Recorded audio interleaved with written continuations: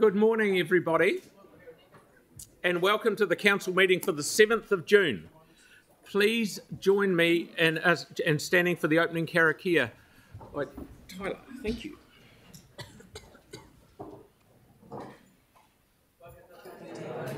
Yoruba, Whakatata, Taira, Kia ora kia rā tata ki tai. E te luka te Thank you. Now, I'd just like to say, um, need to stand. yeah, we will, we will, we will stand. A fortnight ago, or I'll do, I'll stand, yeah. Yes.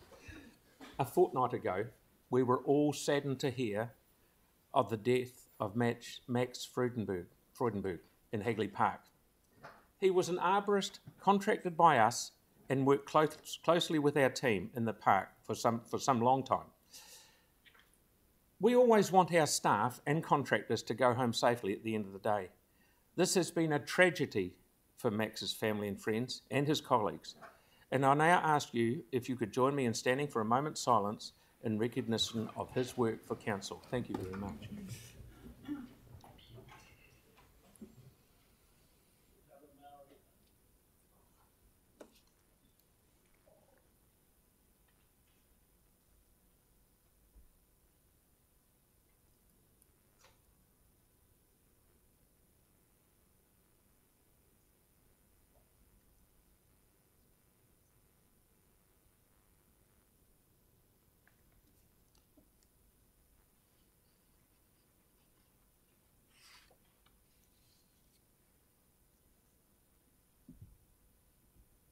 Thank you very much. now, before we get started, I'd just like to say that, that some, some parts of this meeting may get a bit exciting and stuff like that. I'd just like everyone to respect everyone else and not go off at a tangent. That's members, that's people out there. Um, we're respecting that you've come into our house and you want to speak to us, so we will listen. So, and we will we will give you the same respect back. Thank you very much. Right, we have no apologies for today. Uh, I do have a couple of the declarations of interest from councillors McDonald and Templeton regarding item 20 about LPC governance. We have no petitions today, but as we have a large number of public partition speaker, participation speakers, we're going to confirm our previous meeting minutes first and then hear from the community boards. Can I get a mover and Sam and Sorry, yes? I, um, we have an amendment to the minutes actually, because my apology wasn't recorded for the annual plan hearings. Certainly. Yep, we can do that. Yep, excellent. So Sam's happy to, and, and Pauline? Which minutes?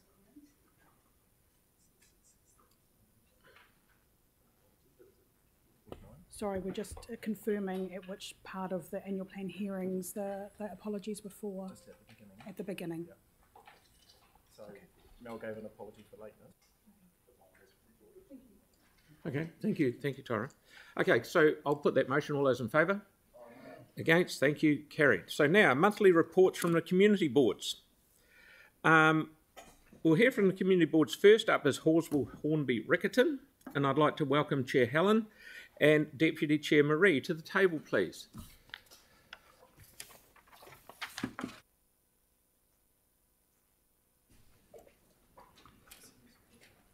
And please, um, time is of the essence today because we've uh, got over 100 minutes of um, delegations and public forums. So uh, please. Thank you. So, um, I'll just share the photo of, of an award first and thank you for the chance to speak. Then hand over to that Marie and I'll come back to quite. to the table. Thank you. Wonderful. Um, magandang umaga po sa inyong lahat. Good morning, everyone. Um, so the community board has made some decisions um, under delegation, and highlights of it are which of which are um, the uh, adoption of the community board plan for the 2023 to 2025, and um, the board has also approved 15 community service award nominations and four Youth Service Award nominations. Um, the others, um, four um, fund applications were also approved. Um, next, um, we have an update on the Matatiki Hornby Center. Um, an operator is being sought to lease the new cafe, which will be located in the heart of the Matatiki Hornby Center. Proposals are open and closed midday um, Wednesday, June 14th. And the library wing is almost um, enclosed with the majority of cladding and windows now in place. All main superstructure elements in the pool hall have been installed, and the roof system over this space is about to commence. Um, we have a community board site visit scheduled on June 22nd. Um, the Springlands Reserve Trapping Project, um, located at the intersection of Murphy's Road and Quaifes Road in Halswell. Springlands Reserve is a fantastic eight hectare reserve with wetlands, native plantings, and walkways. And a um, small group of volunteers um, meet every six weeks to do planting and maintenance work in the reserve. They've also set up 20 traps as part of a project which received support from the board's um, off the ground fund. Since setting up the traps last year, they have had over 250 catches, including several mustelids. Um, these are the weasels, stoats, and ferrets, which originally um, came from Europe and were first introduced in the 1880s to control New Zealand's growing rabbit population. Unfortunately, they had limited effect, and all three have become pests in their own right and they now pose as a significant threat to native wildlife nationwide.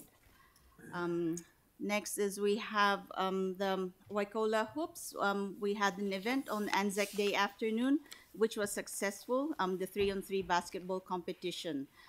Um, and th- that's it. I pass Thank you on to our chair. And thank you. Now, first of all, I'd like to thank you for approving the Halswell Junction Road extension. It's really been necessary for a long time. So thank, thank you to this council. Uh, we've had had one quite difficult issue, in that um, residents of Copper Ridge have come to us and lodged a petition or at least a memo. I think it's been tabled with you. We've had meetings with Kainga Ora, meetings with our senior planning staff. Um, we've attended to drop-in sessions um, run by Kainga Ora, um, and there may be a, a further meeting, a small round table meeting. We can't. What has happened is that a private developer was progressing the project, and then it's been picked up by Kainga Ora. And from what I've seen of emails since, it's happening elsewhere in Belfast, in this city, but all round the, country. So there's a different process. If Kainga Ora own the land, they consult early. If, however, it's being put through by a private developer and then they pick it up, they don't have that time for proper proper consultation. So that's really to um, tell council that this seems to be an ongoing issue. It's not just a one-off. Um, and we had a meeting with Hornby residents recently. It was a very fruitful meeting with staff, and we're looking at a very difficult intersection. Um, the Greater Hornby Residents Association is now doing its own consultation with their own residents. They'll feed that back to us, and then we'll come back to council. It won't be in this annual plan, it's, it's next year's long-term plan. So thank you very much indeed for your time. Spot on time. Thank, time. thank you very, very much. Thank you, Helen. Thank Thank, you. you, Marie. Okay, so next we have Coastal Burwood Linwood with his Paul and Jackie, please.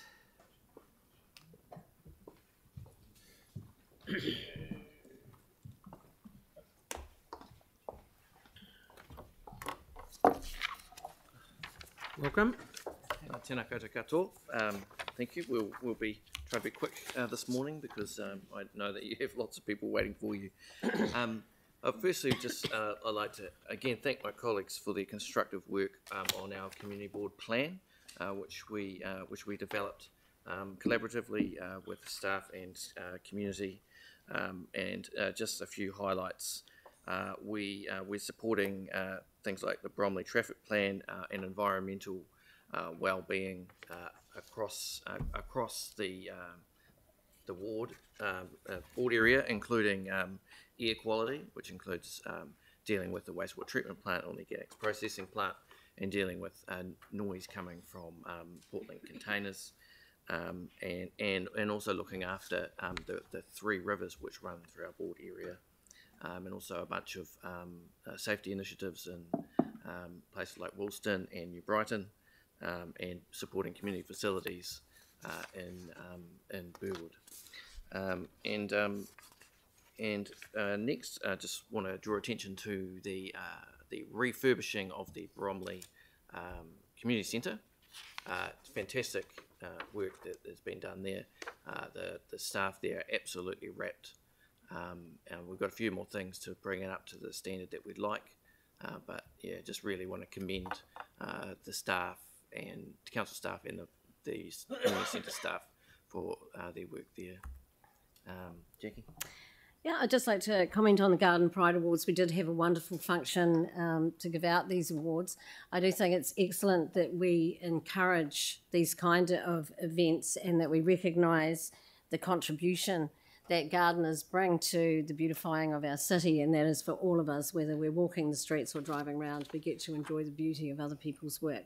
So um, the event in itself was was um, very successful with um, 80 people in attendance, and yeah, well received. Thank you.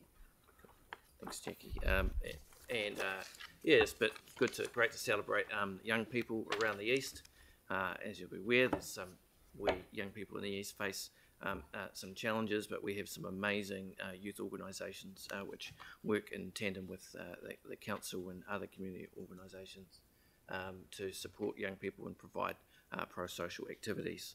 Uh, so it's great to see that happening. Um, again, thanks to the, our, our local governance staff uh, for their work on that. Um, and finally, oh, we've got a video, but we don't have time, so I'm going to skip it. Um, the uh, I, I just wanted to uh, talk about the Start Works notice communication. Um, I know that uh, um, some councillors are concerned about this too, uh, but essentially it doesn't appear to be enough coordination and communication around the starting of works. Um, when we uh, ask about things, uh, so when like at the moment Bromley is kind of ring fenced with um, with roadworks, uh, and there and there was um some some works that were planned to make it even not not the intention, but to make it worse. Uh, and when we asked for them to be changed, they were. But it doesn't appear to be a communication, particularly when it comes to council works, NZTA works, and Orion works, all conflicting with each other. So I think we need some kind of deconfliction uh, type process. Um, and also, we've just asked to get uh, um, start works notices from NZTA because keep coming by surprise. Uh, so it'd be good to have a more systemic uh, response to that. Jackie? Okay. Um, I'm aware that there has been recent briefings on the Bromley um, Organics Processing Plant, and um, I acknowledge that you are doing work in this area, but I also wish to state uncategorically 14 years of air pollution has impacted terribly on the people of Bromley with ongoing trauma, mental health issues, and that is now beginning to affect them in a physical way where they are getting physiological symptoms of ill health due to 14 years of air pollution. I cannot implore you enough to close this plant, and I we need it to be closed. The Bromley community will not accept anything less than normal life. Thank you. and finally, um, I mean, and similar things have happened with both the wastewater treatment plant and the organics processing plant, where there's been uh, disruption to the normal uh, process, and we've been all been taken by surprise. And when I say all, you as well. Um, and I don't think uh, that's acceptable. That uh, the um, whoever is managing it is uh, taken has something go wrong and then doesn't immediately inform council so that we get to uh, answer the question of what's what's happened, what's made it worse, um, and we don't even know. So, thank you. That's it. Okay, all done? Thank you very much for coming. That's perfect timing. Thank you. And certainly take on board what you're saying. Thank you. Okay, so now we have Banks Peninsula, we've got Ruben and Penelope.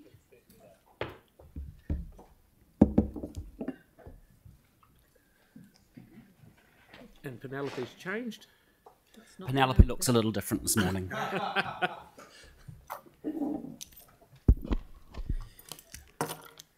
uh, Morena Koto. Um, thanks, Phil, for the forward tease about things getting a little bit exciting this morning. I'm sure you were referring to the Te Pātaka o Rākaihautū Banks Peninsula Community Board report. Absolutely. um, of which it is my pleasure to share. And uh, our overarching principle in our board plan was um, deepening engagement with the six Papatipu Rūnanga across Banks Peninsula. And the photo on our cover here is board and staff at a recent visit to Onuku Marae, which is at the heart of Akaroa, but also uh, at the heart of, of New Zealand's history, a really significant site and a really productive day um, for the board and staff to continue forming the relationships that are so important in governance in this space. Jumping on to the next slide, we've got some discretionary response funding. Um, the first was to the Living Streams nursery in Little River. Um, this is a fantastic community nursery with a really large um, native propagation operation going on. It's also the reason I always have old plant pots in the back of my car because you can drop them in there and they'll reuse them. So um, they don't need to go in the yellow bin, they can go to Little River. Um, the Lions Club also received a grant towards Anzac Day. Um, the club's got a really strong history of um, community support and involvement in Lyttelton, and their open door policy on Anzac Day is fantastic. If you're ever in Lyttelton, get along.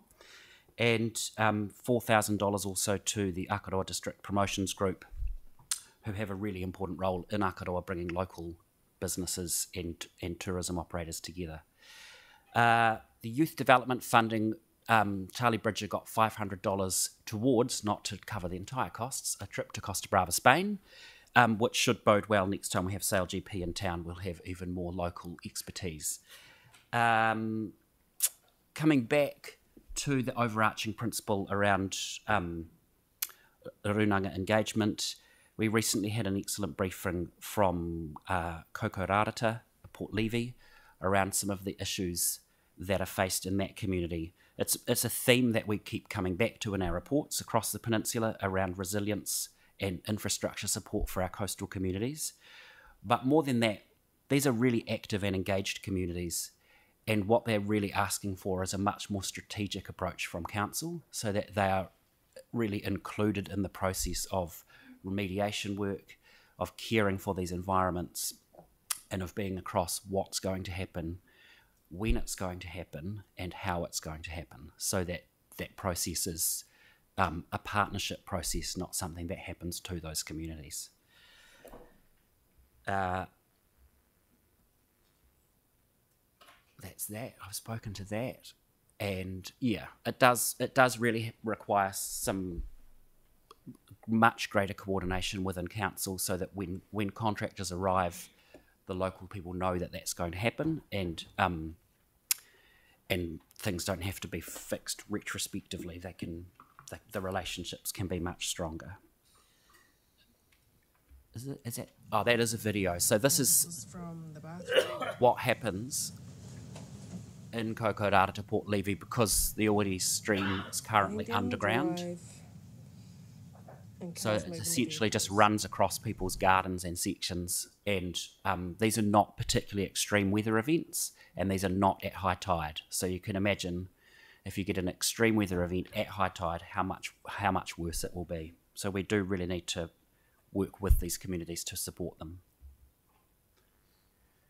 Uh, in Lyttelton, we were really grateful for Hapua Ngāti Wheke uh, giving a new name to the Lyttelton Rec Centre. Manawa Kawhiu, and uh, the board also um, put an application through for the Little River toilets to the Tourism Infrastructure Fund, and also provided a letter of support for Te Puna Oaha, which is a um, creativity collective with a tool library, and they're currently working on facilities for shared workshops for the community to create projects in as well. And we've supported the um, installation of a Pigeon Bay's new kitchen in the historic Settlers Hall. Uh, we've received a really good response back from the Minister of Tourism regarding the concerns that we raised, that the community raised with us around cruise ships and their impact, particularly in Lyttelton and on the Lyttelton community in this last season. And on an ongoing matter of the Banks Peninsula Destination Management Plan, um, this is this is something that we've been working on for as long as anybody can remember. Um, it has been out for some initial consultation. We've got a fantastic response back from across Banks Peninsula on this, and we've worked with Christchurch NZ on extending the time frame for that, and on making sure that everybody across the peninsula who's been involved in that process so far is able to engage further as we shape that document because the potential for that document to really shape the future of Banks Peninsula and to serve the environment and the community cannot be lost. It's a, it's too good an opportunity to let it go by. And just playing to the gallery, I'd suggest that things such as uh, you know more cycleways across Banks Peninsula could be the kind of thing that we would see in the destination management plan. Um, but yeah, that's everything from us for our Banks Peninsula report this month. Thank you, Ruben. Absolutely perfect. Thank you. Okie dokie. So we now have Fendalton, Waimairi, Harewood, uh, Bridget, and is Jason here? I didn't see him. Yep. Did I miss one? I'm sorry.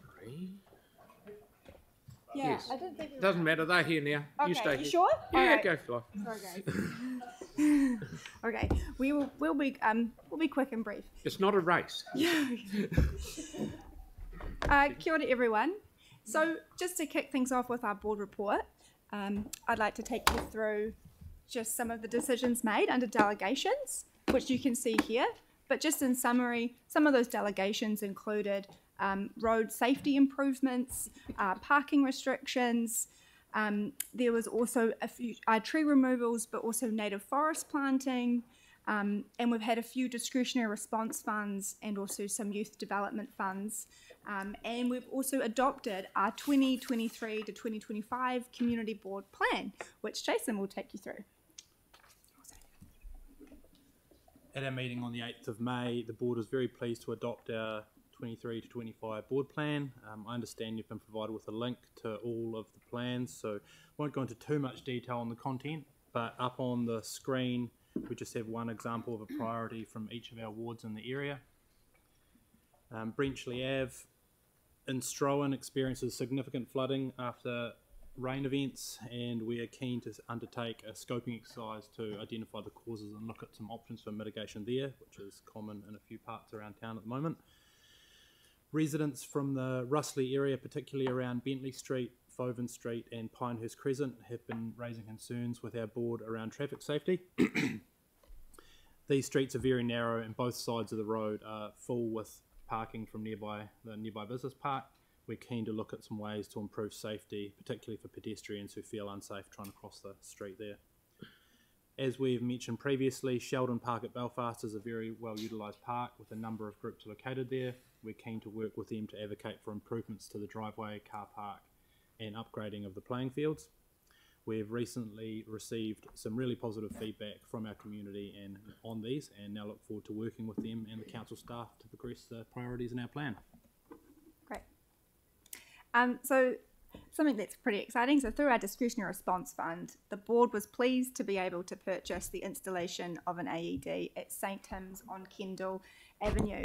This life-saving device provides 24/7 access to anyone in the community and has been registered with St John's and added to the AED location app, ensuring uh, easy and quick access in an emergency. St. Tim's is the perfect location for the device as it's opposite the old Kendall School, which is now home to numerous organisations, the Bishopdale Men's Shed and Kindergarten. St. Tim's is also next to a block of shops and social housing units. So in addition to the installation, St. John's will be providing training to members of the church, key users, and the men's shed to ensure the proper use of the AED. Uh, pictured on the screen is Chris Ponnier, the minister at St. Tim's, and Richard Rendell from the men's shed, who did the installation of the device.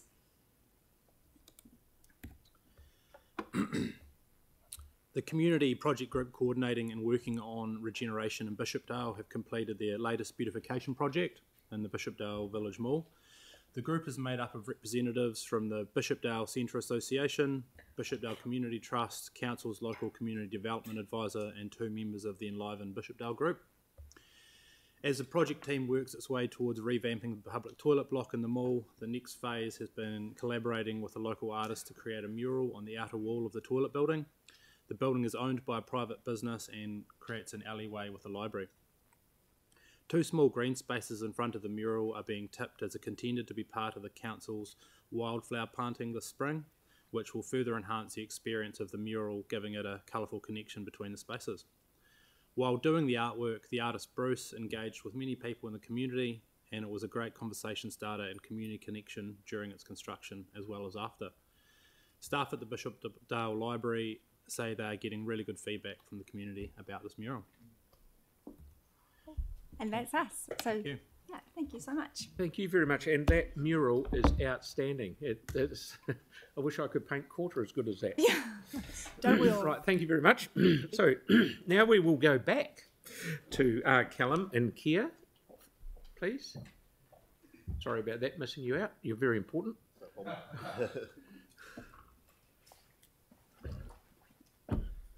Right. Oh, Kia, Kia sends his apologies. He had an, an urgent thing come up we had to attend to.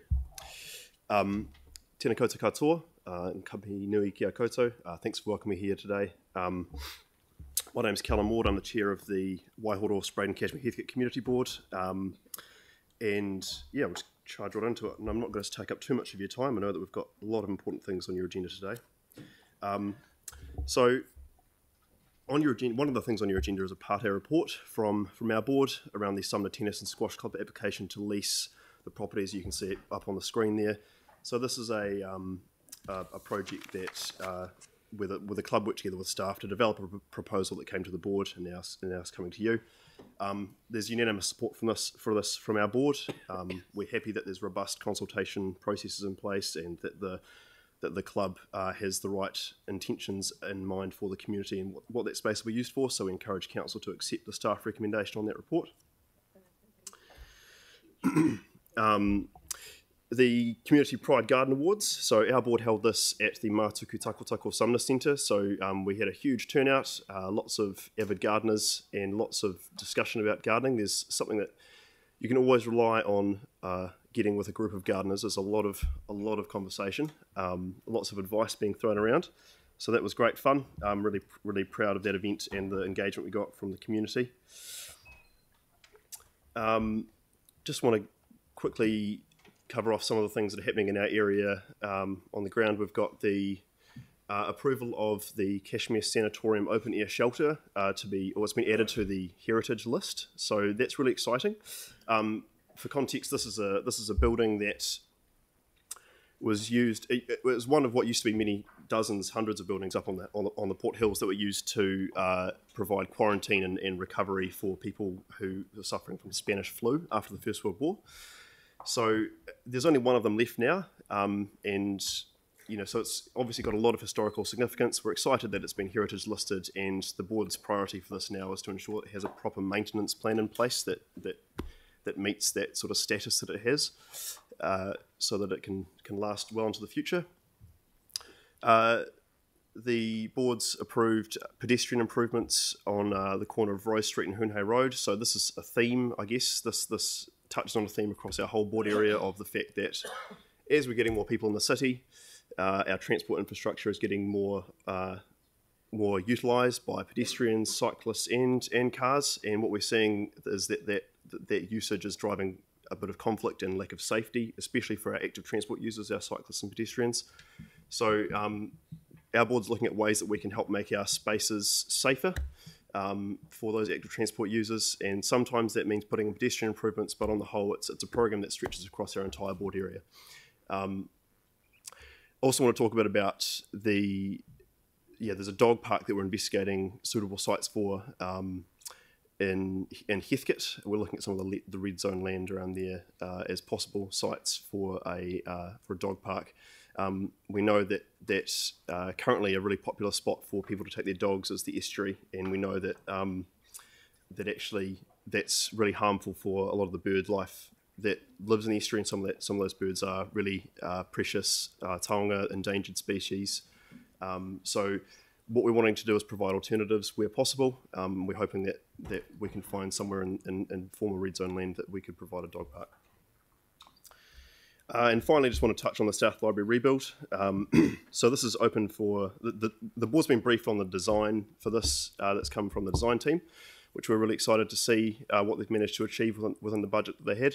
Um, we this this is something that's open for consultation now. So I encourage anyone who's watching or listening uh, to to to to log in and have your say on on the South Library rebuild project. Uh, the thing that our board's really excited about is the potential to connect the library itself with the surrounding space. You know, it's got the beautiful um, River that runs beside it.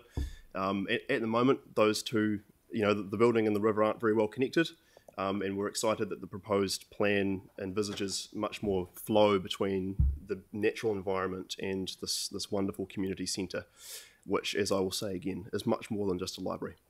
Um, but that's all I've got to talk to today. Thanks for your time. Thank you very much. And I, and I must say that that library, that the plan of that library concept looked absolutely fantastic. So uh, well done to the team. So Cheers. thank Thanks. you very much, Colin. Okay, and lastly, but certainly not least, is um, Papanui Innes Central with Emma and Simon, please.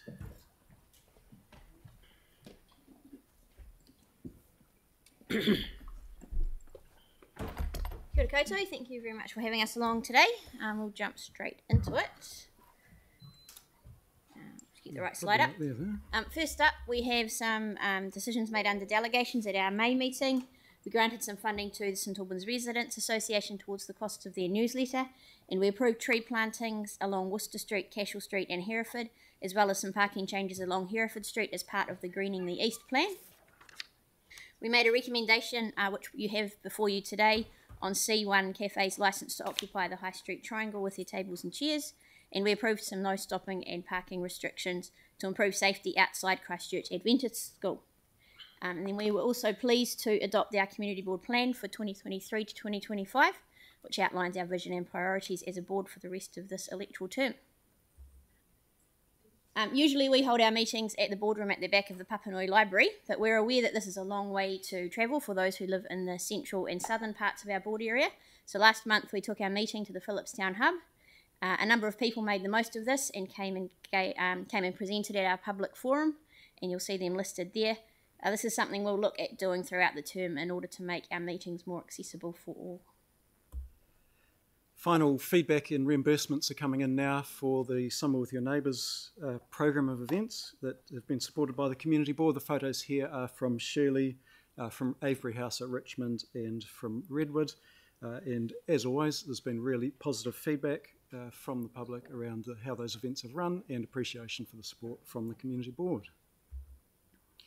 We've also just recently held the Walking Festival with a couple of events in our community board area, including a dog stay out in Richmond at the Revolution Eco Hub, and the uh, Going on a Bear Hunt uh, regular event, which was held at Walter Park with more than 150 participants, uh, mostly young children.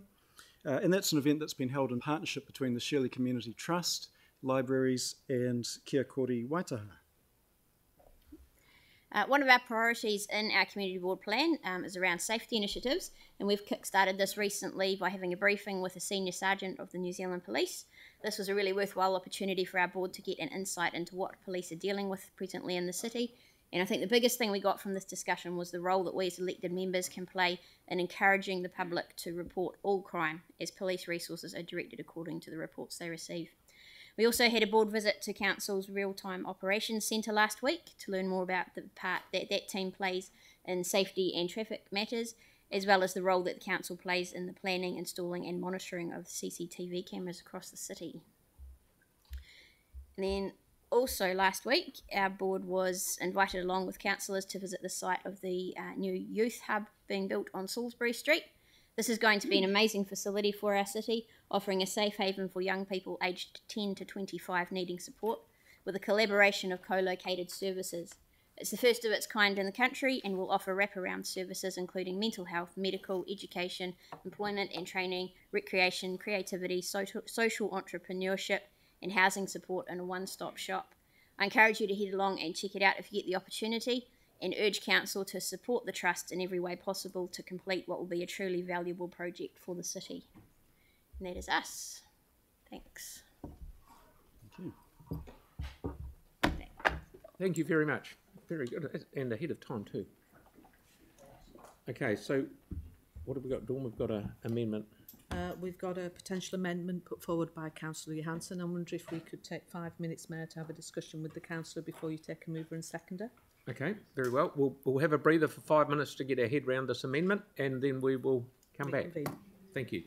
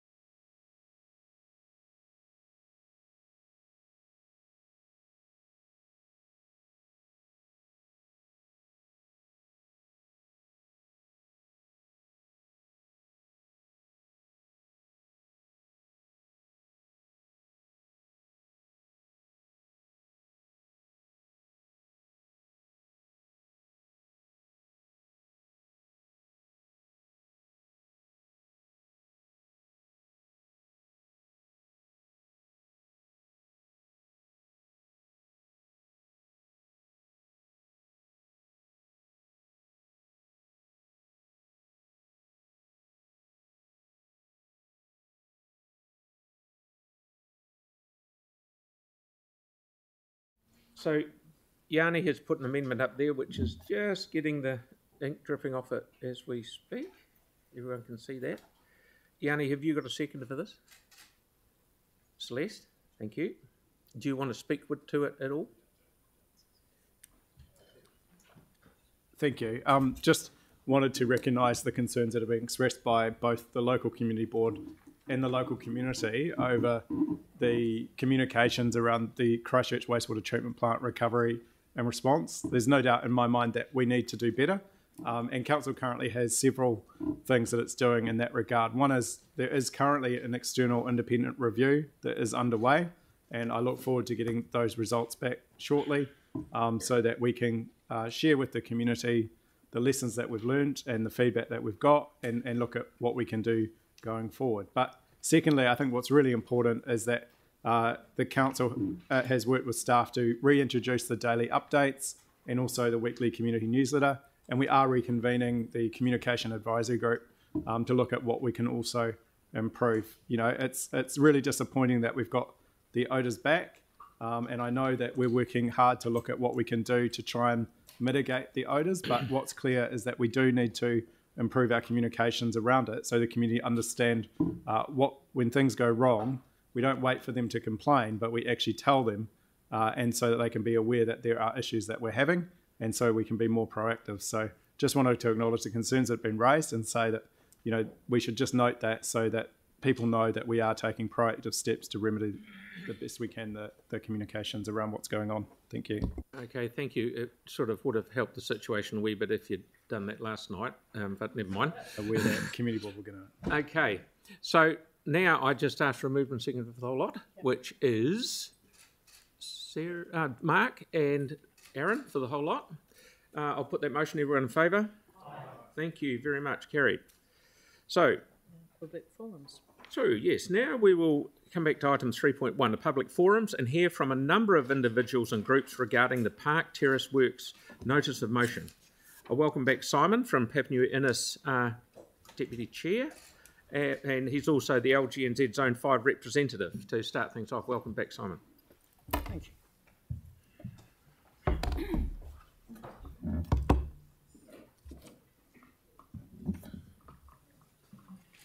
Thank you very much. And just to be clear, I am making this presentation in my capacity as the regional representative and as co-chair of the LGNZ Community Board's Executive Committee, CBEC. CBEC represents all community boards in New Zealand and is an advisory committee to LGNZ's National Council. We advocate for community boards, which is why I'm here, and promote best practice. With respect to item 16 on your agenda today, Notice of Motion Park Terrace Works, I'm firstly bringing to your attention the fact that decision making on this project to date has disregarded the Council's delegation of responsibilities to the Waipapa Papanui Innes Community Board and has breached the Governance Partnership Agreement. The Council Community Board Governance Partnership Agreement states that delegations to community boards are guided by the principle of subsidiarity and that issues specific to a community board should be dealt with and decided on within the affected locality. The Council's delegations register includes delegating Clause 7 of the Traffic and Parking Bylaw to community boards. On the 14th of March this year, a report titled Parking Changes on Gloucester Street and Hereford Street was presented to this Council, recommending parking restrictions be made under that clause of that bylaw. And of course, that's the same report that also describes the changes planned to be made on Rolleston Avenue and Park Terrace to implement the on road cycleway. I note from the minutes that the recommended parking restrictions were accepted without change by the Council. Now, just this past week, Council staff have acknowledged that the 14th of March report should have been presented to the Community Board, not the Council, as it's outside the Plan A area, and they've apologised for that error. No doubt the advice given about the project to the Council on the 9th of January this year should also have come to the Community Board, along with any other communications on this matter. and that brings us to today's agenda item. Today's notice of motion is a further breach of the Governance Partnership Agreement. The notice of motion proposes preempting a decision that is, in the first instance, the Community Board's to make. The Board understands that the public consultation process that's currently underway will lead to a report to the Board's July meeting in order for the Board to make a recommendation to Council on the future of the changes to both Rolleston Avenue and Park Terrace. The Council has got an opportunity to support public involvement with Council decision making by allowing the public consultation process to run its course and by respecting the role of the community board and the role the board has through delegations and the governance partnership agreement.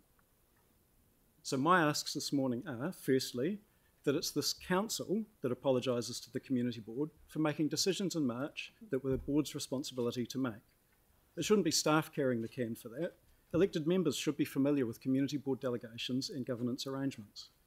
And secondly, that the notice of motion be withdrawn from today's agenda and that the process runs its course as planned, with community board's role respected.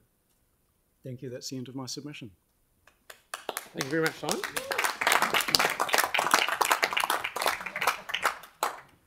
Thank you very much here. Um, you've got time for one question. Yani. Yeah, thank you for your de- uh, deputation. Um, I appreciate that you're concerned about item, um, sorry, the just uh, six, 16. Um, but I was just wondering in regards to item 15, whether you had a view on that as a community board as well. Uh, speaking not on behalf of the community board, I'm speaking purely on my, from my role as CBEC, and I don't have a position on that. Okay, thank you. Okay, thank you. Thanks very much, Simon. Thank right, you. now we have um, Aurora on Zoom. Hello. Hi, thank you for having me. Audio working? Yep, yep, excellent. Go for your life. Kia ora, my name is Aurora and I'm a high school student here in Ōtautahi. I'm here to urge you city councillors not to waste taxpayers' money on getting rid of existing cycling infrastructure on Park Terrace. It's a terrible step back for the city's sustainability and emissions goals. It shows complete contempt for cyclists in our city, and it's a total waste of money and resources. Firstly, I'd like to remind the Council of their sustainability goals that they have pledged to. On your website, you've stated that Christchurch City Council has committed to do everything we can for now and for our future with targets for reduced emissions across our district. Our emissions reduction targets from a 2016 17 baseline are net zero greenhouse gas emissions for Christchurch by 2045 and a 50% reduction by 2030 no matter how you spin it, no matter how you might justify it, fact is, getting rid of this existing cycleway is a direct contradiction of that goal. Cycling is the lowest emissions form of long distance transport we have here. And not only does it keep those transport emissions low, but it keeps our citizens active and healthy, which is a really good goal. We know how much of a problem our high transport emissions are in Ōtautahi. It's stated plainly on your website. Christchurch's main sources of greenhouse gas emissions are from transport, with around 55% of our emissions. We are an incredibly car and fossil fuel reliant city with a culture of using these private fossil fuel guzzling vehicles. Secondly, if this plan to destroy this Park Terrace cycleway goes ahead, it signals a larger contempt and lack of respect for cyclists. Sure, it is just one cycleway, it is just one section of infrastructure out of the larger network, but it sends a discouraging message to those who use bikes to get around the city. Cyclists shouldn't be treated as second class citizens and prioritized second to those who have the money and resources to own and operate cars. We should be treated with dignity and provided with the resources necessary to get around the city safely. And that means connected cycleways, separated from car lanes to keep us safe throughout the city. When you take away existing cycling lanes, you show cyclists that you don't care about their comfort when they're traveling around the city, and you make cycling that little less, little bit less safe and a little bit less comfortable. This plan is a total waste of money and time. We have an existing functional cycleway. Let's not ruin it. Thank you to those councillors who are planning to vote against this destructive plan. To the rest of you, I hope that you will actually listen to me and other members of the public and hear us when we ask you to do the right thing here. Christchurch City Council, please back up your sustainability goals with your actions. As we at School Strike for Climate say, votes, not words. Thank you.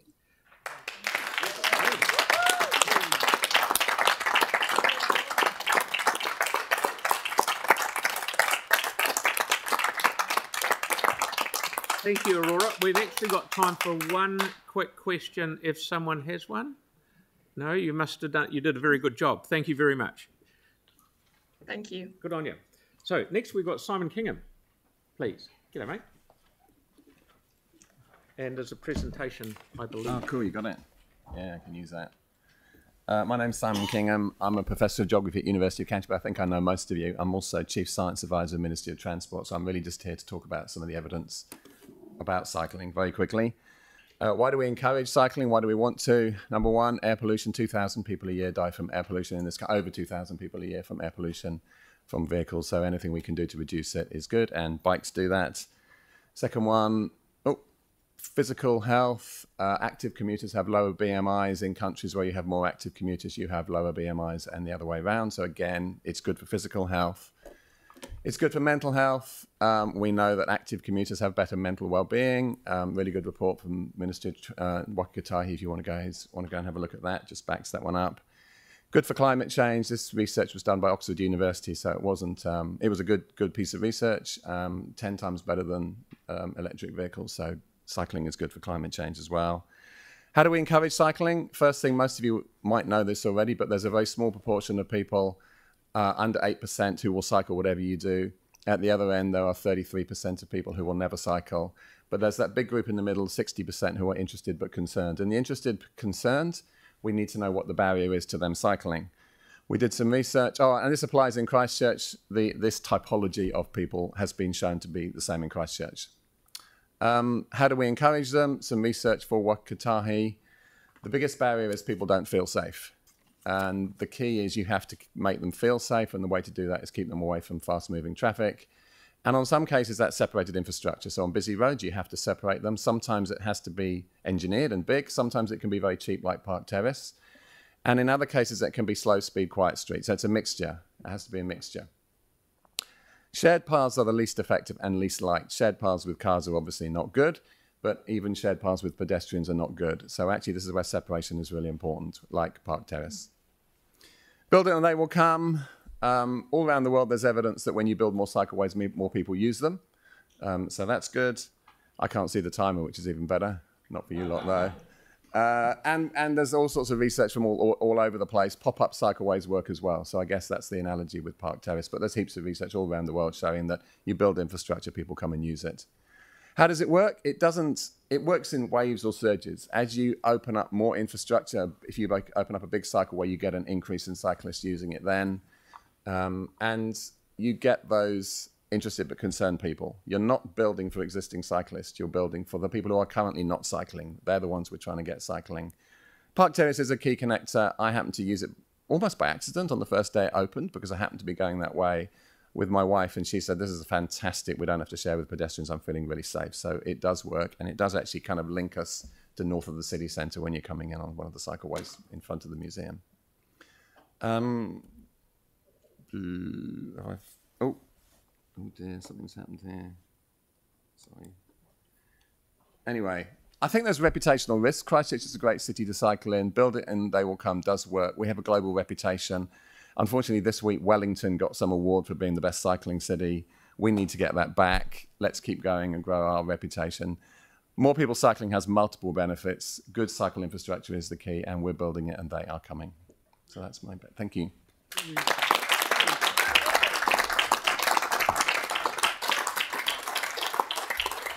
Thank you, Simon. Um, Tyrone?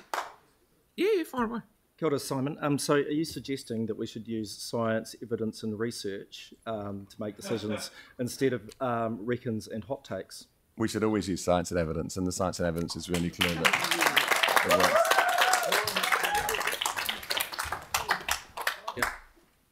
Um, just quickly, we've had some assertions that because some vehicles might be slowed up a little bit in other areas because of the cycleway, that it would actually increase emissions. Could you talk to that?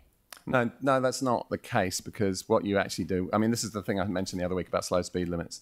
You actually smooth traffic out. And of course, overall, you've got to look at the overall benefit. So if there were to be any small increase, it would be over, over, overcome by the benefits of more people cycling. But, but smoother traffic is what you want. Yeah. yeah. And sun, and sun congestion suppresses demand for driving too. So there's multiple ways of doing it. Yeah. Okay, thank, thank you, Simon. Yes. Um, Stephen. Uh, sorry, no, no. Uh, we're, yeah, Stephen, please, from Spokes.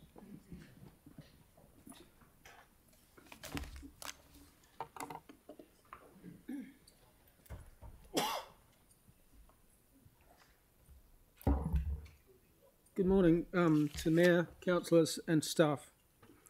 Today I'm talking for myself and for Spokes Canterbury. uh, we both support the council's anti bullying campaign. Um, can we? Oh.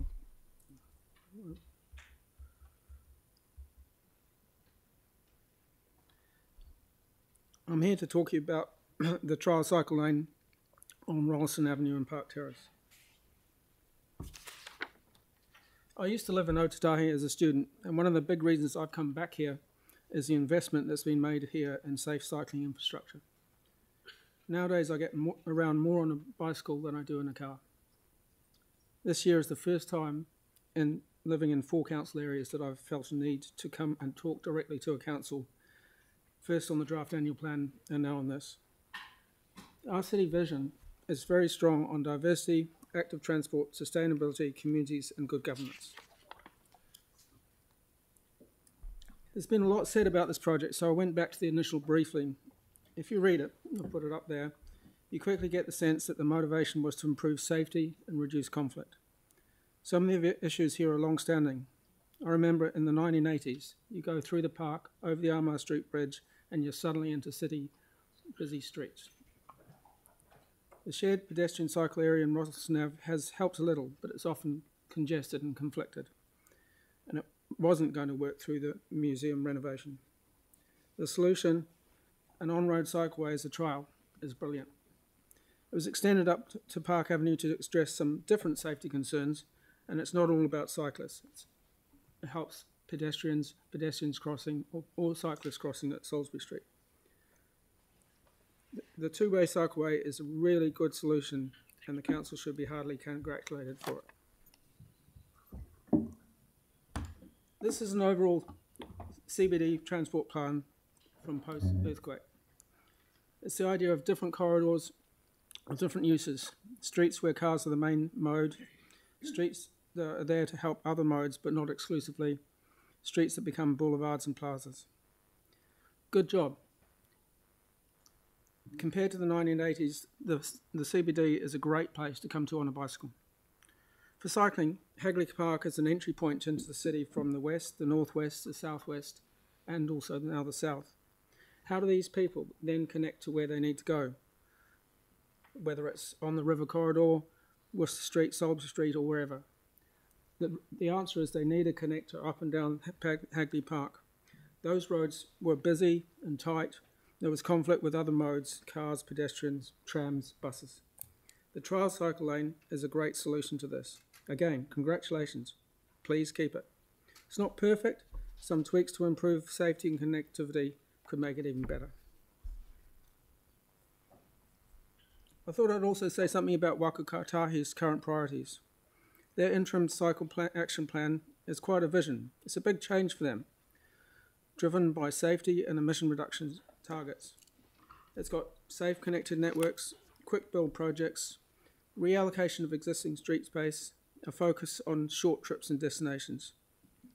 I was recently in Wellington and saw some of the work being done there with quick quick fit interim cyclist solutions. I even saw one that had the same marker post as you've used on Rolleston Avenue and Park Terrace. Waka Kotahi funds a lot of our roading projects some of them at 50%, sometimes at 90%. Given what's on uh, the cycle plan, they'd be very keen on this project. In fact, one of their senior managements told me yesterday she'd been in touch with the council to congratulate them on the project and ask if it can be used as an example for other councils. Could it have been done like this? If, if Park Avenue had been set up with orange cones like this, would it be seen as an effective trial? Would it be safe for the cyclists? I'd suggest not. We'd probably just have people complaining about a road cone city. You've been making this a car versus bike scrap. It doesn't need to be. On 90% of our road network, cars and bikes use the same space. Where that space is busy, congested, complex, or unsafe, then it's best to separate them. The biggest barrier to more people taking up cycling is it's perceived as unsafe. The solution is to make it safe and to make it seem safe. Major cycleway routes are the rock stars of our cycle network, The rest is feeder routes, neighbourhoods, destinations, connections. To make it all work, it needs a collaborative approach, not a scrap. It needs more projects like Rolleston Ave and Park Terrace. I didn't anticipate there'd be any time for questions, but what I did was picked a few likely questions. And if you've got questions along those lines, there's some notes that I provided of the way I would answer them. And the other thing is, I'm wearing an armband today because another person died in a car versus bicycle crash on New Zealand's roads yesterday. Thank you. Thank you. Thank you very much. No, I haven't got time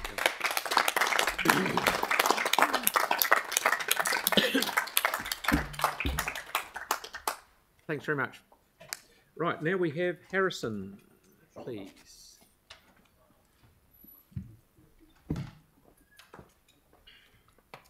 Welcome. Morena. Um, I don't actually have a presentation, I've just got some notes here. Um, there's going to be plenty of people talking about the cycleway today. Um, mine is more in line with what Simon spoke about and the nature of the motions that have been put forward today.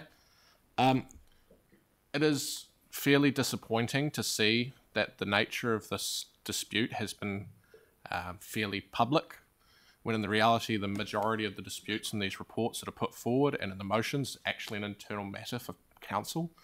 Um, disputes between councillors and staff are matters of employment, not a matter of public interest. So it's fairly disappointing to have seen it become such a large thing that it's been taken um, so with a with a degree of vitriol actually to the public um, by elected members. Um, this includes a lot of recent articles, uh, commentary, and it really doesn't show the council in good light when, uh, as a as a you know as a member of the city and you know as somebody who's concerned about this, that I am reading every second day commentary in the newspaper that regards an internal affair of council's own disputes. Um, it doesn't bode well for a council that is currently running on a very low trust relationship, um, has very poor staff um, satisfaction and turnover levels, especially in senior departments. Um, it really isn't the kind of behaviour that's acceptable to have seen. We've already heard from Simon that this was running roughshod over the community board's responsibilities and delegations. Um, that is a core part of the, how the city functions. Is the reason the community boards exist is to deal with these delegations. The reason staff are in teams and we have experts is that this is delegated to them with a reason. They are experts in these fields. They have made these decisions based on good, solid legal advice, a need, a perceived need, and best practice. It's not something that necessarily is liked by some councillors, but it is the reality that staff exist for a reason, which is to provide you with expert advice and to make decisions under delegation. So, if you look at your, your attachments, per clause um, 11 and schedule 10 of the Local Government Act, you're empowered to delegate this to the chief executive, which you did. The chief executive then, in her role, has delegated this to staff, the correct team, who has dealt with this in an appropriate manner, sought legal advice, and done it in a manner that is befitting and proper of council process. The response to this has not been fitting in council of council process. The cycleway is currently under consultation. It has not been received or looked at by the community board, as Simon said. That is the June, um, July meeting.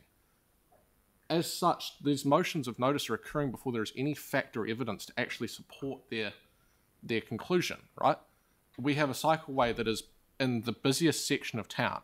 Is used frequently. I used it to get here this morning. My partner uses it every day to commute to and from her workplace, and it's fairly uncommon to see this sort of behaviour happening, and it's not something that should be expected. I would remind councillors of the code of conduct that actually should govern your relationship with the public and with staff 5.2, 5.3, and 6.2.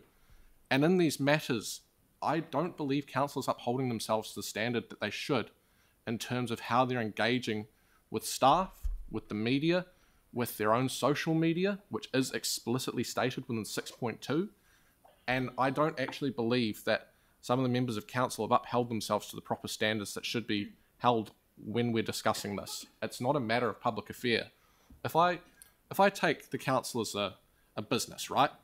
and we take the chief executive as CEO. This makes you a board of directors. As a ratepayer, this makes me a shareholder. If I was to go into this business and find that members of the board of directors had been publicly denouncing or um, destroying the integrity of my business, I would not be happy. That's my position.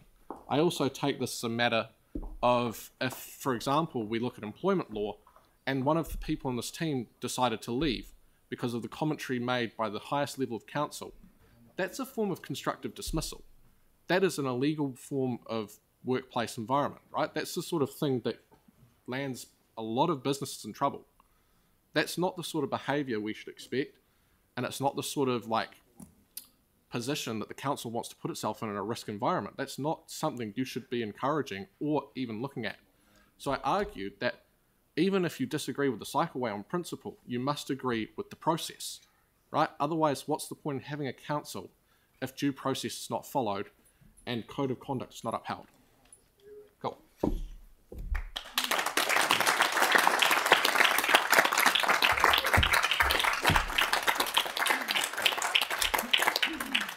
Thank you very much, mate.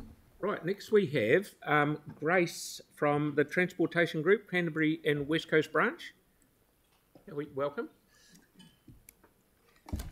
Kia ora koutou. I'm here as a representative of the Transportation Group local branch, which is a technical interest group of Engineering New Zealand. I myself am a transport professional, um, a decade of experience, um, got a master's and um, bachelor's degree, and I'm a chartered professional engineer. So I'm speaking with someone with a bit of experience with both designing and also, in fact, using these type of facilities around Christchurch.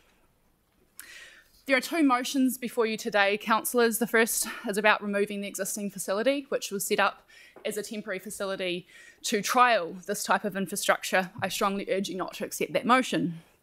The second motion I understand, and I'm speaking frankly here, but essentially would relate to censoring council staff, previously mentioned, from delivering this type of infrastructure for your city, which is aligned with delivering the policies and strategies that have been agreed, both at a national and obviously local level too.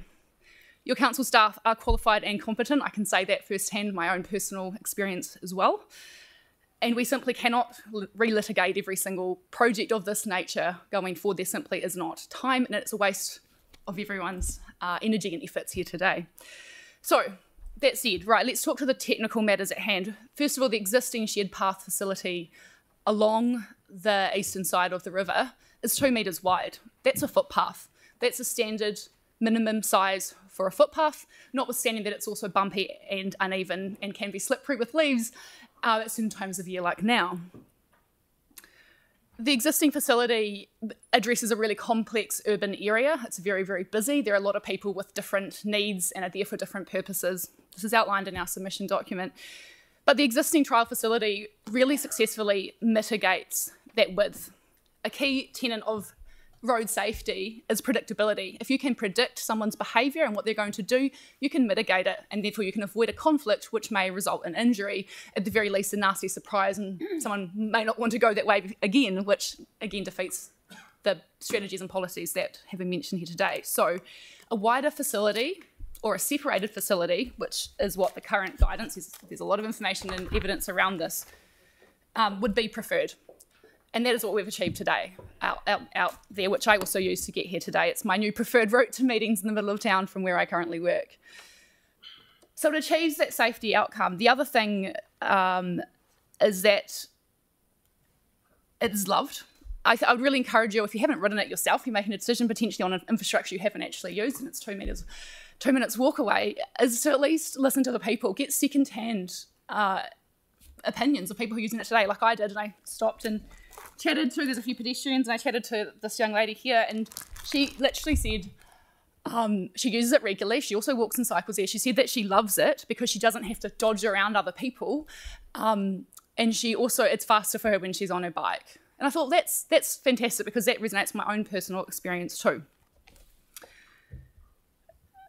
The other thing is that we have a range of different users along this corridor. Um, that includes not just people who are cycling, but also scooters, people walking their dog, people taking their toddler for you know on, um, on a new scooter and things like that. The, what I would like to stress is that this infrastructure could be considered pedestrian. infrastructure actually, not cycling infrastructure, because we've removed cyclists from a high conflict, narrow area, particularly speaking to Park Terrace here, and put them onto a road environment that is predictable, that is safe, that is smooth, and therefore create a more intuitive space for all those road users and and motorists alike as well. The other key thing I need to speak to on a technical matter is the road space allocation, which I know has come up and has um, potentially there's perceptions where where the congestion might originate. Um, the Kilmore Street signals um, is where will drive that capacity along the Park Terrace road, um, not the lane capacity. So what we've done is removed the two lanes along Park Terrace heading northbound uh, down to one lane. It was previously one lane um, years ago anyway, but what that's done is that when you're crossing at Salisbury Street, like I also personally do every day, um, you're only navigating with one lane of traffic at a time, not two. And so you avoid that masking effect, um, also that judgment and gap, um, just judgment is, is made a lot, a lot easier. So there's a, there's a strong safety benefit in that case too. So these, these reasons have been touched on previously. I don't want to relitigate litigate that further, but I would strongly encourage you to re both retain the existing facility and be bold to keep innovating and delivering infrastructure that is so loved and why there are so many people here today to speak to this. We love it. Please keep it. It's a step in the right direction. Kia thank you.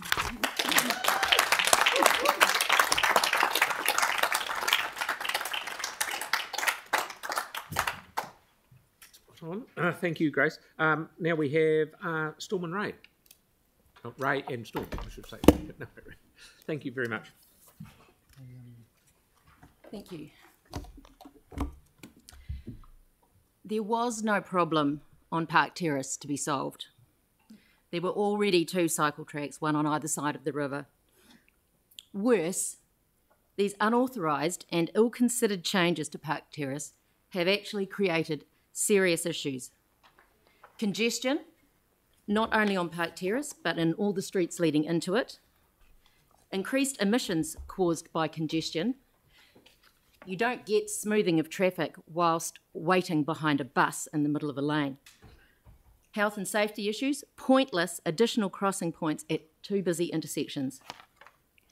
It is not okay to put a bus stop in the middle of the only traffic lane. There is no mandate for this. Councillors need to take decisive action to address this mistake and its consequences and vote in favour of this notice of motion. The productive people, most of, most of whom can't be here today, that is the payers of rates, not the squanderers of them. Thousands of us, actually, have had enough. This madness has gone too far. And this is not just about Park Terrace. This is a tipping point. Christchurch City Council and its out of control staff should know this is the beginning of scrutiny and accountability. Thank you. Right. So, has anyone got any? Sarah, you've got a question. Thank you. Um, I'm just wondering if you, you, you said that there was um, no problem to be solved. That's probably no problem on the road. What about the conflicts on the on the shared path? There has been no issue with the shared path in the last 10 years, not one. Okay. And when it comes to the um, several times that the bus has to stop down Park Terrace in rush hour, do you believe that um, the ability for, or the necessary um, waiting of two or three cars behind a bus outweighs the ability for kids to cross the road safely to get to school? I don't think that's the issue here at all. I think you're misstating the proposition. So you don't believe that there's any safety issues with kids crossing the road? I think there are there? increased safety issues as a result of the changes of the traffic layout. Okay, Sam? Yeah, thank you for coming in, Storm. I just wondered if you could talk through um, any consultation you had on this proposal. None. And I note that it's been referred to as consultation. As far as I'm aware, and I, I am a lawyer myself, consultation occurs in advance of doing something, not a retrospective justification of it. Kelly? Uh, thank you. Would you support the widening of the current footpath on the park side of Park Terrace? Yes, I would. Thank you. Melanie. Have you cycled along the path in Park Terrace? I've scooted, uh, sorry, along. In, inside the park. Have, have you have you biked or yeah scooted in the park? And walked, the path? yes. And biked. No, I don't bike in Christchurch. So you just walked. Yes. And have you? And, and I've scooted as well, yeah. Okay. Okay. Thank you very much. And thank you, councillors, for nice short questions. Thank you, Storm. Very, very clear and concise. And thank you, Ray. Very clear and precise. And no relevant experience. Thank, thank you, Mayor. Um, noting we've got limited time, I've given a presentation. I didn't quite print enough, but if you can, hopefully you can all see one. I will ask that you reread this again afterwards. I'll just go through key points now. Just I'm conscious of the clock. Uh, in just paragraph one, I've been doing transportation planning and roading engineering for 37 years, nearly all of it in Christchurch. I've been around a long time. I've watched what's been happening in the central city in particular over the last 10 years with a lot of dismay. I've been watching what's been happening with the cycleway network with a lot of dismay as well, but I've actually seen on the Rolleston Avenue thing some really good ideas. I just want to talk about that. Uh, I am a cyclist as well. I don't feel a need to wear a cycle helmet this morning. It's my favourite exercise thing. I've spent a fortune on bikes. I love biking. If I didn't have to work, I'd be biking right now.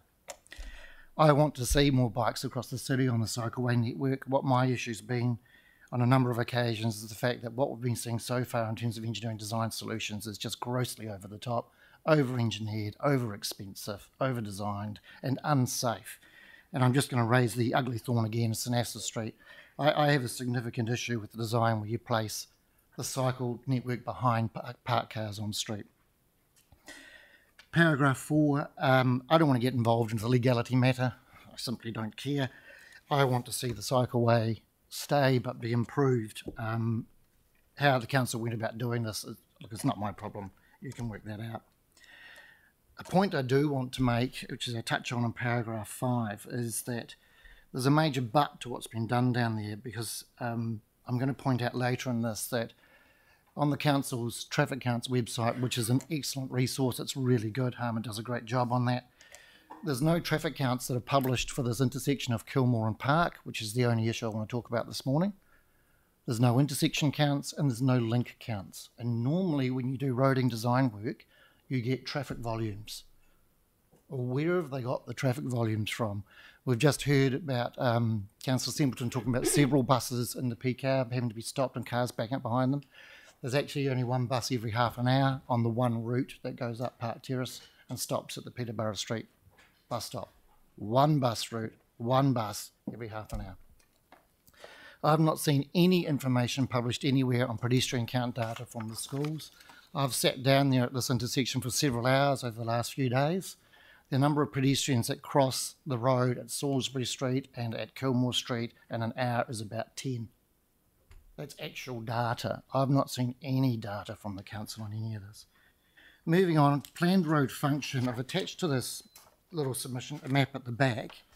In great hindsight, I should have highlighted where Kilmore Street is and um, Park Terrace. But it's along the middle top there. You'll see the dark blue line, which is for a, a distributor road, and then it connects up Montreal Street to Bealey Ave.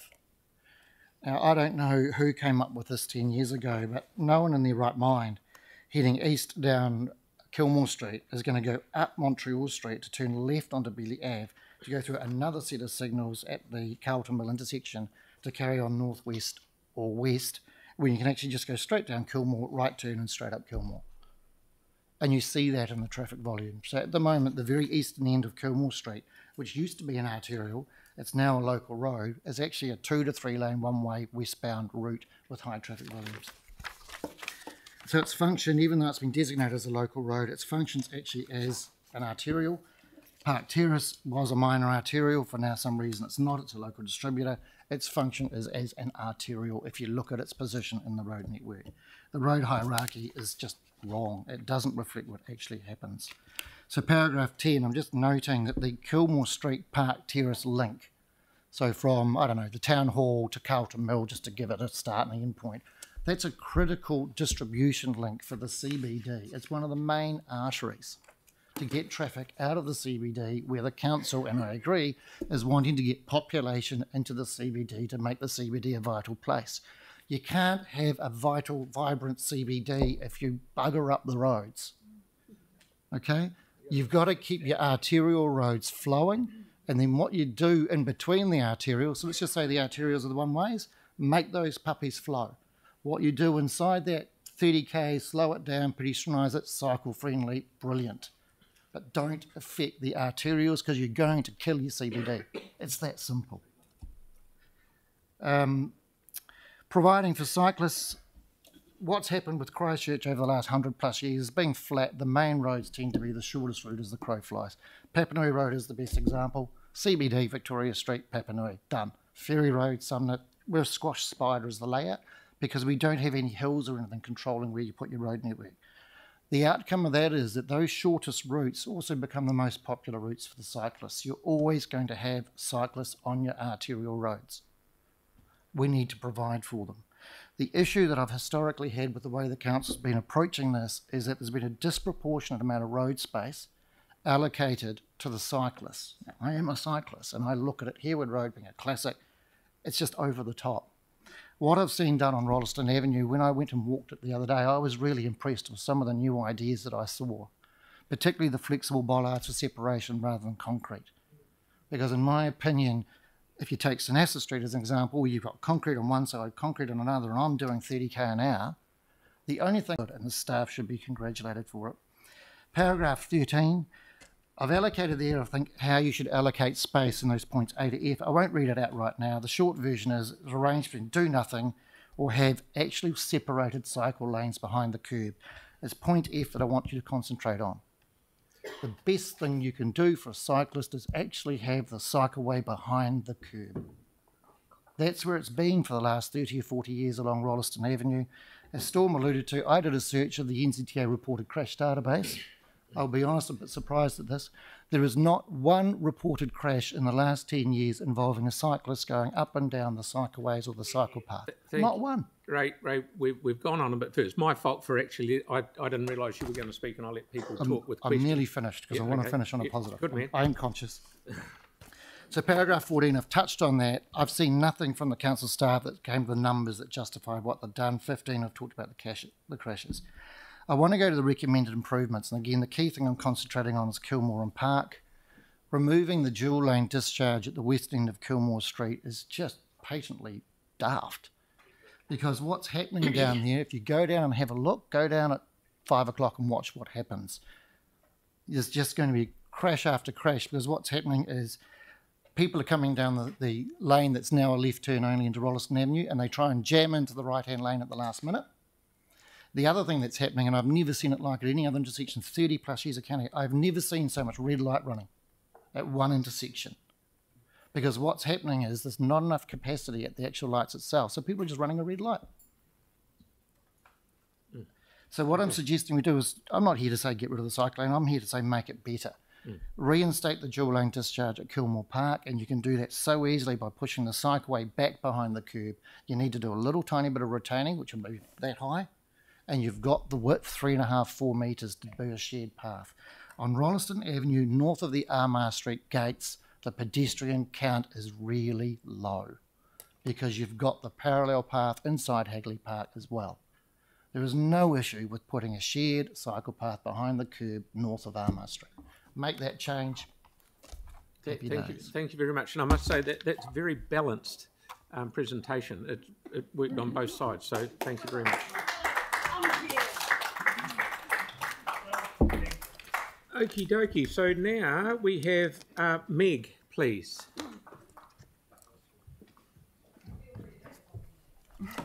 Thanks, Sarah. Tēnā koutou katoa. well, I'm here with um, two other hats on today. I'm an everyday cyclist, but I'm here to represent people who walk. Um, I'm representing both uh, the Active Canterbury Network and the Living Streets Aotearoa. So, the Active Canterbury Network, its memberships includes, it's not limited to, uh, representatives from the exercise and dance industry, the Heart Foundation, He Waka Tapu Trust, Pegasus Health, Te Mana Ora, whānau the YMCA and the Selwyn, Waimakariri and Christchurch City Councils. Our vision is that every Cantabrian is engaged in regular physical activity during their lifespan. One of the most accessible and affordable types of physical activity is walking. According to the Active New Zealand Sports and Active Recreation Profile, 60% of all adults over 16 identify walking as a key way of getting their physical activity. This makes walking one of the most, well, the most popular choice for sport, exercise, and recreation. And if you add in jogging and running, that bumps it up to 80%. Swimming, by contrast, is the second most popular at 30%. So that's a bit about the active Canterbury network. Living Streets Aotearoa is New Zealand's pedestrian advocacy group and it's not so concerned about recreational walking or walking for fitness, but walking for utility purposes, for getting from A to B, for work, play, learning, or socialising. Some of the pedestrians we re- represent have no other means of transport, and we hear this especially from the low vision population. The shared paths along Rolleston Ave and Park Terrace have both types of pedestrians, recreational users and commuters. It is a key route into Hagley Park, the Botanic Gardens, the museum, for locals and tourists, mobility scooter riders, dog walkers, pram pushers, the lot. It's also a key commuter route for those needing to access the Christchurch City Hospital campus and the rest of the health precinct, and for students and staff getting to Christ College, Cathedral Grammar, and St Michael's School. It's also a pleasant route for others to choose to access the central city from the southwest to the CBD by foot. Except, up to now, it hasn't been that pleasant. The shared path has not been fit for purpose for decades now, with users fighting for space, with people on bikes, and more recently, micro-mobility users and e-bikes this environment in the heart of our tourist area with picturesque his- historic buildings either side of the road, the Botanic Gardens, and the beautiful Hagley Park means that walkers meander all over the path and the kaupapa of keeping left, left is not adhered to, and understandably. And you put into that mix the elderly, the very young, the vision, hearing, and mobility impaired, the runners and the joggers, people on cell phones, and so on, it's becoming a really crowded space of disparate users. If people have to step off the sealed path and make way for others, or ride off the sealed path, they are at risk of tripping and slipping on the muddy and uneven verges, and that's especially so for the park terrace um, of this road, this the cycle path. So, what relative bliss it's been in the last three weeks on the path without our friends on bikes. Still not perfect. Yes, Park Terrace section north of Armagh Street Gates continues to be way too narrow and uneven. And all along the route, the tactile pavers have not been installed correctly or even logically. But it's been better, vastly better, without having to share with people on bikes. so, on behalf of the Active Canterbury Network, and Living Streets Aotearoa, I ask you, I beg you, to retain the very effective and immediately popular cycling infrastructures question. This helped keep pedestrians safe and has contributed to making their trips more enjoyable and comfortable. And in just reflection on the last speaker, I need to speak on behalf of particularly women who find that the bit of uh, cycling and walking infrastructure within the Hagley Park boundary is really scary and feels unsafe after dark. And they're the ones that are going to be using this very narrow path uh, north of the uh, Armagh Street gates on um, along Park Terrace. So thank you.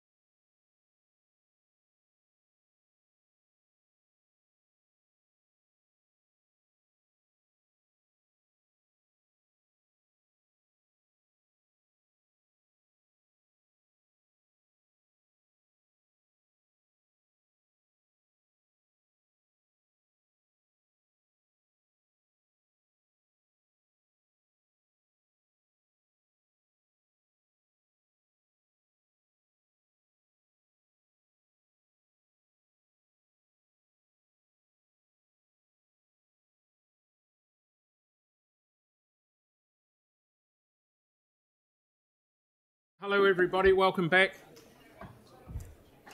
Sorry to push you along, but we've got a we've got a big day. We've uh, just got some slight amendments. Yeah, we changed. Moved up and an extra one. Yep. Okay. So here we are on item 11, the urban forest plan. Everyone's uh, deputations, five minutes each. Um, first up is uh, Paul McMahon from Coastal Burwood, Linwood. Welcome back.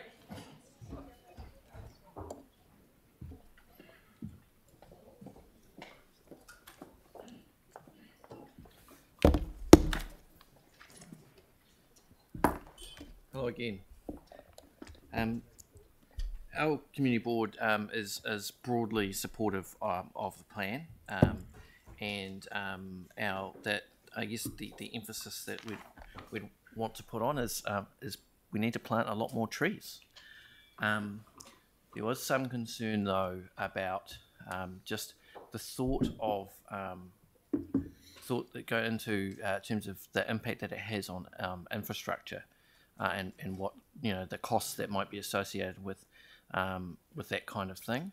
Um, and you know, out in out east we have a bunch of trees, like like I guess everywhere in the city, we have certain types of trees that have been planted that uh, cost quite a lot to mitigate their effect on on drains and that kind of thing.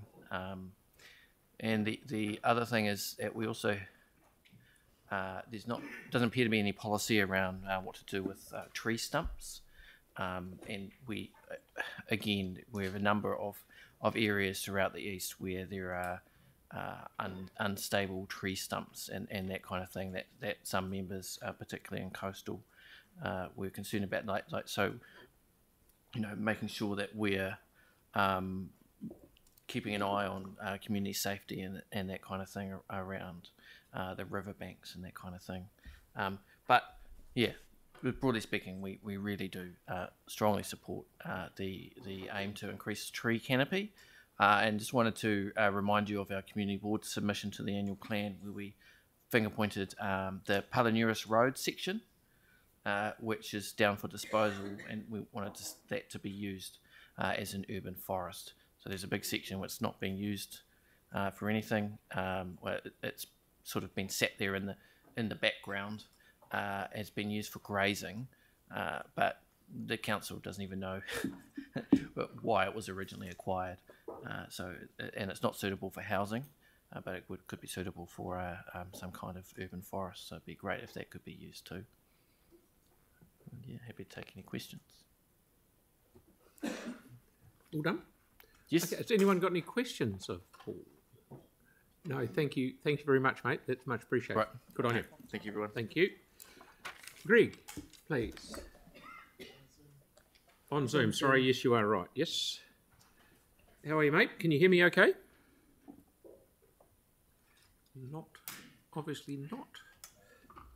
Are you there, Greg? Hello? No, he's not even talking. Just just while you're doing that, can we also get the page number of where the actual submissions are? well, shall we get Mark to come up whilst we're waiting? Yeah. Is that okay? Yeah. Okay, Mark, you're on, bud. And Ross, welcome back.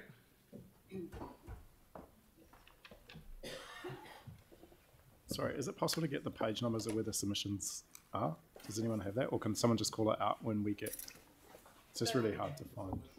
Yeah, the submissions of the deputations, they should be on the victim count. They should be outlined. There's 340 pages. Yeah, the, So those individuals who are speaking here, they, they should be prioritized at the beginning of the submissions list.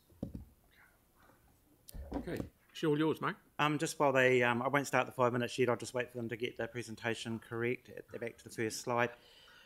I do want to say though, and being in the chamber this morning, and, and I back up the count, uh, comments of Harrison, I think the last couple of weeks have been really disappointing as a resident of Christchurch and seeing the debate that's happened in public media between councillors. I think it's councillors' behaviours on both sides of the argument and not all councillors.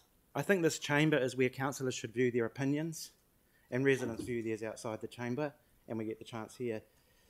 But I, I just, it just looks like you've learnt nothing from the resident survey and the, also the other um, staff survey. And I really think that councillors should view their opinions in here because it isn't a good look for our city. Um, sorry. Um, so the uh, first slide says it for itself. Um, I actually think this is the most important thing on your whole agenda today, because without trees we can't live. You know, we can talk about cycleways. Cycleways is only one component of the climate change. We've got a climate emergency, and trees, I think this is much more important. Okay, cycleways have got their point, but without trees, I say we can't live.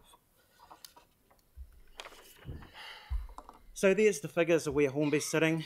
We estimate we're down to about 4.9%. Uh, Mayor, maybe we could swap the rates rise for that and we could have that as our tree canopy rate that we aim for and we swap it around.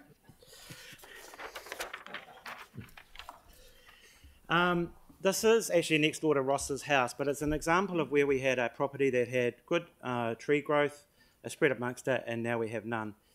I didn't get any more Ross's uh, house in the picture because he was having his afternoon nap. This is another example of a section that I estimated had 20 to 25 trees on it before it was cleaned off. And the other concern here, I just raised this as a general issue. That's how they, this, when this goes in as a two or three story housing, it'll actually overlook a public uh, school swimming pool, which I think is a major concern, and there's no legislation to stop that happening. So, what I want to see in the, I I don't think the tree policy has gone far enough. It ticks a lot of boxes. It says they're not in life things, and it involves the word climate change. So you've ticked all the boxes. But what I really want to see going forward in our organisation was to see is that there is good funding in the long-term plan that backs up the tree policy that you're moving today. And one of these projects, I think, that should be given really high priority in the lowest ward, should I say it with tree canopy rates, is to mm, a Broomfield Common to make that the Hornby Bush because we really do need something like that. And this was raised by a resident at one of our very first meetings. Um,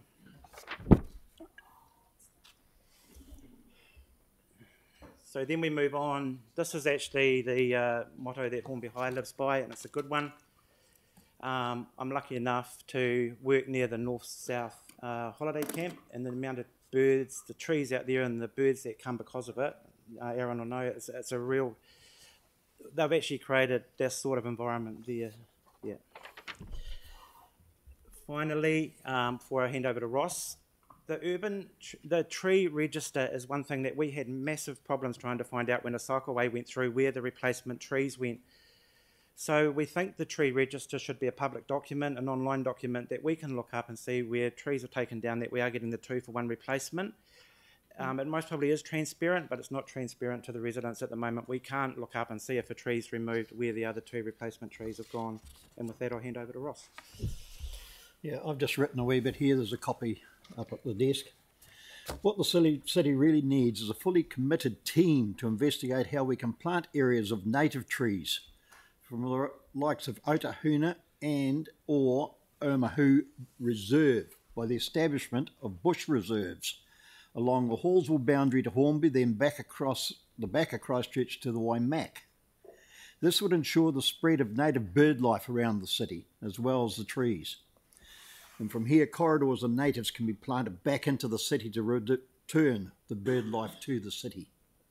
The establishment of corridor in the inner city is not enough, and it needs to be wider spread. It has to be remembered the city does not just consider the CBD, and it's much wider. As a matter of interest, I've received a complaint regarding deciduous trees along the southwest cycleway. They're dropping leaves over the path used by cyclists and creating a slip hazard through rotting and becoming wet in rainy weather. I note someone spoke about that earlier. Perhaps Council may have to consider sweeping these before ACC start receiving claims through accidents or replacing those trees with natives, which don't shed. Of further interest is the fact that it now appears that Council considers low lying shrubs or bushes as a plant that does not qualify as a, for a tree for replacement. We've only learnt of this. Hence, many shrubs in Waterloo Road planted by residents are at present subject to removal without replacement for a cycleway. So much for zero carbon climate in this zone, right next to a rail line maybe it's time for a rethink. Thank you. Very good. Thank you very much. Thank you very much. He's going to try to get in by phone. Thank you, guys. Thank you. I'm going to try that now. Okay. I'm just going to see if we can get Greg. Okay. He may be coming in by phone.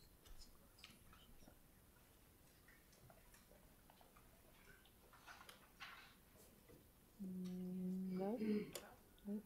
Okay, shall we go to Penny? Yep. Okay, we're just just having a bit of trouble getting hold of Greg. Is Penny available, please? Yep. Far away, mate. Thank you. And Penny looks like she's speaking twice. Uh, kia ora koutou, uh, ngā mihi nui o tēnei rā. Um, I'm Penny Carnaby, Chair of the Banks Peninsula um, Conservation Trust and also chairing the Banks Peninsula um, Native Forest Climate Change Group. Uh, there are two submissions this morning, and I'm rolling them in um, to together because they sort of complement each other. Um, so um, the the comments will um, be over the ten minutes. Um, they're interrelated. Look, we're really pleased to to be able to respond to the urban forest uh, plan. It's for the purposes of these submissions. We're we're talking about the parts of the peri-urban and urban parts of Banks Peninsula, um, so around the Sumner, Redcliffs, Taylor's Mistake, round the Port Hills, Whakaraupō Harbour, um, and, and, and all of the communities of Diamond Harbour, Governor's Bay, and Lyttelton. Um, I want to talk a little bit about the importance of uh, what, the, the activities of the Banks Peninsula Conservation Trust and the Climate Change Group. Um, and I'm going to link it back with the Urban Forest Plan. Two, two things about the Banks Peninsula Conservation Trust. It was been set up by landowners of Banks Peninsula um, who wanted to protect um, areas of their land, um, um, but basically didn't want to be told to do that. Um, there would be a familiar ring. And the Banks Peninsula Conservation Trust became a covenanting authority, the only independent covenanting authority, I think, in New Zealand, with all the same legal frameworks as QE2. And I make that point um, because, in terms of the urban forest plan, uh, protection of recovering native bush is going to be really important.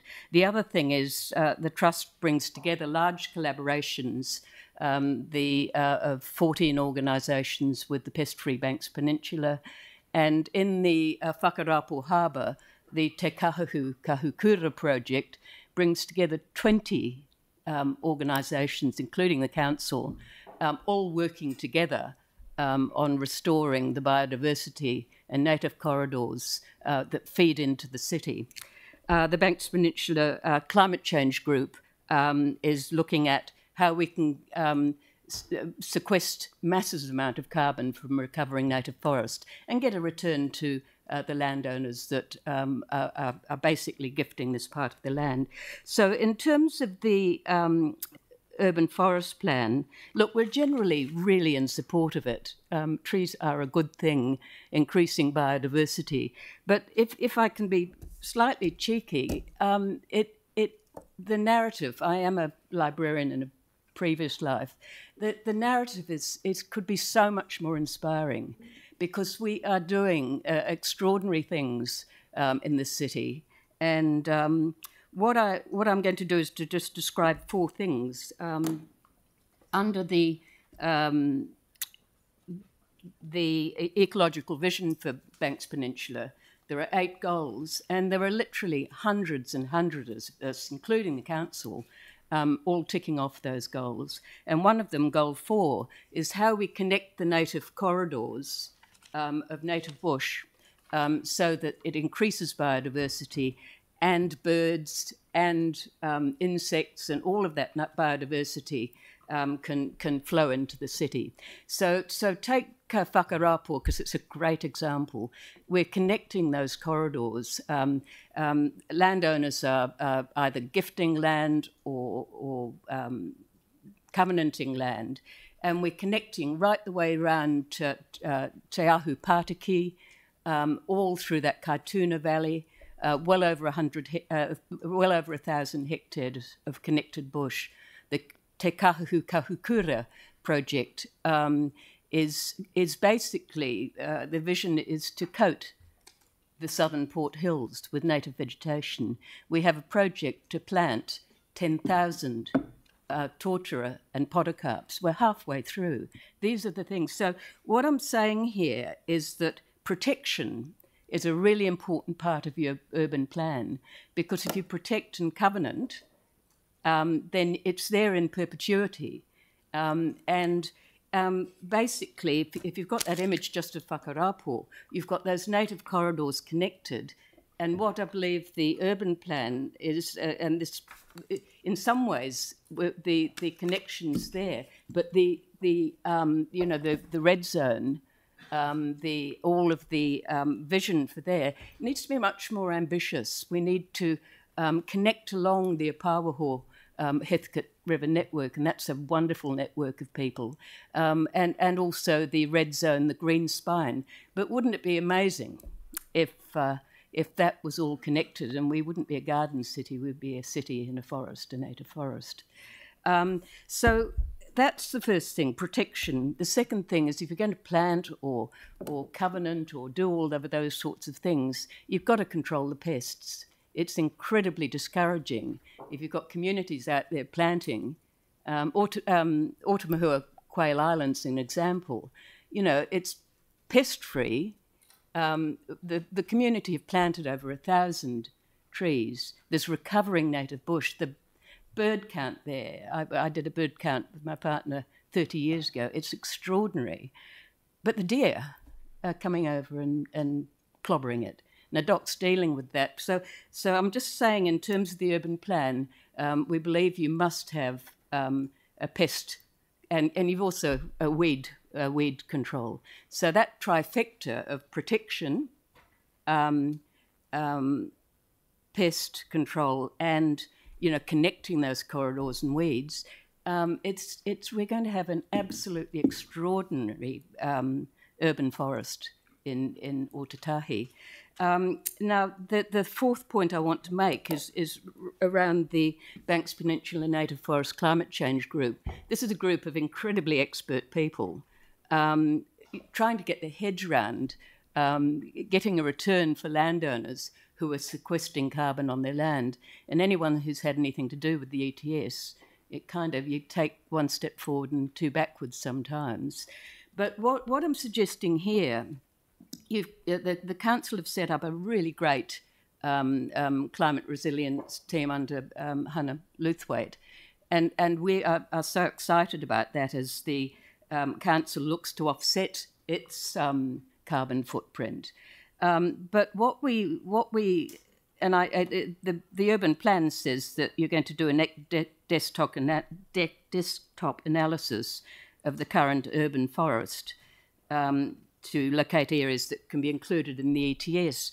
Well, um, what what we think is, while you're doing a great job, um, you, you have got some very very hungry projects, carbon projects coming up at you with the stadium, um, with the um, um, recreation, um, uh, the recreation sports centre, and and what we'd like to talk to you about is that um, wouldn't it be great in, in if if these you know protected areas right the way across Banks Peninsula, but the urban and peri-urban parts um, in the immediate future, um, wouldn't it be great if we um, instead of the council going off and offsetting its footprint with carbon credits from somewhere else, why don't we buy local, get the um, return back into the landowners of Banks Peninsula? and we, we can have biodiversity credits, carbon credits. And when we get on to the next part of your consultation, which is the rural forest plan, uh, personally, I think they're connected. Um, I think we need to be thinking of uh, connected native forests going from Akaroa Heads, starting now, um, right the way around through the uh, Whakaraupō Harbour uh, Basin, and by then it will be connecting with the heart of the city and, and, and all of the things outlined in the urban plan. Um, I just want to finish by saying um, we're very enthusiastic about the plan. We think it should be much bolder. Um, um and um, we do want to acknowledge the in, in, fantastic work done by the Council's Parks team. We work very closely with them, the biodiversity team, and the recently set up climate change group in the Council. Thank you. Good. Very well done. Very well done. Thank you, Penny. Okay. Well done. Good. Now I think Greg is um, up on deck now. How are you, mate? Can you hear me? Good, thanks. Yes, I can. Sorry about the uh, technical issue earlier on. No, you're right, mate. Fire Um, away. So I'll start. Um, Thanks for the opportunity to speak today. Sorry I can't be there in person. I'm in Wellington for work. Um, Christchurch City Council declared a climate emergency and an ecological emergency more than four years ago. That should come as no surprise to anyone who lives at home in Christchurch. What should come as a surprise, perhaps even a shock, is the wholesale clear felling of established trees across our city. The fact that Christchurch has less than 14% tree canopy coverage, and the biggest shock of all, the fact that the tree canopy coverage targets being recommended by council staff is only 20%, and the protracted time frame for that target to be achieved. By international standards, that target falls well short of being bold or courageous. In terms of the climate emergency, they are also failing to demonstrate the necessary urgency to which action is, is required. In North America, American Forest is the oldest national non-profit conservation organization in the United States. They championed the creation of the US Forest Service and persuaded Congress to provide stable funding and launch the Tree Equity Score, a tool which is used to help US cities measure and expand their tree cover. In 2010, the national average tree coverage of major US cities was 27%, a figure twice that of what we have in Christchurch and far greater than the targeted mere 20% goal currently being set by our council. With their deep knowledge, American forests have recommended an average of 40% tree coverage across cities in the US. That's 40%, not 14, and have a, a target date set by 2030 to achieve that, more than 40 years ahead of that of Christchurch. New York, Denver, Shanghai, Ottawa, Los Angeles, and numerous other cities across the globe have all unveiled initiatives aimed at greatly increasing their urban forests because of the ability of trees to reduce city temperatures, absorb carbon dioxide, and soak up excess rainfall. Closer to home in Melbourne, Australia, a city which currently has a land area twice the size of Christchurch, has a population 13 times larger than ours, and an existing tree canopy coverage of 22%. They too have set themselves a target to increase their tree canopy coverage to 40%. They plan to achieve that by 2040. In our sister city, Adelaide, the council there have set the following targets to boost tree coverage in areas that only have 20%, to, um, sorry, to, to boost tree, tree canopy coverage by 20% in areas which currently have 30% tree coverage, and to do so by 2045. And for areas who currently have more than 30% tree coverage, that to be maintained and to ensure no net loss.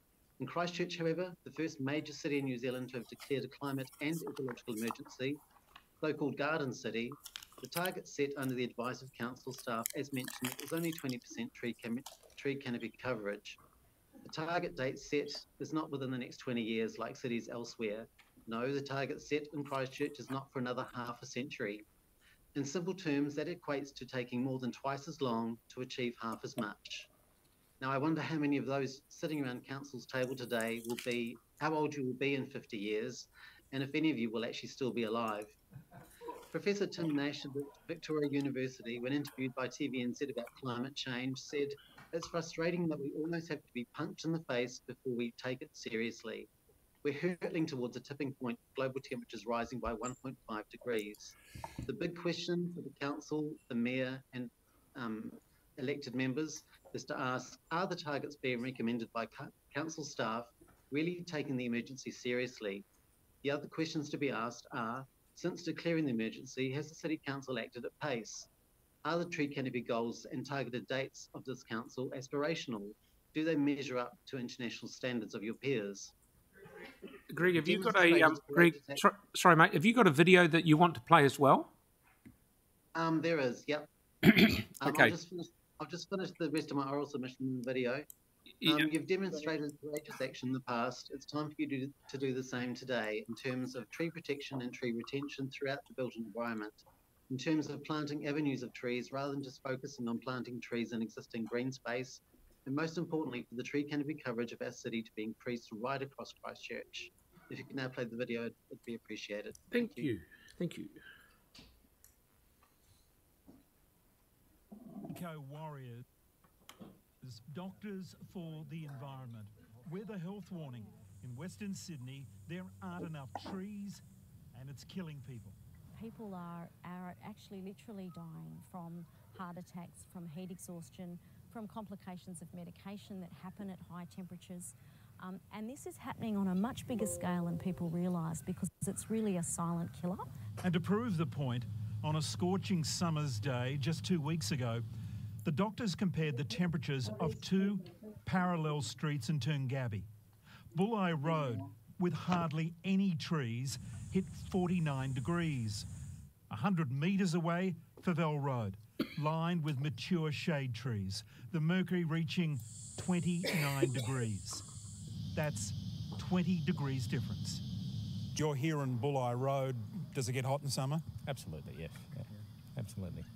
Do you think more trees would be a good thing? The more trees you have would cool things down? Definitely. Any shading that we can have would cool the area. Absolutely, yeah. Trees can be the difference between life and death. With so many new suburbs being stripped of trees, the doctors group is concerned people are isolating in air conditioned cocoons, not great for the environment or their mental health. If it's too dangerous to walk outside, it's the mental health of the community that's really impacted. The doctors group has teamed up with the Worldwide Fund for Nature to highlight the ecological and health benefits of trees. New suburbs with barely any room for trees and homes with dark roofing are spreading across the west and southwest. More people die each year from heat waves than from all the other disasters combined, and trees are one of the ways that we can really reduce people's exposure to heat. Mark Burrows, Nine News. Okay. Very good. Thank you, thank you, Greg. That was a very good Thank presentation. I realise that's Australia, but I mean, the temperature's rising internationally. We can't afford to get. Okay. Th- thank you once again. Good on you. Thank you. Cheers. Thanks for your Bye-bye. time. Bye. Brian McCarrison. Yeah, so here we have Graeme from Spark, please.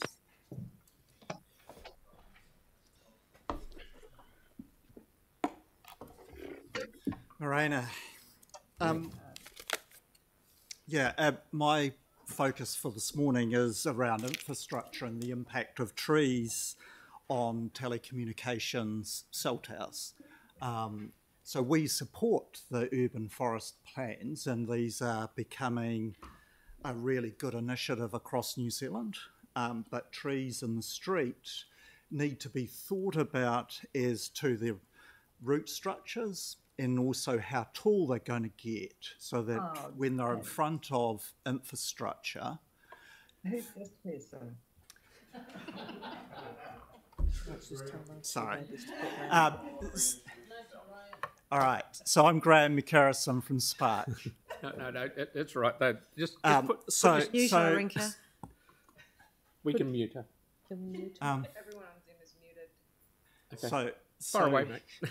going back, so this is about trees. So in the submission, there was a nice little diagram about the impact that trees, buildings can have on cell phone coverage.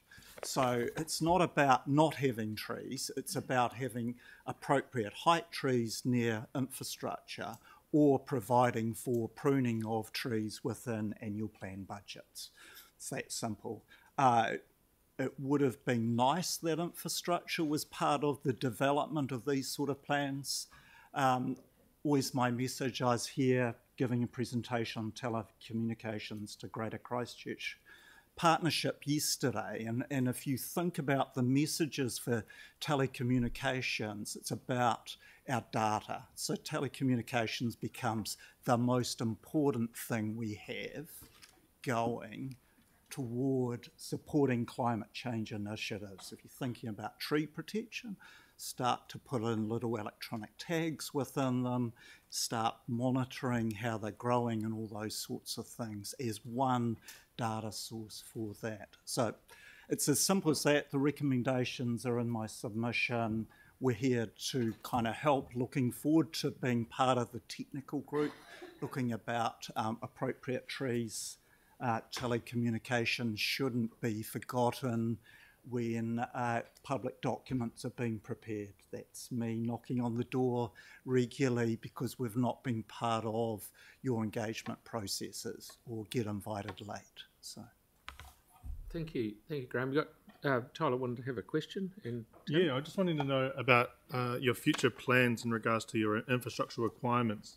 I know that a major competitor is obviously going alternative ways.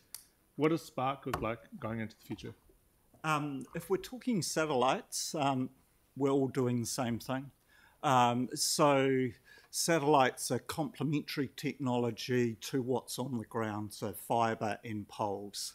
So uh, Spark yesterday and, and last week announced partnerships with uh, uh, SpaceX to do a similar coverage footprint, um, but also using Lynk's uh, as well. Sorry, so the reverse of that, Lynk's for um, our coverage footprint, same as Two Degrees. Yeah, so so yeah, it, it works well for Canterbury. You're right, Tim. You done? Uh, Yani? Um, just two two quick questions. One is, um, have you been involved in the review of our infrastructure design standards around? No. Right. Okay. So that's We one- would like to be. Okay. And then the second question is, do you, do you think, given the proliferation of telecommunications utilities uh, and poles, Yep. is, is there a way going forward where you would see greater um, degree of alignment with just having one resource rather than every company having their own resource? Because it does seem like quite a proliferation of the same type of utility that takes up valuable space on the footpath where we could be putting trees. Totally. Um, so, so in the last six months, you will have seen uh, One New Zealand, so Vodafone, have announced and set up their own pole company. So the sale of their pole and cabinet assets, passive assets, Spark and Two Degrees have done the same. So our the Two Degrees deal hasn't been completed, but is close. It's going into a company we set up, which is called Connexa.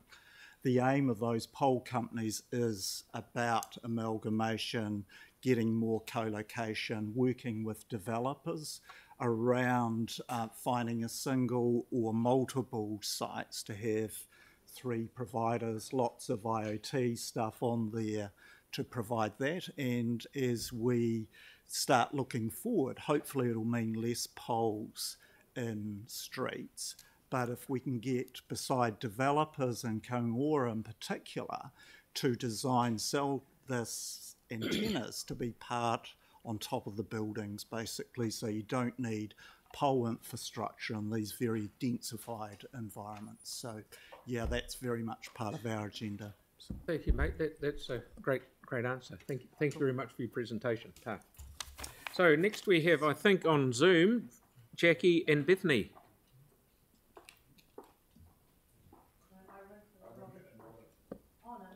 Have- I? Uh, kia ora. I am Jackie Howard from the Styx Living Laboratory Trust. Um, Bethany will not be joining me today, unfortunately, um, so I will get things going. Um, as I mentioned before, Styx Living Laboratory Trust, we were founded on the Styx Vision document from 2000 to 2040 um, to create a living laboratory in the catchment, and we also support the remaining four visions for the catchment. Next slide, please. Um, so for our general comments on the submission, um, in generally, we do support the um, urban forest plan, and in particularly, we strongly support their overall plan of council to prioritize and encourage planting trees. Um, we specifically support the targeted canopy cover over waterways, as this is vital to river ecosystem success. And canopy cover over waterways increases native animal abundance, reduces evaporative loss, and naturally controls pest plants. So prioritizing this will be a quick win for the city. We also support the focus on partnering with community groups and local landowners to accomplish planting goals, as it supports local communities and extends the value of council's contributions. And lastly, we also support the commitment in Objective 4.1 to promote community planting days. And we find this quite successful in our catchment, getting the community involved. For our recommendations, um, we strongly suggest that council consider the following. Um, one moment. So we can suggest that um, planting native tree species should be more strongly and consistently emphasized in the plan. Planting exotic trees brings long term consequences, such as spreading exotic seedlings into restored areas and providing resources for introduced birds and insects that native species often fail to benefit from. This is contrary to the plan's goal of providing long-term benefits. By planting native trees, this will help build a sustainable native bird, insect, and plant community. Currently, most dedicated goals around native plantings are in Objective 2.4, which we feel separates out native planting goals from the broader planting tree effort. These goals should be incorporated into the planting guidelines in Section 1. Objective 1.1 and 1.2 should also include a goal to encourage the planting of native trees over exotic trees wherever native trees would accomplish the same goals. We also strongly suggest um, that the council consider acquiring land along the Pūharakekenui and in the red zone. This will allow high value areas of urban forest to be established early, thus connecting native planting corridors, shading waterways, and providing continuous habitat for native animals. Additionally, this will improve public access to urban forests and support the completion of a source to sea walkway. And overall, we think this would be beneficial in relation to the overall health and rehabilitation of the Pūharakekenui itself. And that is everything um, on my end. Are there any questions?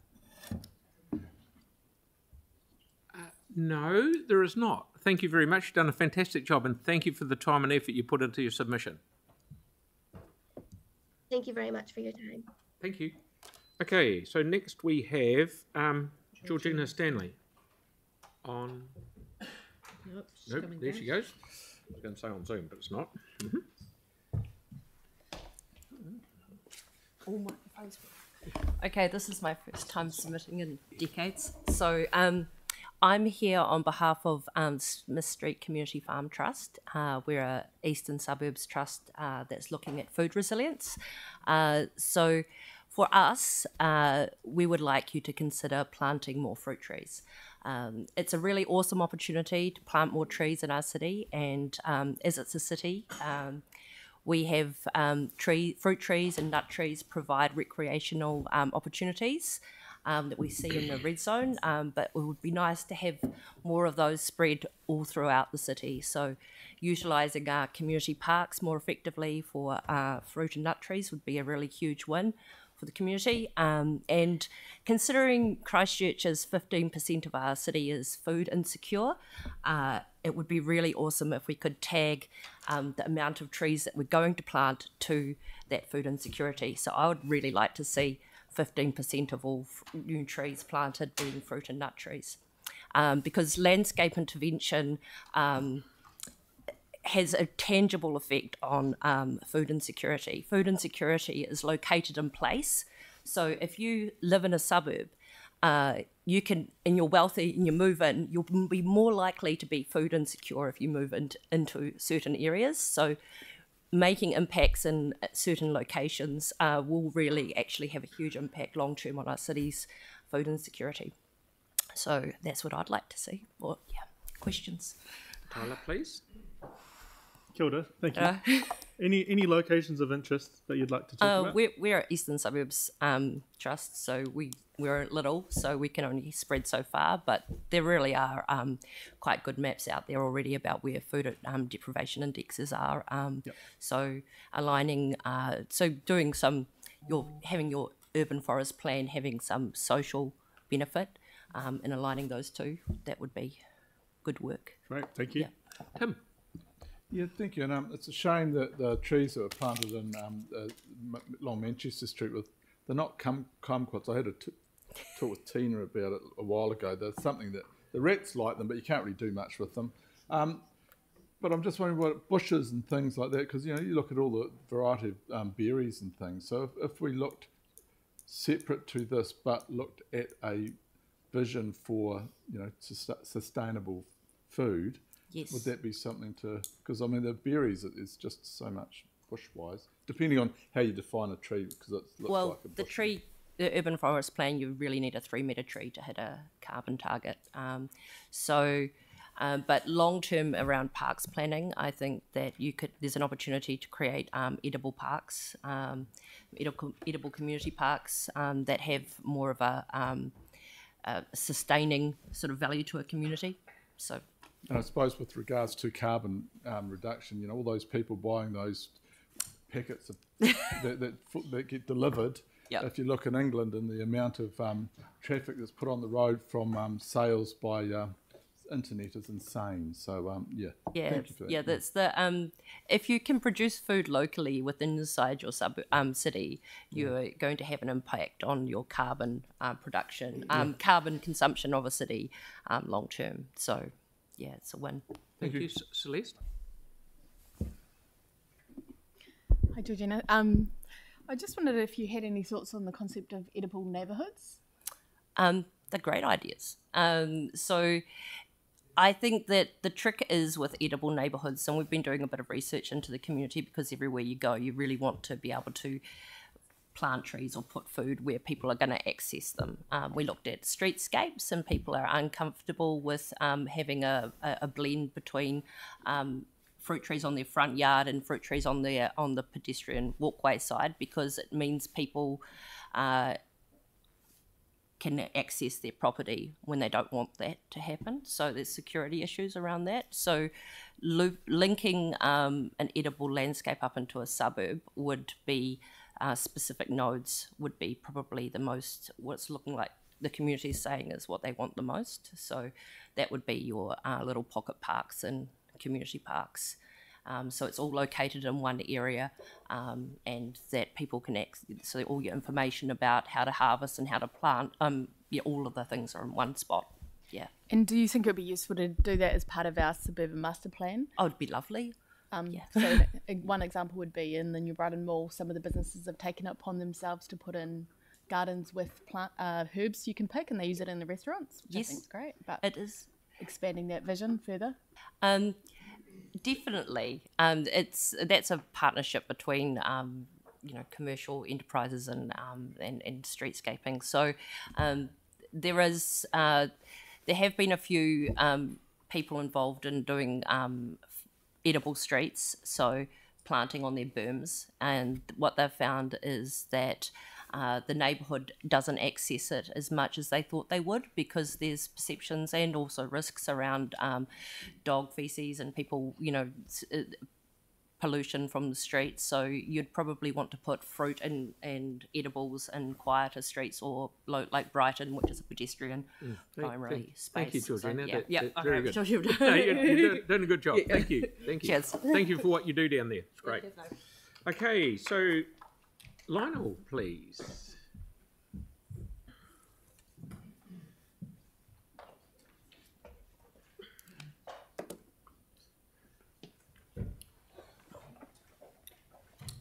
I'll be speaking as the uh, provincial president for North Canterbury Federated Farmers on submission. Um, so, in, in all, we do support the aspects of the plan in terms of its vision. Our big concern is really about the mention of the extension of the plan to cover rural land on Banks Peninsula. Um, and the fact that this would really need to be done with consultation with rural landowners and users. But we actually don't think there is a need to have the extension, especially given that the rules there are currently designed to protect vegetation, i.e., vegetation clearance rules, and to protect and encourage biodiversity in the area. There doesn't seem to be any consultation so far with the rural community in terms of this. Um, in Appendix 2, where you state how you've developed the plan, you say that you set up a working group to assist with developing the plan and workshops were held with various interested parties. If the plan was to include rural areas, then consultation with rural landowners and users is needed, and it doesn't appear to have been done. Um, and like I said, the goal one to plant, we state that uh, rural land use for the rural area of Banks Peninsula is currently about in 2018-19 was 11%, and that by 2030 and 2070 you wanted to see that at 12 and 15% respectively. Um, yeah, there's just no sort of discussion or justification about extension of an urban plan and to cover the rural areas. Any questions?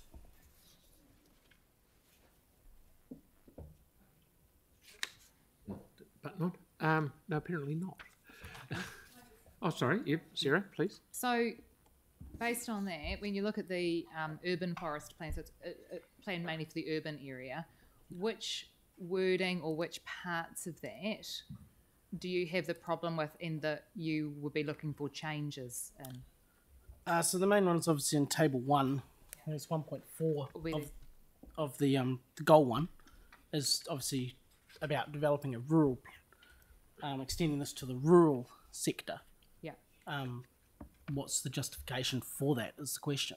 Okay, so if that was a goal that said, you know, while the wording is that, if the meaning of that was to then develop a plan in conjunction with the rural community for the rural area, would you be happy with that? Be- Because at the moment it's just a brief thing that says Yeah. extend it. But if that meant develop a new one in conjunction with those people, that would be okay? I, th- I think that that would Yeah. probably be more respective, Yeah, having thanks. a completely separate plan for the rural sector of that. Yeah, thanks. Well, cer- cer- certainly consult extensively with rural landowners and rural land users. Mm, good, good question. Okay. Righto. So that appears to be all the questions. Thank you very much for coming in. No problem. Thank you. Okay, is Clive here, please?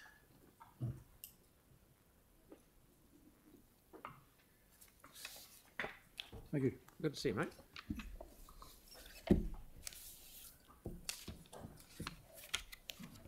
Good morning. Morning. Uh, my name's Clive Paris. I'm submitting on behalf of the Avonhead Community Group. Uh, the ACG is a, neutral, non-political, entirely voluntary resident, residents organisation representing approximately 8,000 households in Avonhead and the surrounding suburbs of Russley, Burnside, Bryndwr and Ilam. Our role is to liaise with government and non-government organisations to ensure sustainable development in the area that it represents, in which the local community is at the forefront of decision making and, and development. At the outset, the summary of feedback circulated by Council on 2nd of June 2023 does not include any reference for the, to the proposal for participatory management of canopies in the ACG submission. We felt it was disappointing because it indicates to us that the Council was already determined not to take our submission into account. And I'll use this hearing to explain our participatory management position. Fundamentally, the ACG wants the community or communities to be at the centre of management of tree canopies and urban forests, which means A, there needs to be a mechanism for residents to notify the council of issues with maintaining existing tree canopies or urban forests, which triggers the process of council assessing the issue and addressing it. B, where new plantations are contemplated, local residents should have an opportunity to provide feedback on the type of vegetation proposed, and factors such as the potential for allergic responses and respiratory issues should also be taken into account. We're mindful of the costs of undertaking consultation and propose that the council pilots a community-driven feedback gathering process whereby local community groups are given the responsibility of collating and passing on feedback from local residents. The council can develop checklists and other processes to monitor the integrity of the feedback gathering process, but should leave the implement- implementation to community groups in order to minimise the cost to the council staff itself.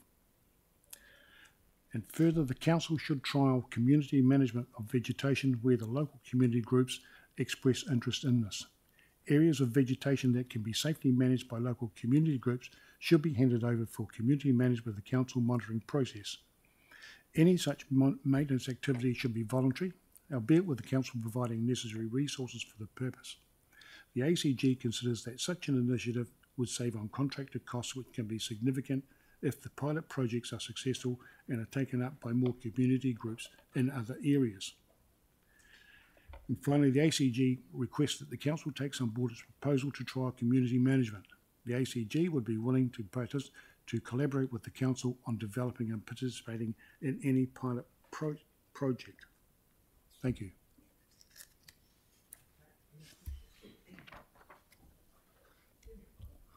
Hey, thanks for coming in, Clive. Just one in terms of the um, the quantum of the management, so to speak. So uh, I'm just thinking in like in our area. Are you thinking the smaller parks as such where you'd be planting, Yeah, or, or yeah, Avonhead we- Park, or what, what are you Yeah, thinking? yeah, smaller areas. like, We need to address, in, in recent times, get rid of issues such as Tall Trees Avenue and um, Kedleston, Kedleston Drive. Yep. Issues that we had there.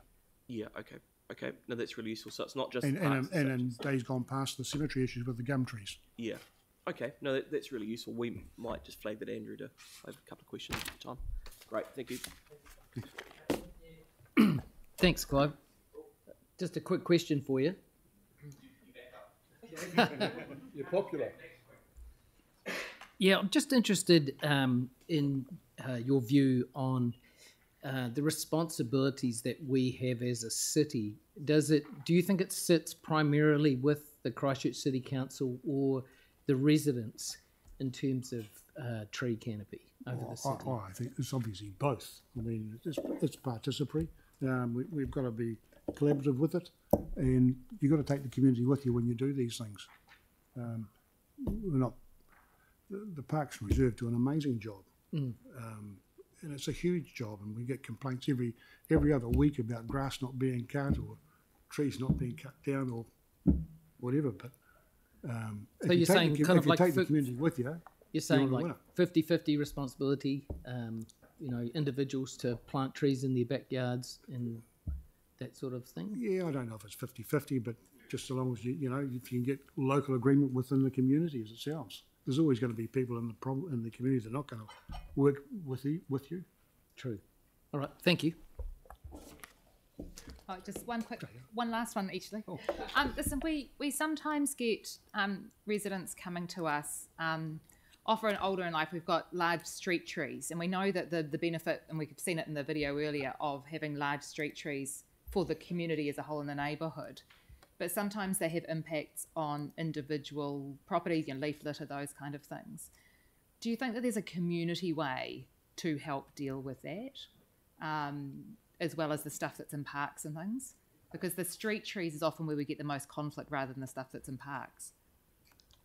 You you get conflict in streets when there's a group of people together, um, but if you can, you only need two or three people to agree to convince the rest of the community how to go about it. Yeah, And and if you have strong groups like Avonhead Community Group's quite strong, yeah, um, and we get a lot of agreement within the within the group, and it's not hard to pass that on. And then if you take the council staff with you, um, it's, it's not hard to to get a, a agreement. yeah. I was wondering if we could do something on that. Yeah, We just need to work closer with the um, parks and, and, and we do it with the with the cemetery group, uh, Yeah. and we've got an amazing relationship with the park ranger and, and those that administer that. yeah. But even at a street level, helping residents who are struggling with the leaf litter and stuff to, yeah, to, to help maintain the community appeal and stuff. Yeah, thanks. Yeah, sure, I can.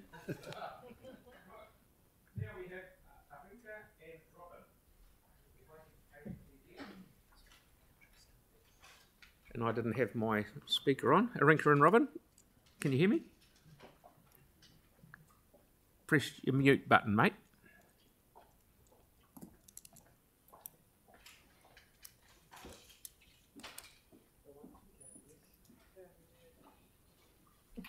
No, you, you, you're on. You're on mute. You're on mute.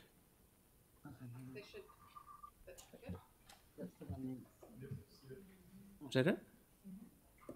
We should be able to hear them Can you? I think they've put mute on it now. Yep. Yeah. There you go. Far away. We can hear you. We're on. Okay, thank you. Um, Ah. does the next one? Now turn off what? Your cell phone. No, it's not the cell phone. Okay. Start. Yep. Hello? Yep. Go. Go for it. No, that is it. Okay. Okay, this is uh, Arinka and Robin. Hang on, have they got another device open? Yeah. Ask Yeah. if there's a computer going. So, yeah. I thought it was cell phone. Yeah. Technology. You've turned it off. Please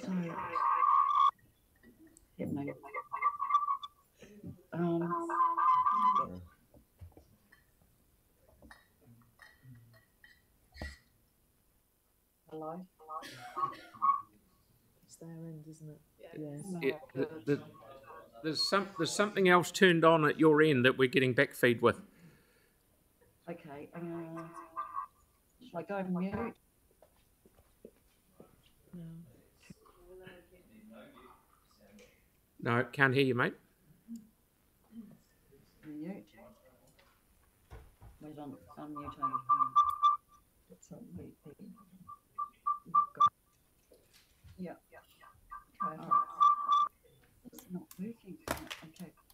Um, not sure why. Um, what should we do? Um, yeah, uh, no, it's unmuted. Yep. Yeah. We, we, we, we, we, Yeah. okay, you, you, you, you start talking and we we'll see what we can uh, come up with because you've got a presentation there as well, I think. Okay, can you see us now or what? It's good. Just, just go. Just go. Okay. Okay. So basically, we support the urban forest plan, but it is, it is important to keep all the mature trees and gardens. We already have, for all the obvious reasons, uh, for shade, oxygen, bird life, health. Trees are, uh, the deciduous trees are important as they lose leaves in the winter, letting the sun in, uh, in the winter, leading the sun in and shading the summer. Um, people's personal create beautiful streetscapes that members of the public can also and keeping the very important garden image for our visitors and tourists. Council needs to have checks.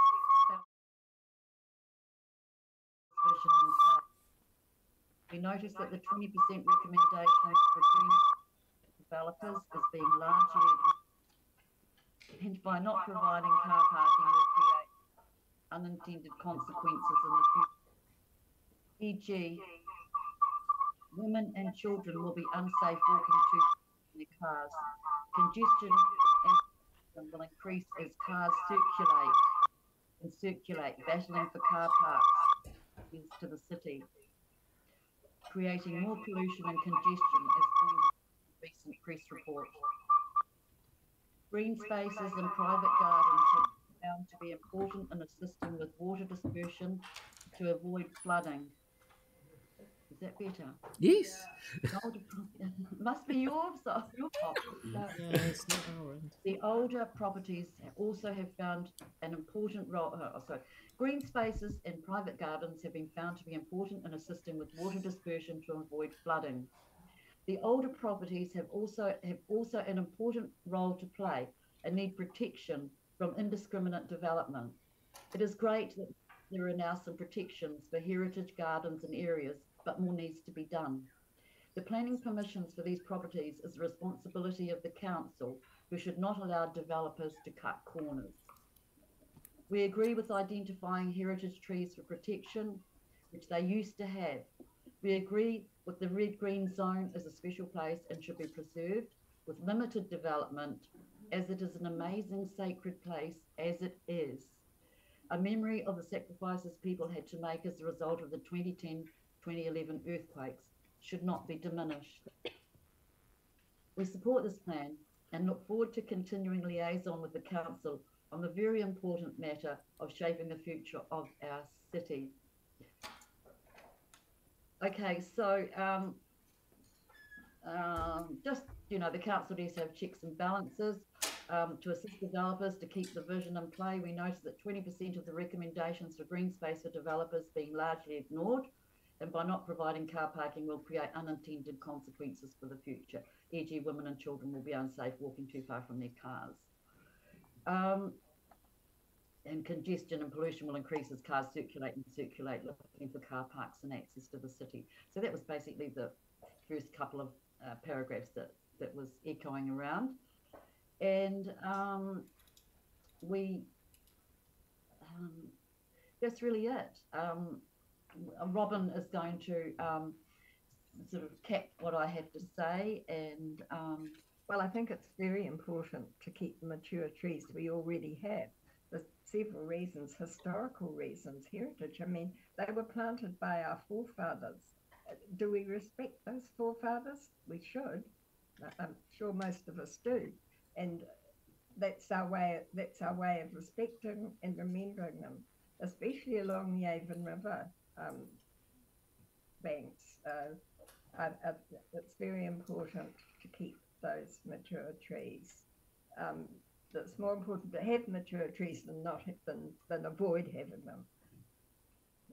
Right, and just about the photos that you can see up on the wall, that's sort of the before and after of two different properties that show um, what what was there and then what was there afterwards, and how many trees and gardens have disappeared just from those two top properties, and it's happening all over town. Um, the one property that you see there it, it, uh, with the green space in front of it is an older um, I think it's a council or Yeah. housing um, complex that has Thank created that, that's left a green space there, somewhere for the children to play. So um, yeah, preserving the green spaces are very important, and also the fact the private gardens are also just as important to keep and preserve as part of the um, tree canopy. And we are the garden city. People come here to see our garden city. We don't want to lose that wonderful reputation by cutting down mature trees. Okay, th- thank you very much. It was a wee bit difficult at the start. but We're certainly hearing you loud and clear now, and thank you for the effort that you went to. Good on you. Thank you. Okay, Marie.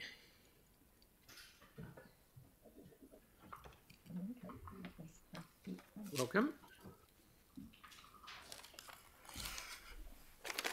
Uh, kia ora koutou, uh, nei rā te mihi mai o kia koutou.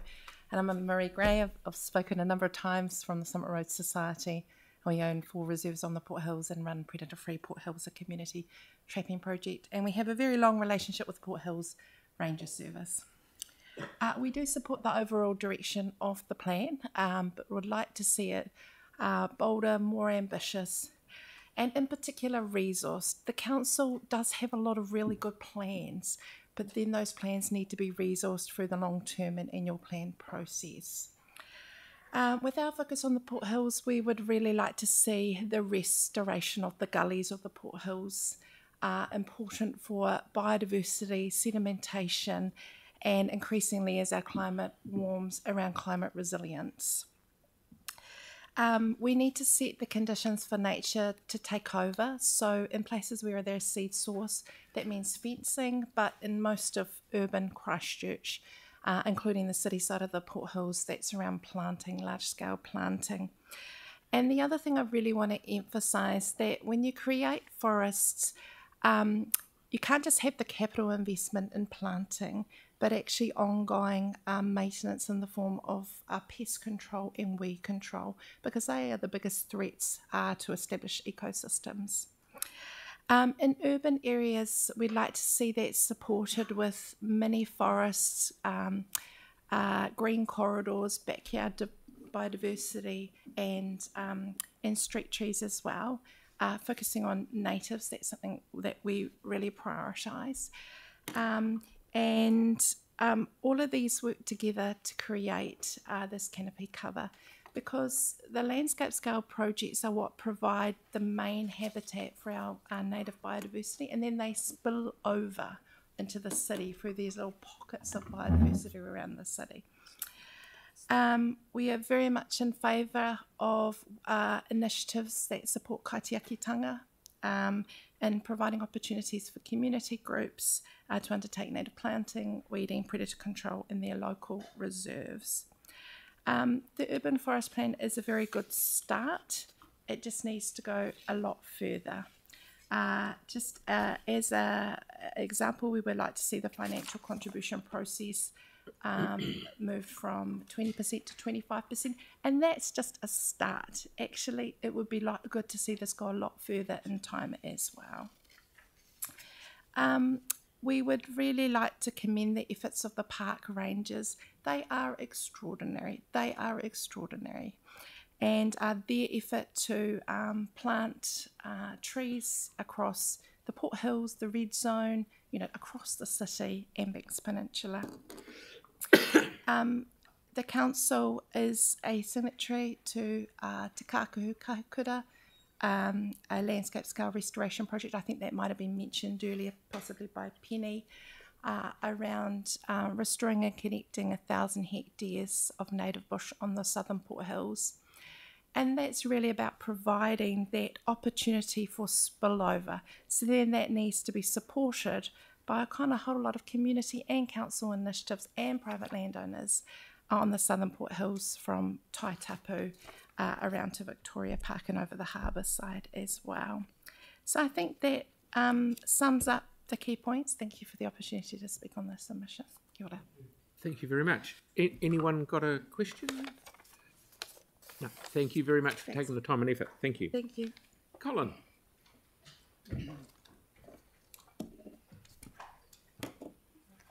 Ah, kia ora, many friends. um, want to support the forest plan and to um, be for it to be more ambitious. Um, we've got a rich and very valid history of recombination. Um, we want more nature and more of our deep uh, natural heritage in the urban environment. Uh, we want more kowhai for the, a city of golden winters um, to attract the Koromako bellbirds and tui.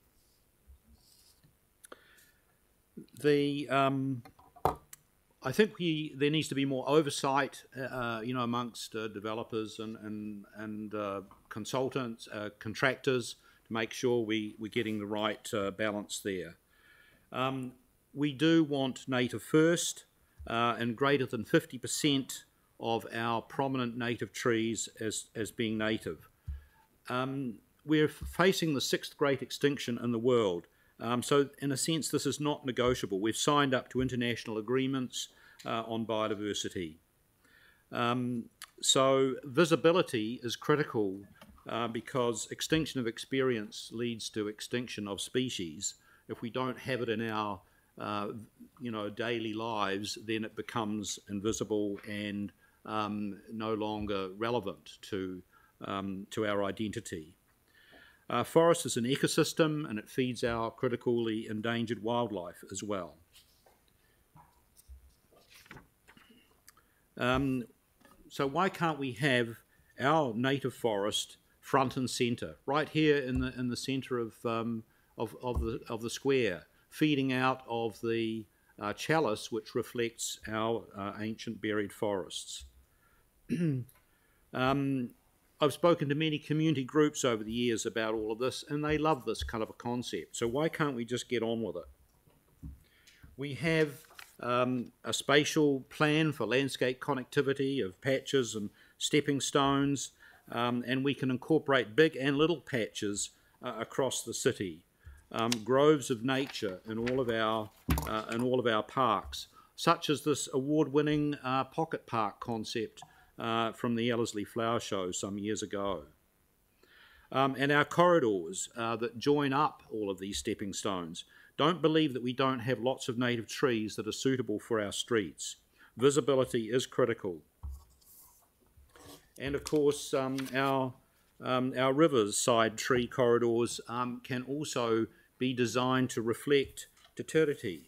Uh, we could do this uh, much better. This was a part of the um, original plan for the inner city Avon River, but it was kind of passed by for in, um, incorrect reasons. Um, and we've got a whole range of native species that are suitable to this kind of environment in which it feed our, uh, our wildlife. We know how to do it and we know how to mitigate any problems.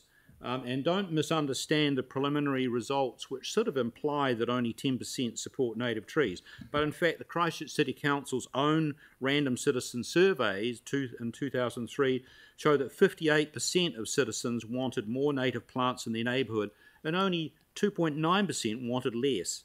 72% wanted more native birds in their neighbourhood, and our birds need our plants. One of the other critical issues to, to uh, consider is, is biosecurity. we need to be culling and not uh, expanding the number of um, some of our very serious weed threats um, in the city. I'm going to suggest that we're a city of multiple Ks. You can read them all there. Um, and, uh, and one of the most critical ones, and, and very distinctive for Cam- Canterbury Plains and Ōtautahi Christchurch or Karaitiana, is Kowhai. Um, and this can pr- produce that city of golden winters, which feeds our important nectar feeding birds. I'll give you this free brand for free. uh, you don't need to spend another million dollars on, on branding the city. uh, this will also feed into the National Park City strategy. Um, and finally, um, I want to, whoops, what happened there? Uh, finally, I just want to shout out for our lovely uh, cabbage tree, our tī kōuka, um, and, and to love our the wonderful silhouettes that it creates against our wonderful skies. Kia ora. Thank you. Now, Tyla had a question that's going to last about seven seconds. Far away. Kia ora, Colin. Absolute pleasure. uh, I'm just wanting to get a bit more. Um, uh, I wanted to question your thoughts on developers um, and providing more of an oversight on the development of native trees within our city. Can you provide some insight into that? Yeah, I think we need to be have a stronger, um, uh, you know, um, rule about losing native trees and native trees, big trees, you know, which are important um, carbon sinks, Mhm. um, you know, on all our properties. Not to just sort of wipe out and clear out, you know, scorched earth kind of policies. Uh, we need to kind of police that a little bit more rigidly, and um, you know, uh, allow houses and developments to occur around those and to protect what's there, but also to have uh, more stringent replacement um, uh, rules um, that, that reflect the age of the tree that's been lost. You can't just replace a hundred-year-old tree with a five, you know, one or two-year-old seedling, but uh, multiply that up to, um, you know, 50 trees to replace a hundred-year-old tree if it's really got to go. Thank you, thank you, Colin. That, that's great, great answer. Thank you very much. Right, who? Now we're getting towards the uh, end. Mark, please.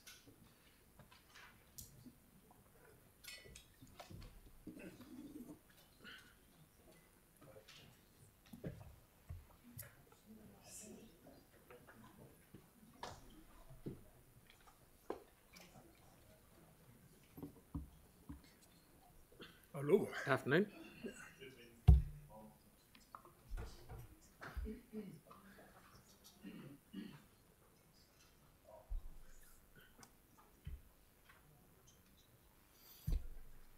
Right. Can we start on the first slide, please? This is the last one. Thank you. Okay, look, I want to talk about the foundation of this whole conversation. And it starts when our forebears settled the city. So please look at the first slide. And what you'll see is a map of Christchurch to be, a map made in 1848. And in the centre of the map, you can see the, town of Stratford. They hadn't even put the name Christchurch in the right place. If you've got good eyesight, you'll see it's at the head of the harbour. It wasn't built there. But Stratford beside the River Avon, and in that surrounding area, the map is entirely blank. Well, except for the jewel of Riccarton Bush, which is the tiny piece just to the northwest corner of the location Stratford. And just to the north of that is another tiny patch of bush, Papanui bush, long erased from everyone's memories. And if you go down towards the Port Hills and you drill down on this map, you'll see other tiny remnants on, in the hills and further out on the peninsula edge of native bush, tall forest. But essentially, Christchurch, in its moment of creation, was a blank slate. There were no trees, hardly to speak of. It was a barren. If you were into trees, you would have despaired coming here. And our early settlers were greatly challenged. The city was exposed to every element of weather without any protection, without any amenity, And the people who first settled the city were tree enthusiasts. Next slide, please. And, and this is a view from the Port Hills showing the city a few years after its establishment. Still a barren, you can just see Riccarton Bush, you can just see Papanui Bush before it's erased, and beyond that, way across the plains, Woodend Forest, or Woodend. Next slide, please. and here we are today. Here's a view from Cashmere, looking across the city. It's an oblique view, and it looks like a continuous canopy. Wow, what an extraordinary achievement. In just under 175 years, the city landscape has been utterly transformed. Next slide, please. Now let's drill down on a bit of detail. Here's a, an Opawa street side image of tall, introduced trees. Next slide, please. Here's a familiar view in, in, in, our beautiful park where people can walk through and experience being amongst and underneath large, beautiful trees and with much colour. Imagine Christchurch without its autumn colours to cheer us as we face with some dread the onset of winter, which is rather tough. The colour our introduced trees, our big introduced trees, bring to the city help define its character and make it a pleasant place to live in. Next slide, please. And in winter, the large deciduous trees allow their light through, and if you're into trees, hey, you can look at the detail of their architecture, which is another impressive story. I just want to make the point that all trees, for the benefit of this planet, are native to the planet. And this notion, this rabbit hole of eco sourcing, is actually ecologically a nonsense. We live in a world which, and we ourselves, all here from diverse places, origins around the world. And this focus, this narrow focus, is a misleading conversation. Next slide, please. Here's an example of integration. A beautiful Kererū. It's surrounded, festooned by wild rose, the blooms of wild rose. It's sitting on a silver birch. It happens to be in my garden. These, these beautiful birds and other wonderful birds will come back into our city if we have a sufficient presence of trees of size and stature which provide safe nesting, safe roosting, safe habitat for eating. And the Kererū, incidentally, its favourite food, you must observe if you're into Kererū at all, is the introduced tree lucerne, which came from the Canary Islands by accident with the very, very first ships that came to Christchurch because they put their livestock out to graze on the Canary Islands on their route to Christchurch in 1850. And the wilding uh, tree lucerne around the city is a primary source uh, of food during the winter, tough months, for the Kererū. Okay, now through to my remainder of my presentation. How, how are we going there, Mark? How are we going for time? Yeah, yeah we're not doing too flash, but you're doing all right. all right, thank you very much. Um, look, just in terms of this, the Christchurch Civic Trust and its concern about the future of the city and this wonderful opportunity with focusing on an urban forest plan. We urge a continuing emphasis on large trees of presence in the city, and including introduced deciduous trees. We're also keen to see a refugia for rare trees in the world because the world's uh, treedom is under threat as well. And Christchurch is already an important refugia for some species which have become extinct in their places of origin. Thank you, Mark. That's, uh, have you got much more to go? A couple, just a couple of other things. We would also like to see in the red zone an arboretum of all the, representing all the trees in the city, the full diversity of trees that we have. And look, right down for the bottom, I'll say this, that the public health benefits of tree cover are well known. Mm-hmm. And they're in proportion to the scale and size and, and density of the trees.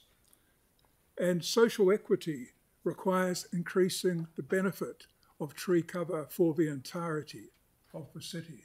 At present, we have the privileged, wealthy, leafy suburbs, which were predominantly treed early on. And we have a responsibility as a community to push for more presence of trees, greater presence of the trees across the entire city. And clearly, the benefits in terms of uh, climate resilience, addressing overheating in the urban environment, and carbon sequestration are part of that package as well. Thank you. Good. Hey, well done. And and I really enjoyed the history lesson of early Christchurch. So that was that, that was very inspiring. Thank you very much. Thank you. Okay. Garth, please.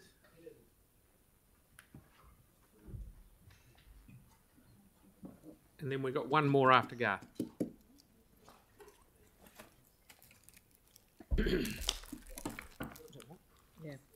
Uh, Good afternoon, uh, Mr Mayor and councillors. You've heard uh, a number of presentations that are virtually macro environmentally, but we're coming from a, the point of view of micro environments.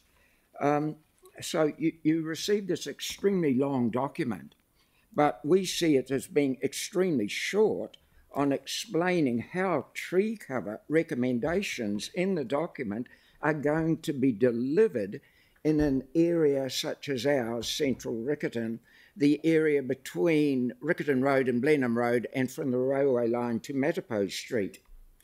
Um, we're particularly concerned that the so called developers are going to be allowed to opt out, and in return, they just have to pay a sum of money unspecified. Now, the key issue is how much money are they going to have to pay? And what's going to happen to that money if tree, if it's going to be used to plant trees somewhere else? Why aren't the trees going to be planted in the area they have been taken from? Now central riccarton has been denuded of trees by these so-called developers they have been allowed to come in and cut down every tree, every shrub, every bush, every blade of grass, and replace it with concrete and gravel and stone chips and some bark. So it, we've had three developments very close where there is actually no room for planting any trees at all. Double story uh, developments. In, for example, in 17 Dewar Street, there were trees lining the western boundary and the eastern boundary. There was plenty of room to put in a development between the, the boundaries. But they were the first thing that happened was they were all cut down. Right? And what's happened? Okay, so a very fancy billboard was put up, enticing would be buyers. Oh, it had trees on it. And a little a little note underneath saying, oh, the final may not appear exactly as this, right? And so there's not even not even a garage. There's actually only two car park spaces for four units. Now, the development could have taken place within the boundaries of those trees quite easily. But greed has overtaken the needs of the environment and the needs of the residents. So we're very concerned about this opt out and also this idea that other that trees can be planted somewhere with the money, but where? So what? Areas like ours, they just remain treeless. That is not a good environment for people to live in. Thank you, Garth. That, that's very clear. Has anyone got a question of Garth? No? Thank you very much for coming in. Good on you, bub. Okay. So the last one is Difford. from Papanui Heritage Group. Welcome.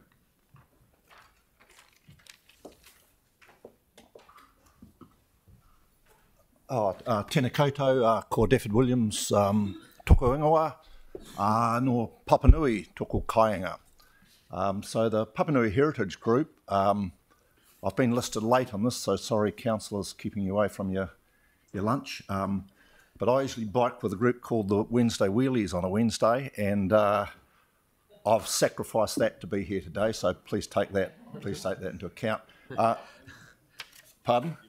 No, I caught a bus.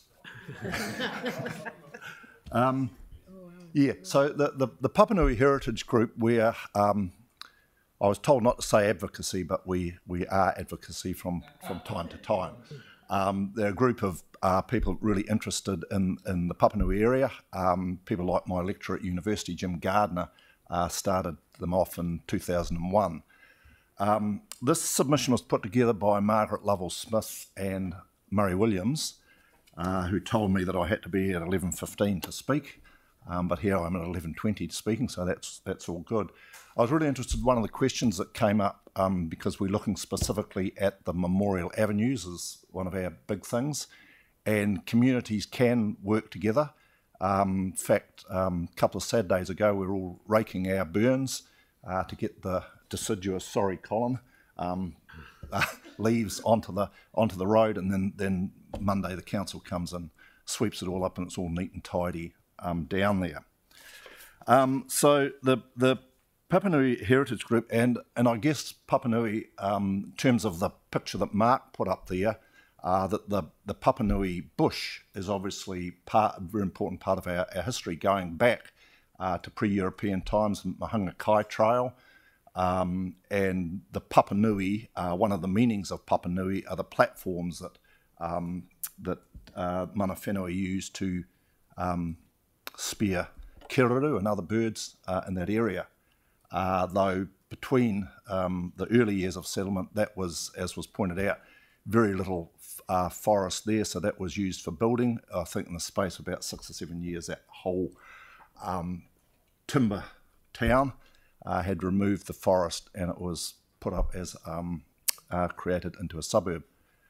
Uh, I was one of the pictures too is that you can get an impression. Um, I worked for the press for a number of years and visiting one of my former school students, Cashmere High, Kamala Hayman, and looking at her office in um, Gloucester Street, it does look like a forest. It you know, looking to our house in Tomes Road, you would think that there was a continuous forest uh, going right, right, right, right across the city. Uh, so that 70 acres was was destroyed. Papanui, um, according to the, the plan, we are 15%. Uh, so we're doing pretty well. So you can probably get us up to 20 years um, really quick, Mr. Mayor. Um, and I've put on your uh, tables a invitation to the um, the the uh, planting at which was the old Bridgestone um, Firestone factory, and we've got a, a, an absolute. If some of you will have met him, I'm sure Dennis McMurtry, uh, who is pretty much a live wire. He's involved in various Papanui groups, including the Heritage Group and and Rotary, and putting it together to show what we can as a city do in terms of, of the planting. So um, you're, you're, um, I think the mayor is going to be there, so you're all invited to that. Um, so we can get up to that 20% pretty pretty quickly. Um, I did like Colin's comments on the, the yellow on the kowhai, that um, you know that may be something that could happen down the memorial avenues, but uh, please don't get rid of the deciduous trees first. Um, a point that Margaret has made, and I guess it's very easy for us all being NIMBYs, you know, not in my backyard. Um, we've got a property next door to us that could be high rise. Uh, the plans we've seen are, are, are a couple of double story houses, uh, but who knows? And as pointed out in that video, that trees are actually an important part of our infrastructure. That's how they should be thought about, um, not uh, nothing, nothing separate. So there are 15 memorial avenues, and in September 2022, the Papanui Heritage Group was delighted to learn that the city had recognised 15 Papanui memorial avenues through trees and plaques by adding them to the district plan schedule of significant historic heritage for protection. So those 15 avenues were planted by returned soldiers after World War II, so they're an important part of our heritage. However, they have not been entirely protected, right? Condell Avenue, uh, trees were removed uh, for a rest home at the um, Road end uh, and not replaced, right? And that perhaps gives us um, a vision and a little bit of fear about what will happen uh, to our area, such as the Cranford Basin, if there's a whole lot of housing that goes ahead uh, in terms of us uh, losing losing trees.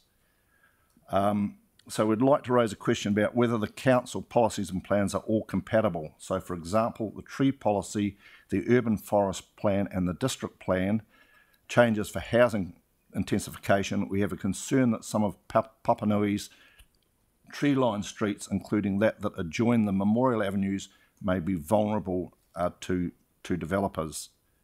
Um, and as as I stressed, we're we're a local group um, made up of individuals who have a sense of ownership.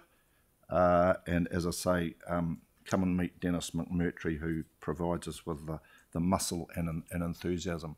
Uh, he does a lot of work with local schools, Papanui High School and um, Paparoa Street, who are right on the Rutland Reserve, and numerous plantings uh, that he's done in both places there. Yep. So. Thank you. And I'm, lo- I'm looking forward to coming along. Yep. Thanks. Good. So thank you very much. It's right on time. So perfect. Okay. Thank you. So we do dude. We move to the report. Right now we've got the um, item 11. Now Mel has uh, um, declared a conflict with respect to the Summit Road Society submission. So thank you, Mel. Um, so with urban forest plan, Toby and Andrew uh, rushing forward. So can, can I just check when you're proposing to have the lunch break? Have you got a time? It's just It's on the agenda. We're expecting lunch around one o'clock.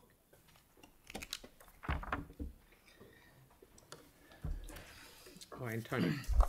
Kia ora, councillors. Uh, we've also got Tony Armstrong, who's one of our arborists and our transport team with us, who are obviously a big part of this plan as well. We're just going to give you a quick um, run through of this presentation. Um, um, you've, you've seen it before, but there's a couple of updates there, including some questions that were asked um, in a briefing and also um, in the pre-council. And as always, I pushed the wrong button. So Toby will run through it um, again, um, just to highlight, and I guess mostly for the people who are listening in, the process, um, the results of the consultation, summary of the feedback, and changes made to the draft, which are, of course, all highlighted in the current report. So, Toby, fire away. Thank you, Andrew. Um, so, just going over the process again. So, we're at essentially the green box. So, we've developed a plan. It's gone out for public consultation. We've received the feedback. We've incorporated that into the plan with some changes. Um, we're at the point of adoption all going well, and then the next part will be putting it through the LTP for the funding process. Uh, so consultation was open from the second to the uh, second of Feb through to the sixth of March. Uh, our Have Your Say page received 2,800 plus views. Webinars had over 500 views during the consultation period, and we received 290 submissions from individuals and groups. So the submissions that came through were largely in support. Um, 82% of them were in support with feedback, uh, which we're going to go through, I suppose, the big topics of that feedback, and you've also heard some of that through the deputations today. So the five key themes that came through were um, ideas on how we can increase canopy cover over the city, uh, a need or a want for greater tree protection, so retaining what we've already got, considering what kind of species that we plant, uh, increasing the targets and the time frame, or shortening the time frames, and um, how we can engage with the community, existing community groups already working towards these common goals. So you've got a copy of the updates to the plan. Um, some of the updates are just listed there. So we've uh, added some more uh, text around the inclusion of the red zone. Uh, there's additional actions added for an additional action for adding new trees to the significant tree register. Uh, there is some strengthening focus on planting native species throughout the document. There's an acknowledgement that not all areas will suit trees for ecological reasons, and those areas need to be taken out of those targets. Um, there, as you saw and you've heard, there is um, there's been feedback on the targets and whether they should be increased in the timeframes. Those haven't changed within the documents. Um, we've strengthened the alignment with the iwi management plan, uh, and there's some new new actions added to investigate and implement programs for increasing and um, planting and retaining more on land. And then you'll see that some actions have been changed to funding, uh, funded, and that's because in between the time that the draft was developed and now we have had some of those things start, which means that it's now changed to funded. Apologies, are those changes in Big Tin Can? Just Yes. where are they? They're, they're, they're in the report. They're tracked in the report. Yeah. You should see them as track changes. Yeah. Yep. Um, I'll do that. Uh, yeah. I'll hand over to Sure. Um, so some questions have been raised, um, I guess, once we released um, the information back to the councillor. Um, in particular, um, Councillor Johanson, you raised a question around um, the continually assessing suburbs with low canopy cover to determine what can be done. So that action's changed. Um, and um, as Toby mentioned, with the allocation between drafting the plan um, and now of the uh, Crown Better Off funding to this program, um, we, we're now able to commence. Um, sorry, and what I should put out is, of course, we're going to continually assess the work that we do going forward right across the city. Um, I've covered, covered off that one as well. Um, and how many submissions um, related to the potential loss of sunlight? Um, 10 out of the 290, so around about 3% um, of the 300 odd. Obviously, people in Christchurch are very conscious of getting enough light in winter in particular. Um, and the other th- part of that was uh, consultation with local community regarding species. And, and I think everything we've heard this morning really reflects um, Toby's earlier um, slide and, and these, these matters. So, as councillors know, planting schemes will be developed prior to planting on any public land. Um, we've explained to councillors, but perhaps not, uh, or we, we certainly presented in the webinars and we presented um, at the university symposium on using a recession plan approach to trying to ensure that people weren't negatively impacted um, too much by too much light on their properties. Um, and of course, the appropriate delegations um, need to be exercised pre-planting, which all, all sit with the community board. Um, so the community boards will see all of the planting plans for approval prior to implementation. Uh, I think I mentioned last week, you'll get quite a raft of them initially because, because it's going to take us a couple of years to get some material ready. Um, no doubt um, the community will want to engage pretty actively, certainly in the, in the early days, with what the outcome might be in their local parks or streets. Um, there was a question around how was the plan developed um, across council, presumably meaning within council.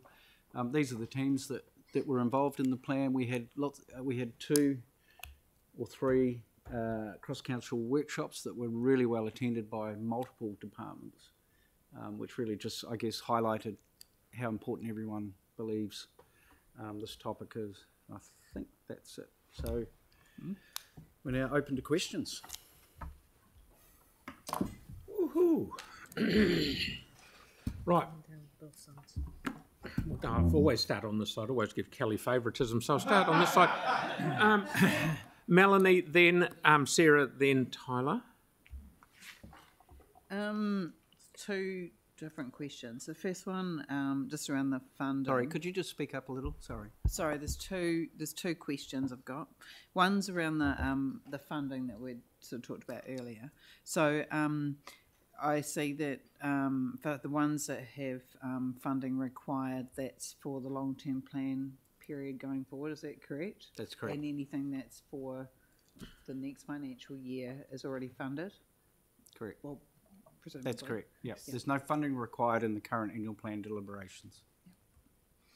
Okay, and then the other one is um, on page one six seven. There's the um, the different targets, and um, that talks about the different land use types and having different targets for each one, which makes a lot of sense. I was just wondering if you could speak to two of those. One was um, the street space.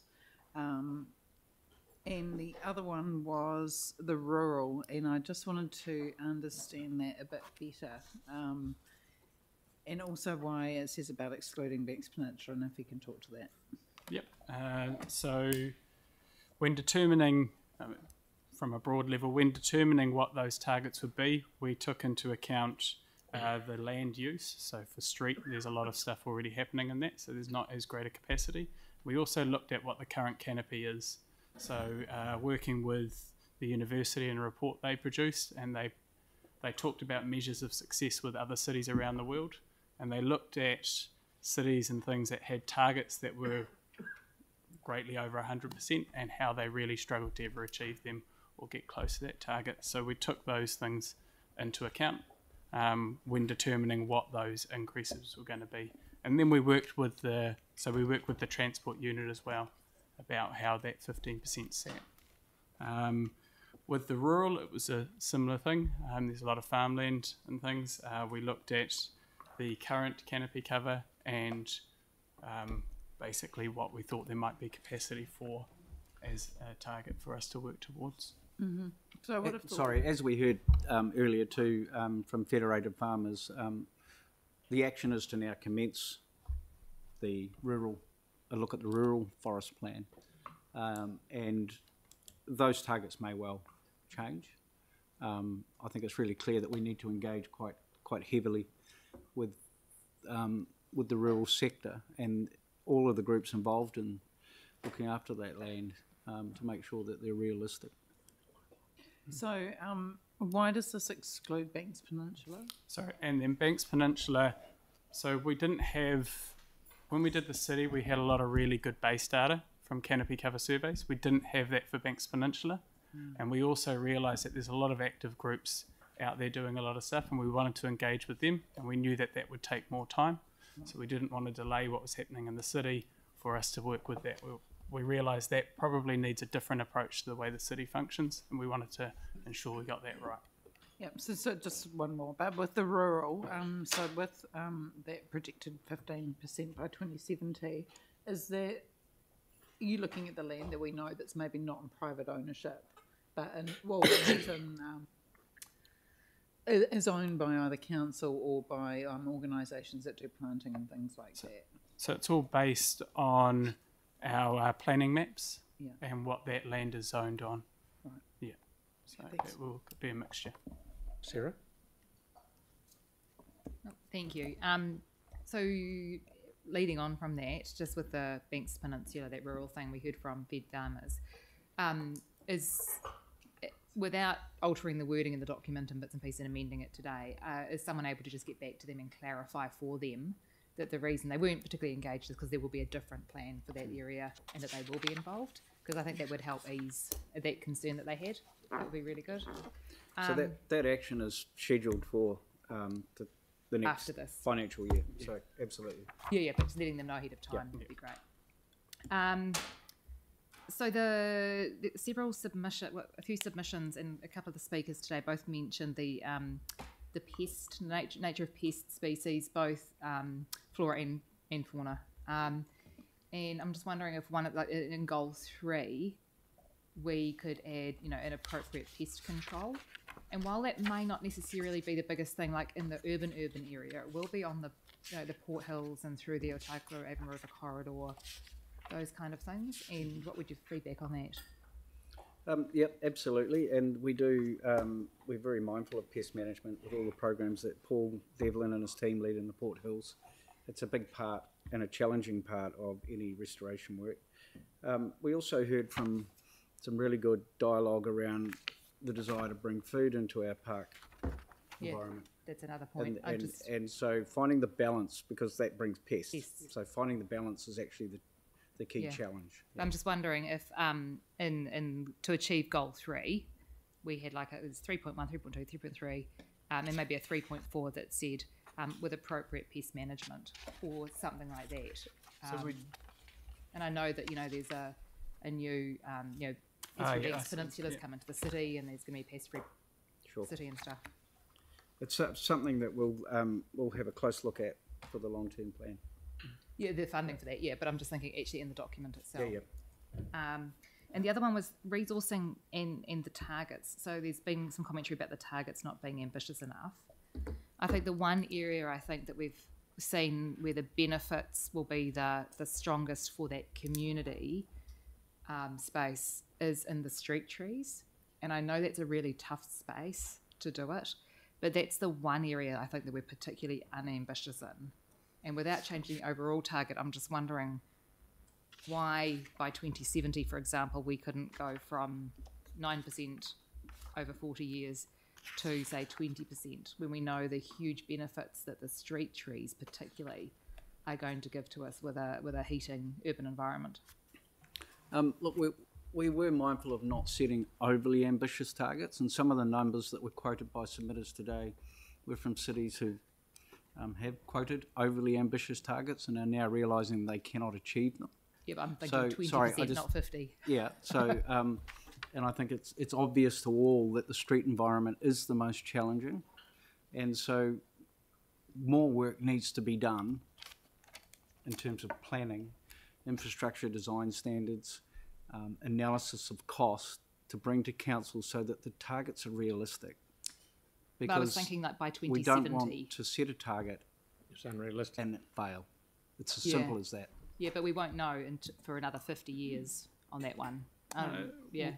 I, I- I mean, No, we can you have an model the ta- we can model the that? targets Yeah. and we can model with more work. We can model the cost of achieving those targets. I'm just thinking that process-wise, to change that target target because it is in the document, would need a whole review of the the actual plan. Whereas if we put the slightly slightly more ambitious 2070 target just for street trees in now, if you did decide it was easier, then we could, you know, we wouldn't need to bring the whole plan back and review it to change that target. Um, look, I think any plan should be reviewed. A plan like this, a network plan, probably should be reviewed, whatever that review looks like, probably every five years. Um, and I yes. think that's probably the right time to, you know, that gives us time to tackle some of these more challenging issues and bring more meaningful information back to the table. Mm. So I, I sort of resist changing the targets right now until we've got some facts and some data for you. Because we don't want to put something in that's unachievable, unrealistic. Well, it might sound nice now Mm. and be cheerleady, but can we actually do it? It's only 20%. Okay. Yeah. Yeah. Thanks. Tyla? We are currently doubling. Good, guys. Um, just a couple of questions. So, is this a living document? Yes. Living in the sense that um, it's a framework, Mm-hmm. it's a planning framework, and that's how it should be looked at. It should be it should be built on year on year on year, and as I say, brought back to council to reconsider how we're going. Are we getting it right? What do we need to tweak? But we don't intend to have to re- restart the whole process. Yep. Okay. I just wanted to ask about the tree protection mechanisms. Particularly in Rickard and Garth actually brought up a really interesting point in regards to developers. Can you talk to us about what regulations are currently will, will potentially be in place with this new plan? It's actually well, it's probably John. Uh, hello. Would you like to? That's a tough question. Sorry, I apologise. Yeah, no, that's all right. No, it's it's not our expertise, so I wouldn't even go there. Um, it is probably a district plan matter because we are looking at the um, permitted uses on private land. There is no blanket protection for existing trees on private land. So while we don't like seeing it, developers at the moment have got every right to cut the trees down. I'm not saying that I subscribe to the to that particular approach, but um, I think it would. We, we we thought about it. We considered the idea of protecting existing canopy on existing land, uh, so that the developers don't cut everything down. But it was pretty much unenforceable, We- and yeah. um, it probably would be viewed very much as a draconian encroachment on private property rights to protect those trees, unless they are historic heritage and that protection, uh, that tree has been scheduled um, uh, with the agreement of the owners. Just for mine and the public's knowledge, what defines a heritage tree? Uh, I can Pro- yeah, answer that. So Toby we've got an assessment methodology for determining that, uh, but largely it generally comes down to 100 years plus or a historic event associated with that tree. Mm. Okay, so Historic is separate to significant, though. Yeah. Yeah. I'm, So- see, I'm seeing multiple avenues in which we might be able to protect our trees in further in regards to heritage. I know that development gets hindered through trees that are in, you know, in, in an interesting position. Um, I, I completely understand that, but I'm wondering. I mean, Clyde Road is a prime example of um, developers knocking down trees without, you know, they were quite substantial ones too, um, and putting in different developments there. I'm just wondering what levers can we pull to try and protect our tree canopy cover and ones that have really low tree canopy cover. Yeah. And in that instance, the argument is we're trying to um, up tree canopy cover through private properties. We know this. We need the private sector to come along with us on the ride. But there also needs to be measures, and I thought that this would be the measure, but obviously the district plan might be the new avenue to go down. Am I correct in The, thinking that? the RMA, which determines the district plan, Okay. is, yeah, is uh, where those restrictions come in. So blanket protection has been taken out of the RMA. So we can't do blanket protection. So we need to, there's certain criteria we have to meet under the RMA for our district plan as well. Okay. And in regards to contributions, if they, I, I, I can't remember what briefing I heard this in. If they knock down a tree, then they contribute to the council to go towards more tree canopy cover. So this is this is still a proposal. Obviously, w- we have just closed the submission period, and will be further submission period on on the on that plan change, plan change, fourteen. Yeah. Um, and obviously, all that is subject to a hearing and council decisions afterwards. But the proposal at the moment is to require that every property, private property that is being newly developed, contains 20% tree canopy cover, taking into account that that 20% may not be achieved until the tree is mature. Now, the idea behind it is that if there are existing trees on the property, that those trees can be used towards the 20% tree canopy cover.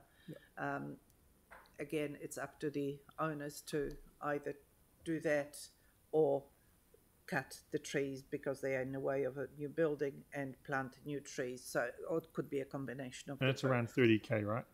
the financial contributions are only required if the 20% is not met.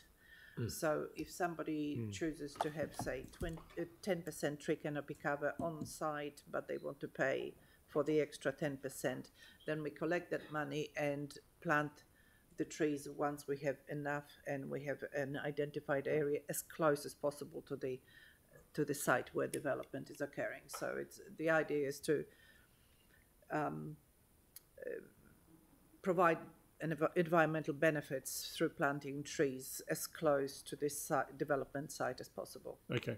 Okay. That's all the questions. for now. Thank you, thank you, thank you. Mark, please. It's a very short question, I imagine. Mark. We'll see. uh, thank you.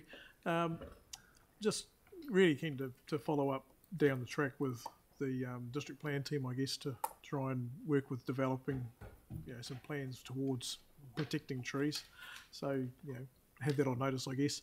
Um, interestingly, one of my very early experiences as a surveyor was surveying trees to protect on a property so that we could subdivide and build around the trees, which can be done. Um, on to other matters. Um, I heard you mention community boards for approving um, a lot of these plans.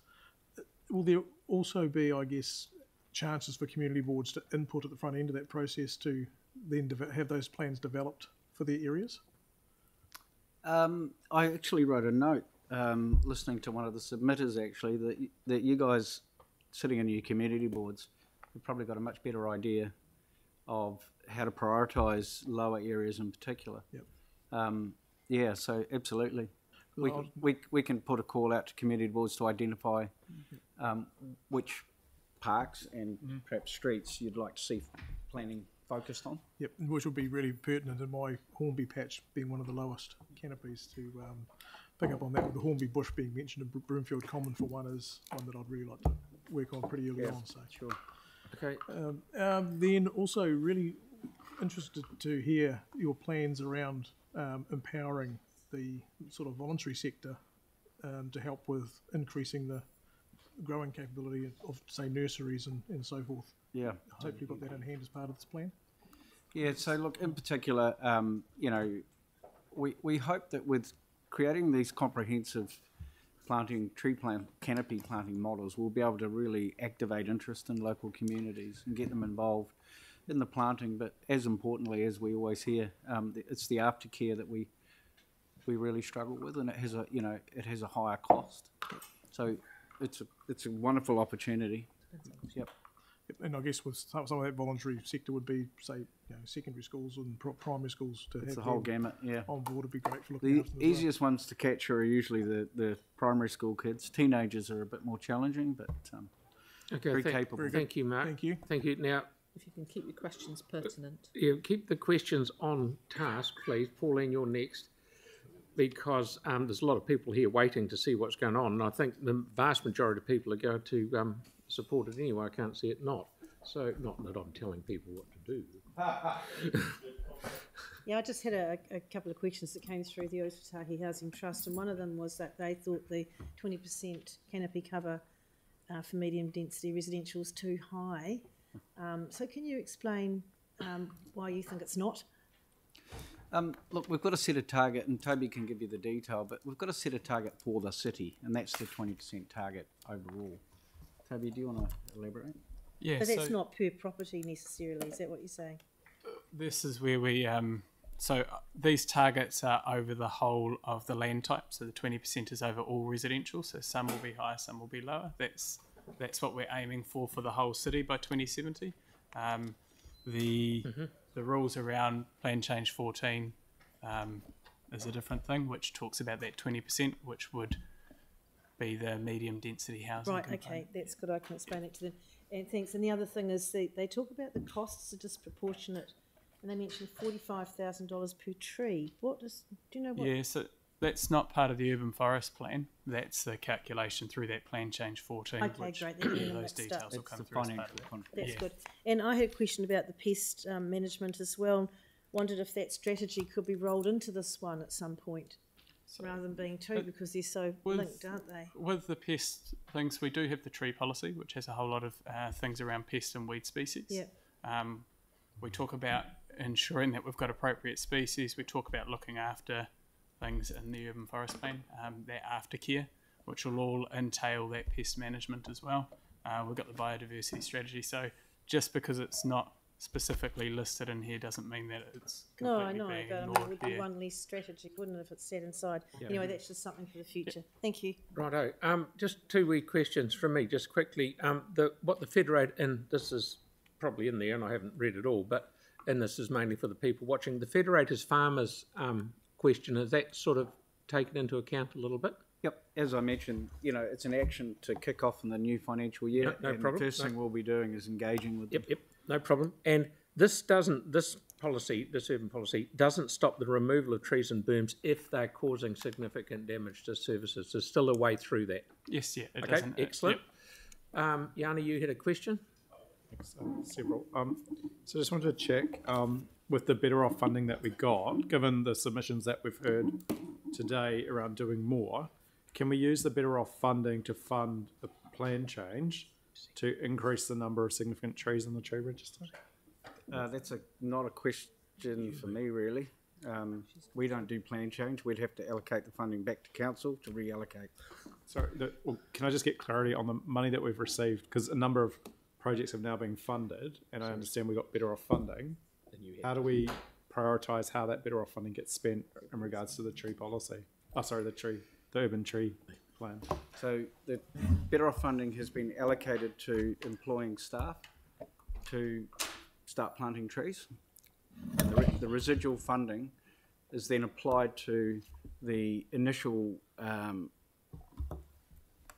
planting schemes and get them moving. So once that, that better off, that's all the funding, the better off funding is being applied to for um, this work. And then beyond that, which is after year three, we will be hitting, um, we'll need to fund it through the LTP. Right. So, given the sense of urgency that people have raised with us around what's happening with private development, um, and the request to do more and be bolder, if we wanted to get additional trees protected through the district plan change, can we get how much And that would cost? That's cost? already underway. So we're about to come out and start look listing, uh, putting out, asking for more trees who, Right. uh, to be nominated. So that's Okay. coming through soon. We've talked about. that. I, I think the concern is that in the plan it's Yeah, unfunded. Uh, not plan change 14, but the planning department already have that on the go. Yeah, so that's So that work's already underway. And the other thing I understood is that the Underway. Ministry for It's the underway. Environment was looking to change the policy around, or the process around protecting trees. Where did we get to? that's that? still a work in progress. So we haven't got there Okay. yet. Th- All good, Jan? Um, no, just wanted some of the other concerns that have been raised in the deputations. Um, the increase of edible plantings. Have you um, put any um, feedback or resolution into the actions around um, having greater visibility of what we do around edible plantings? No. Could we? How could? We, what's the best way to do that? I mean, I've made a note here as an amendment that the Healthy Food Action Plan action to increase edible plantings be incorporated as an action. Would that? So I think the, the urban forest plan facilitates more fruit trees being planted through, you know, we want more trees planted, so that would allow more fruit trees to be planted. Um, as far as those planting edible forests, there's already people who come to community boards to set that up and set those plantings up. It's So already- it's already happening, it's already in that. No, we train. We, sorry, we we- would expect we had a the best way for that to happen would be for the members of the community to come forward to their boards and Yep. then to us. Do it through Don't- that avenue. Rather than us try and plan or scheme something. We've already had this on, had- our board. You just had a we've got- deputation, to, a submission to this today that asked if we could put a target in around edible planting, right? So I'm just the, asking. the- sorry, the avenue is to, rather than force people to do it, is to let them use the system to come through and suggest it to you guys, and you'll help them. I think the submitter, it's, the submitter also mentioned that some of them hadn't been successful because the local community hadn't engaged strongly enough. I think that's the key. There's got to be that ground-driven desire, not a council-led on on those um, community gardens because they're so heavily reliant on the community. I, I get that, but setting a target as part of an urban forest plan around increasing edibles. The target should be what the community want, not us setting a fake target. Um, is what I'm trying to say. And just the telecommunications provider, the, the, the submission from Spark, did you have any reflection on how they could be incorporated into um, a review of infrastructure design standards, or were Uh, they en- engaged as part of the development plan? We didn't engage Spark necessarily, but we did try to engage with Enable, uh, and through the tree policy, we talked about uh, design around infrastructure and things. So the concerns raised by Spark are addressed in multiple other documents, and when we update the design standards, that's always looked into as well. Right, and you'll engage with them as part of that process. Uh, I don't personally do the design standards, Yeah, but, but we can the make sure the organisation does. Yeah, yes. yeah, yeah. Okay. And just the final question from me is given like um, that we've had pretty much overwhelming submissions from people wanting us to be bolder and do more. Um, if we wanted to increase the targets for both timing and percentage of increasing tree canopy cover in the areas with the lowest coverage, what what could we do? So can the best advice I would give is let's get on with it, get something in the ground and, and start measuring and monitoring and then see where we're going to get to. Fantastic answer. Great. Now, Victoria's got a very small question. Sara's happy to move it with a couple of amendments, and Mark's going to second it. So, Victoria. Uh, thank, thank you, Andrew. Most of my questions were, have already been asked, but I've just got one residual one for Andrew. Just waiting till we've got his attention. I'm Just not comfortable because I haven't talked to the transport. I know he's busy. Yep.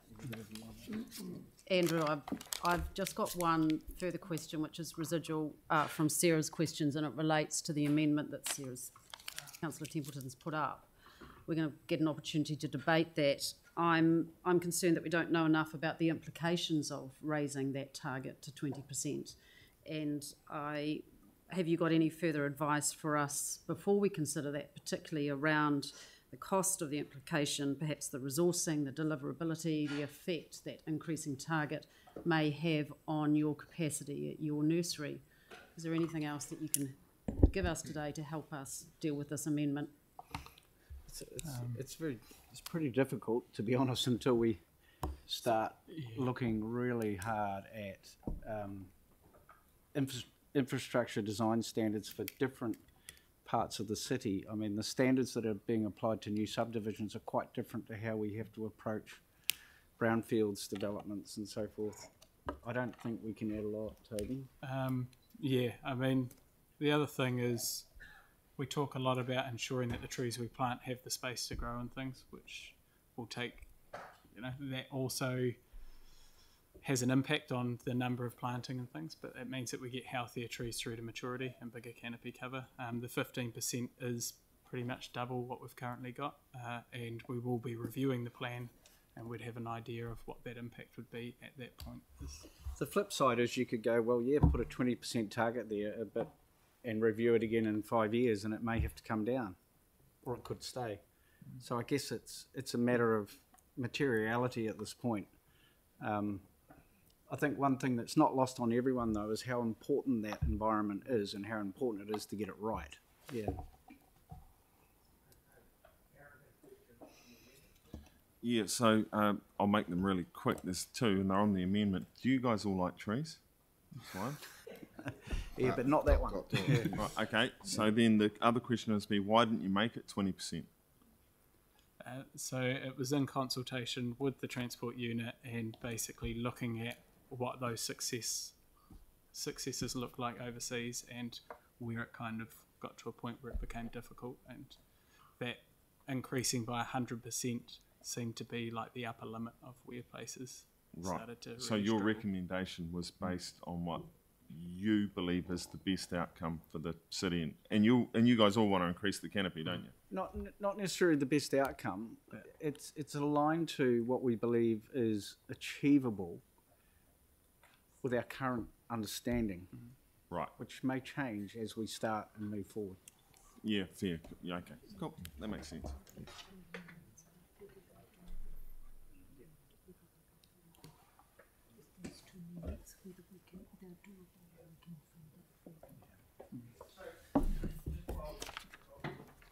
So just while the guys are having the conflab down there, we've got two amendments from Sara, but we've also got a raft of amendments from Yani. Do we want to carry on or do we want to stop for lunch and come back in an hour? Yeah. Yes, so we've, we've got yours incorporated because you moved and you had a seconder. Yes, but Um, keep going, because the people are waiting, well, people are waiting, they're all here, so they've gone to the effort of being here.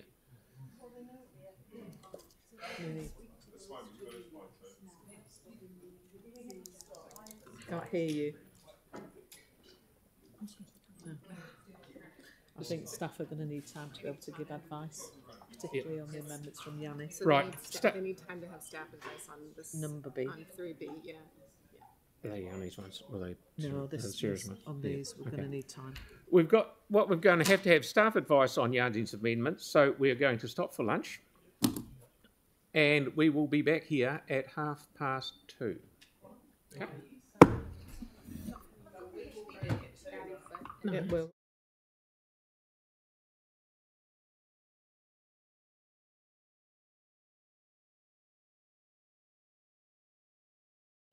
Which is PX. And then we'll do this after, After the PX. PX. So, is it back at two? Yes. Okay, They could, could they come in fifteen minutes later? Two o'clock. Can't Two o'clock. I can't guarantee that.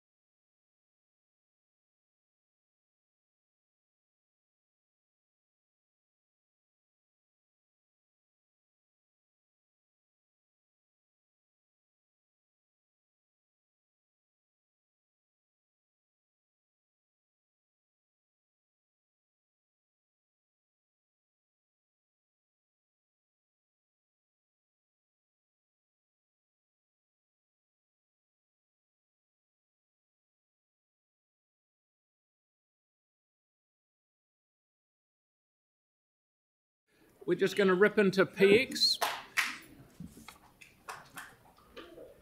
Just confirm we're off, offline. Yep. Resolution to exclude. We have to um, move into PX, of course, do we Yes, not? we do. And thank you, Pauline, and thank you, Kelly, for moving all those in favour. I'll put motion all in favour. Against, thank you, carried. So. Uh,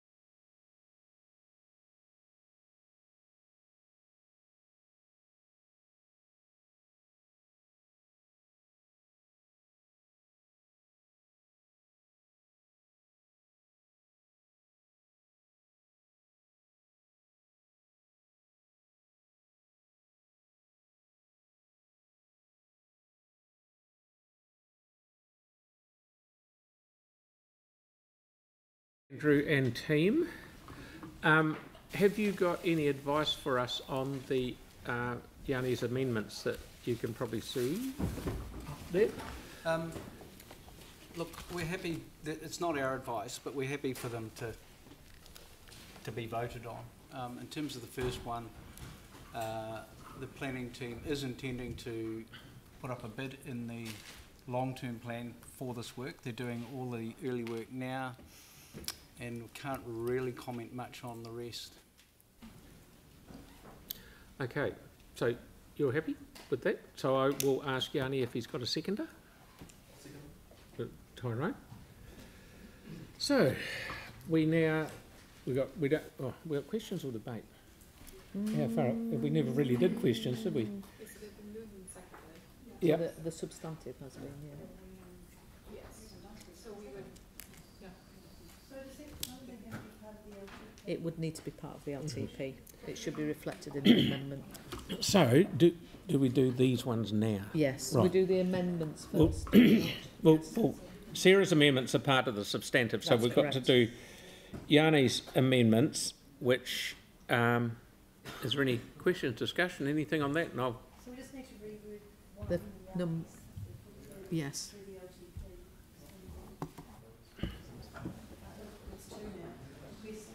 No, no, you're going down, you need to go back up. Number one, at number two, Request that as part of the LTP. consider. No, request that the council consider funding the district plan change as part of the long-term plan.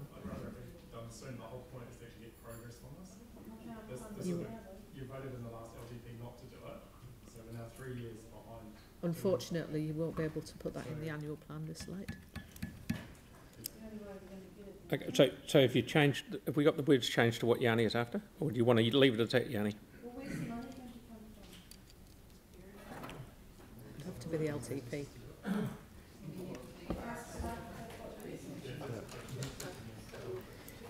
So the amendments have been moved and seconded, so unless the mover and seconder agree to changes, this is what's on the table currently.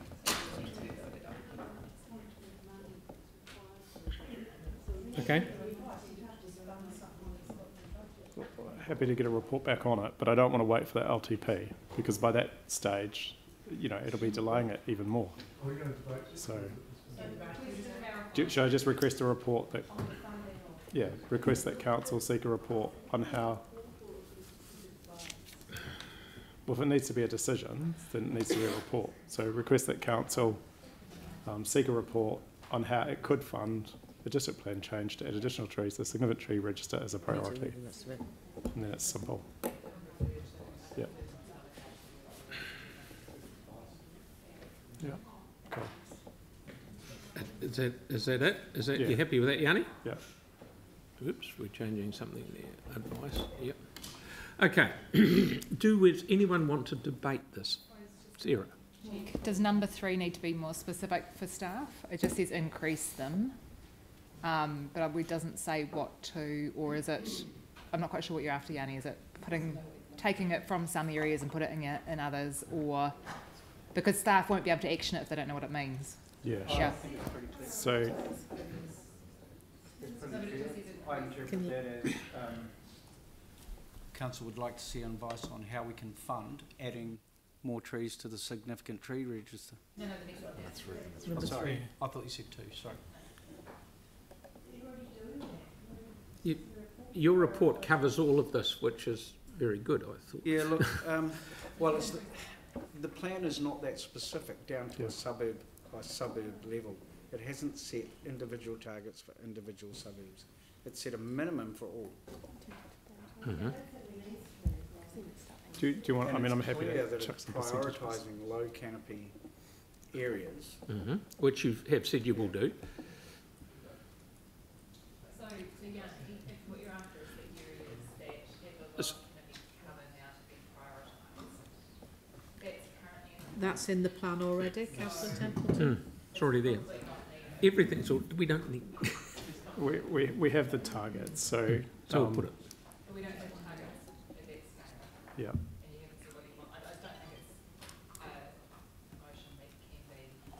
Right. Yeah. So this is what I raised in the workshop. Can we have some targets? And we, do you want me just to say that we set targets? Is that better? There's no I use mean- setting targets, as we heard from the staff, you know, it's got to be bound by communities, and I think the plan is really good how it's set out. They've said that about the fruit trees and other things, so. Staff have been clear in their advice. Andrew, in relation to number three, because there isn't any specificity to it, understanding that the plan already states that it will do low canopy areas as a priority, is it that that is reconfirming that requirement? How would we go about meeting number three? Um, well, Aims actions to- rather than words. Yeah. Um, getting on with it. They are prioritised. We've already started the process of prioritising um, these locations, getting the board to approve those and getting them in the ground and, and, you know, and it's three to four years before we can start monitoring where that's going to go. That's right. So Melody's the come more up- Melody's- Postulating we do, the Yeah, you do. longer it's going to take. I'd just like the staff to finish their Mm. advice before we jump to the next one. I just wondered if you could add the word aims to increase, because I think we'd all agree with that. Because it's non-specific, that clause. If you Well, put, it's not, sorry, it's not very clear. Uh, Are we, are you asking us to have higher targets for low canopy areas than other areas? Well, Or are you you asking us to raise the minimum Uh, I, the entire city? like, yeah, raise, you could do that if, if that's easier. If you look in the charts that we've got, and again, this is why I raised it at the workshop, is there any targets we have around these actions? There's none. There is one that is currently unfunded, um, or says funding required. So again, it's kind of hard without having the specific targets, but based on what people have said through the, the submissions, people want us to be bolder and do more, right? So I want to send a signal that we're going to do more. So if you want that just to be um, increasing the tree canopy cover targets um, across the board, and we can refer to the, just add 10% to the ones in uh, page 167. Um, so just to increase the targets over a sooner period of time. It's unclear as to the councillor's put up amendments. He's now trying to relitigate his own amendments, I'm as I not trying to- understand Yeah. it. I just wonder whether we should take five minutes and maybe the staff. But we took, what happened was, we took five minutes to get our head round this, and then all of a sudden, we've got it here in front of us, and it's getting changed again. So it's making us look a bit daft. Yeah, I wonder whether. Sh- Shall we take five minutes and get Yani to get exactly what he wants on the screen, and then we can vote for it, yes or no? How's that? Okay, five minutes, thank you.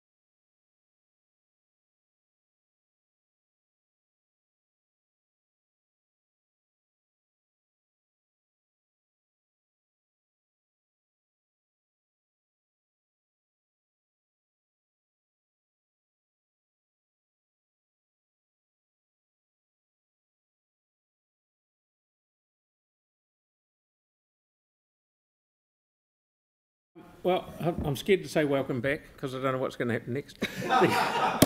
we have now, we have now got all the amendments ad, ad- um, added into the substantive. So we've talked about this for hours on end. So I'm just going. We have a mover, which is Sara, and a seconder, which is um, Mark. Um, so I'm going to put in motion. We just say thank you. So th- nice. Thank you for all for putting up with us. thank you. So I'll put this motion. All those in favour? Against? Hallelujah. Thank you. We actually have an urban tree plan. Right. Now, Right. we're on the main act. Uh, we are now. Notice of motions. Okay. And more to come. So we are now on to item number 15, and Mr McDonald is going to give us the benefit of his vast experience. Um, well, thank you. Just very briefly with this one. Hopefully, this is the less of two contentious notices of motion. Um, I wouldn't say two evils. No, I'm a lot kinder about you than that. The um, the- look, the reality with this is it's effectively just calling for a bit of a, re- a review into the way in which our temporary management delegations operate. Um, I think at a high level, when uh, if you think about the mechanism that we're using to do this, it's a notice of motion, which is uh, something that any councillor can bring to the table, provided it's consistent with the, the rules to get it here, uh, calling on a um, you know particular action to be taken. I think this is kind of the thing that you know we probably could have. Um, you know, I, I think it needs to be workshopped through with the council in conjunction with the chief executive. And I think the real benefit of it is it actually will put a, a very clear line in the sand um, between what sits at the council desk and what sits with council staff uh, to to get to a situation. So I'm hoping that uh, others will indulge me in terms of just having this looked at, uh, so that actually we don't end up in situations, um, you know, like potentially have. I, I just think it's incumbent on all of us when we do identify issues and to use the notice of motion process to do that and, and to bring something forward. So.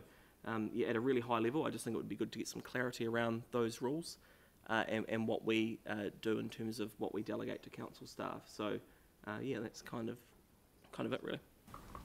Okay. And there's obviously staff advice attached. So we have a mover. He's a mover. Yeah. There's a seconder. We've got all that. You must have a second. We've already got that. we? A question? We've got Mary's question- at the table for Oh, questions. yes, sorry, and you're quite right. And we have got uh, Andrei has a slight amendment which uh, just to which the team have got. Sorry, Andrei, I should have mentioned. That was one from yesterday, wasn't it? That- yeah, that was one from yesterday, and we're just put incorporating it in.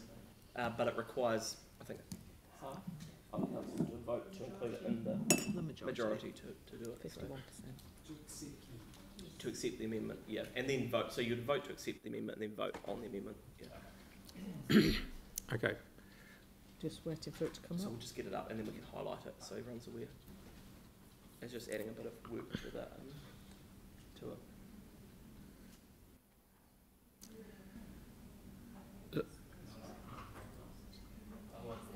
So you want to add that to Yeah, so there's, again, there are, there's, there's two parts to it. There's the, Why don't you put it as A and B? well, no, what, I mean, if people don't want it included, they can just vote down accepting the amendment to the notice of motion. So, let's, yeah.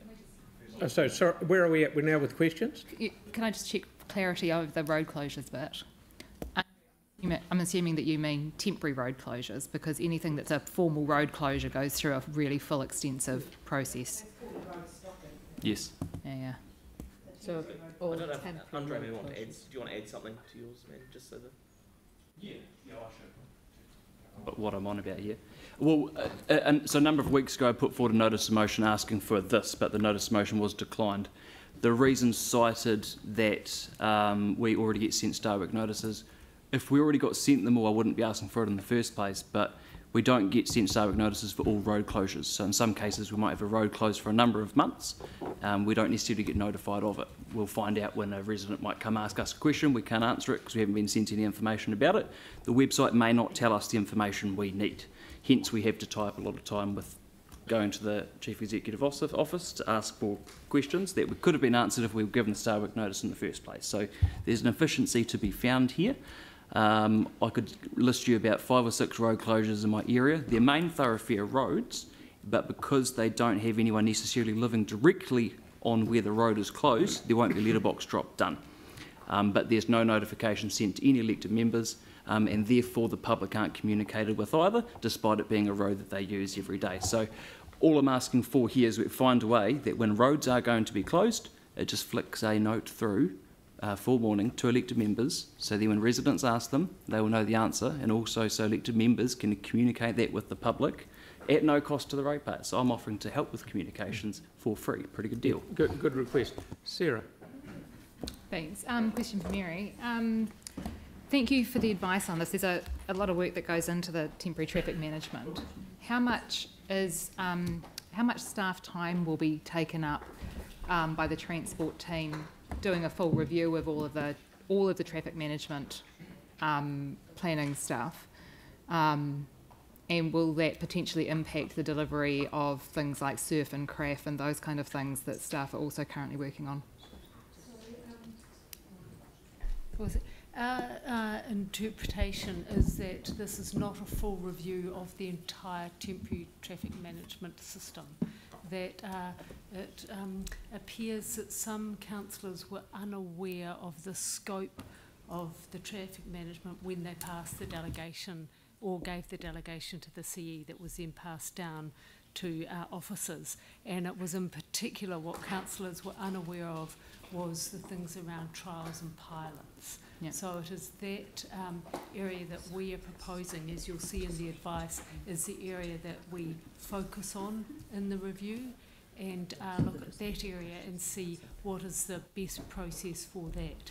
Um, if the councillors wanted to review the entire process and uh, have a greater input, it would ground the city to a halt because you'll see that there's uh, about average of a week um, 2,700 traffic management plans. If we were to write reports and bring those to you to decide you would be meeting in here every day and, uh, and having to make decisions and we know how challenging that can be at times. so so, so uh, we, we are not interpret, we're just interpreting, reviewing Yeah. that portion of it that the councillors have signalled that they were not aware was in the scope when Mm. they made the delegation. So, do you believe that the delegations themselves specify that? It's just that councillors weren't aware of it at the time.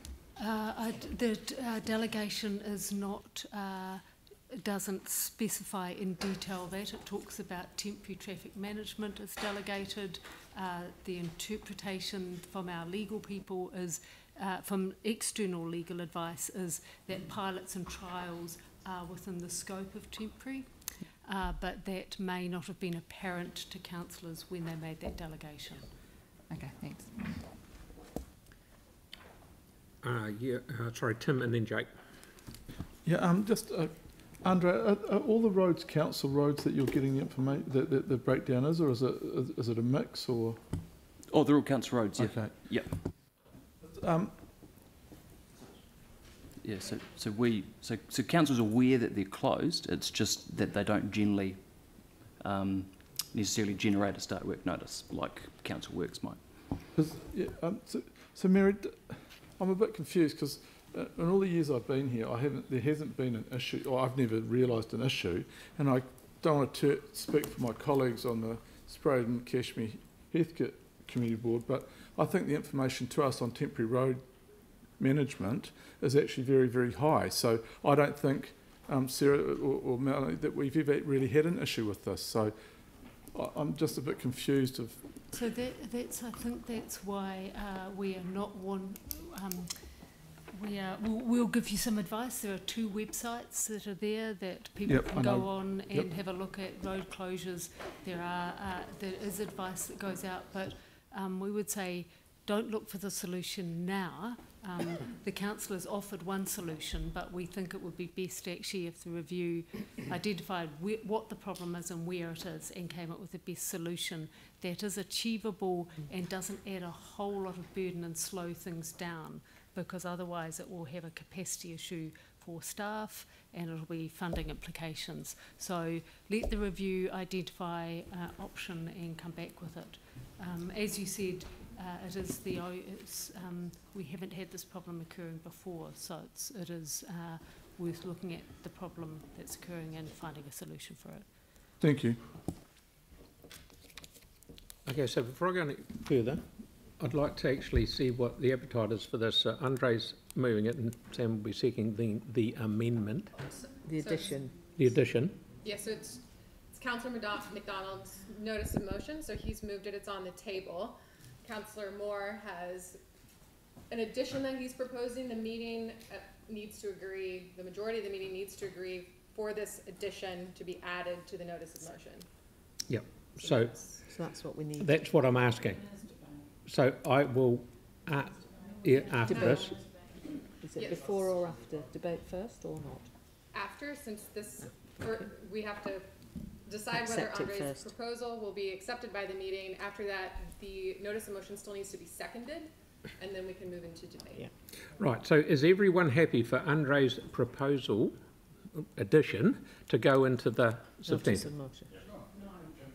Ask a question of Yeah, well, I can clarification. say, if all those in favour of Andre going in, please say Sorry, aye. There's a request for a division. There's a question from councillor Johanson, I think, before you vote. Yeah, I I think it's a bit hard to expect us to support something when we haven't even had a chance to ask questions to clarify it. So is it possible just to clarify, because this issue has been raised previously at our informals and at community board.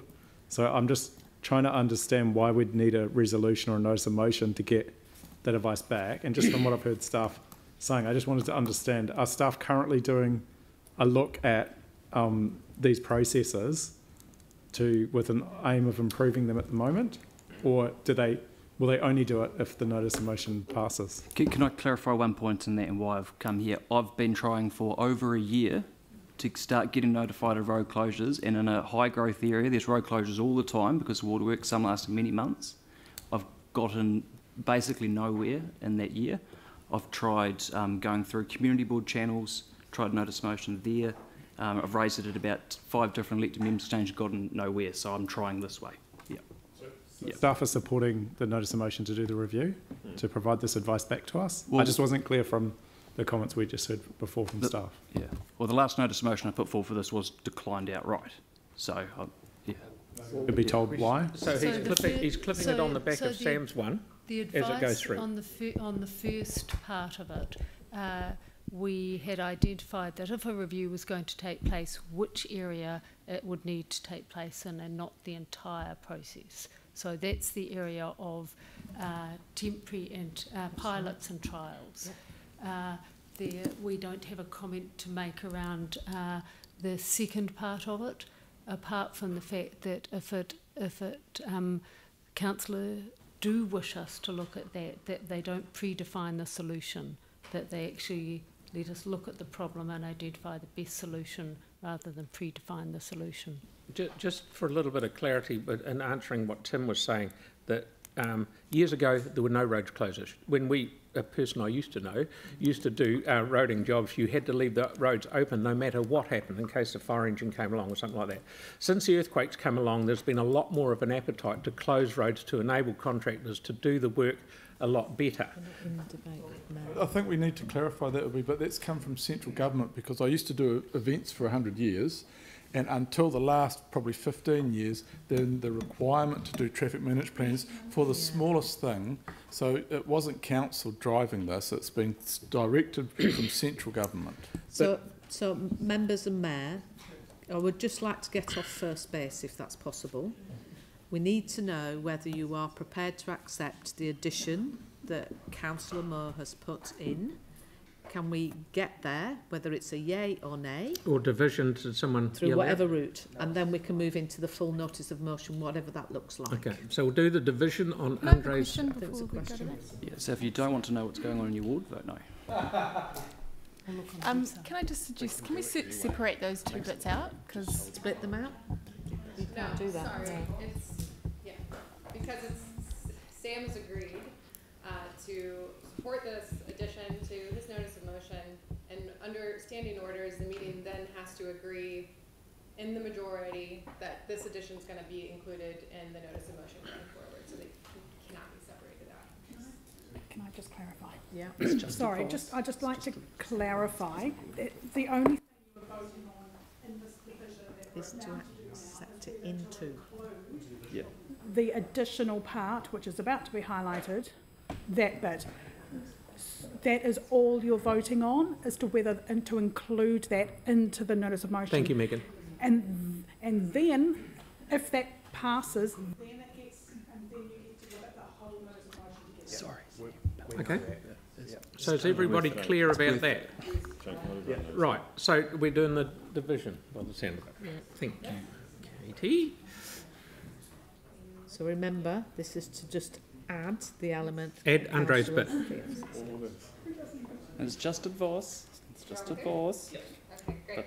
Uh, Councillor Moore, Yes. It'd be it said no. Councillor Johanson, Deputy Mayor Cotter. No. Councillor McLellan. No.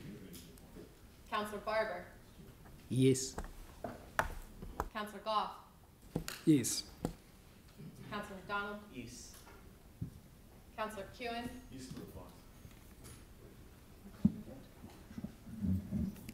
Councillor Fields, No. Councillor Henstock, Yes.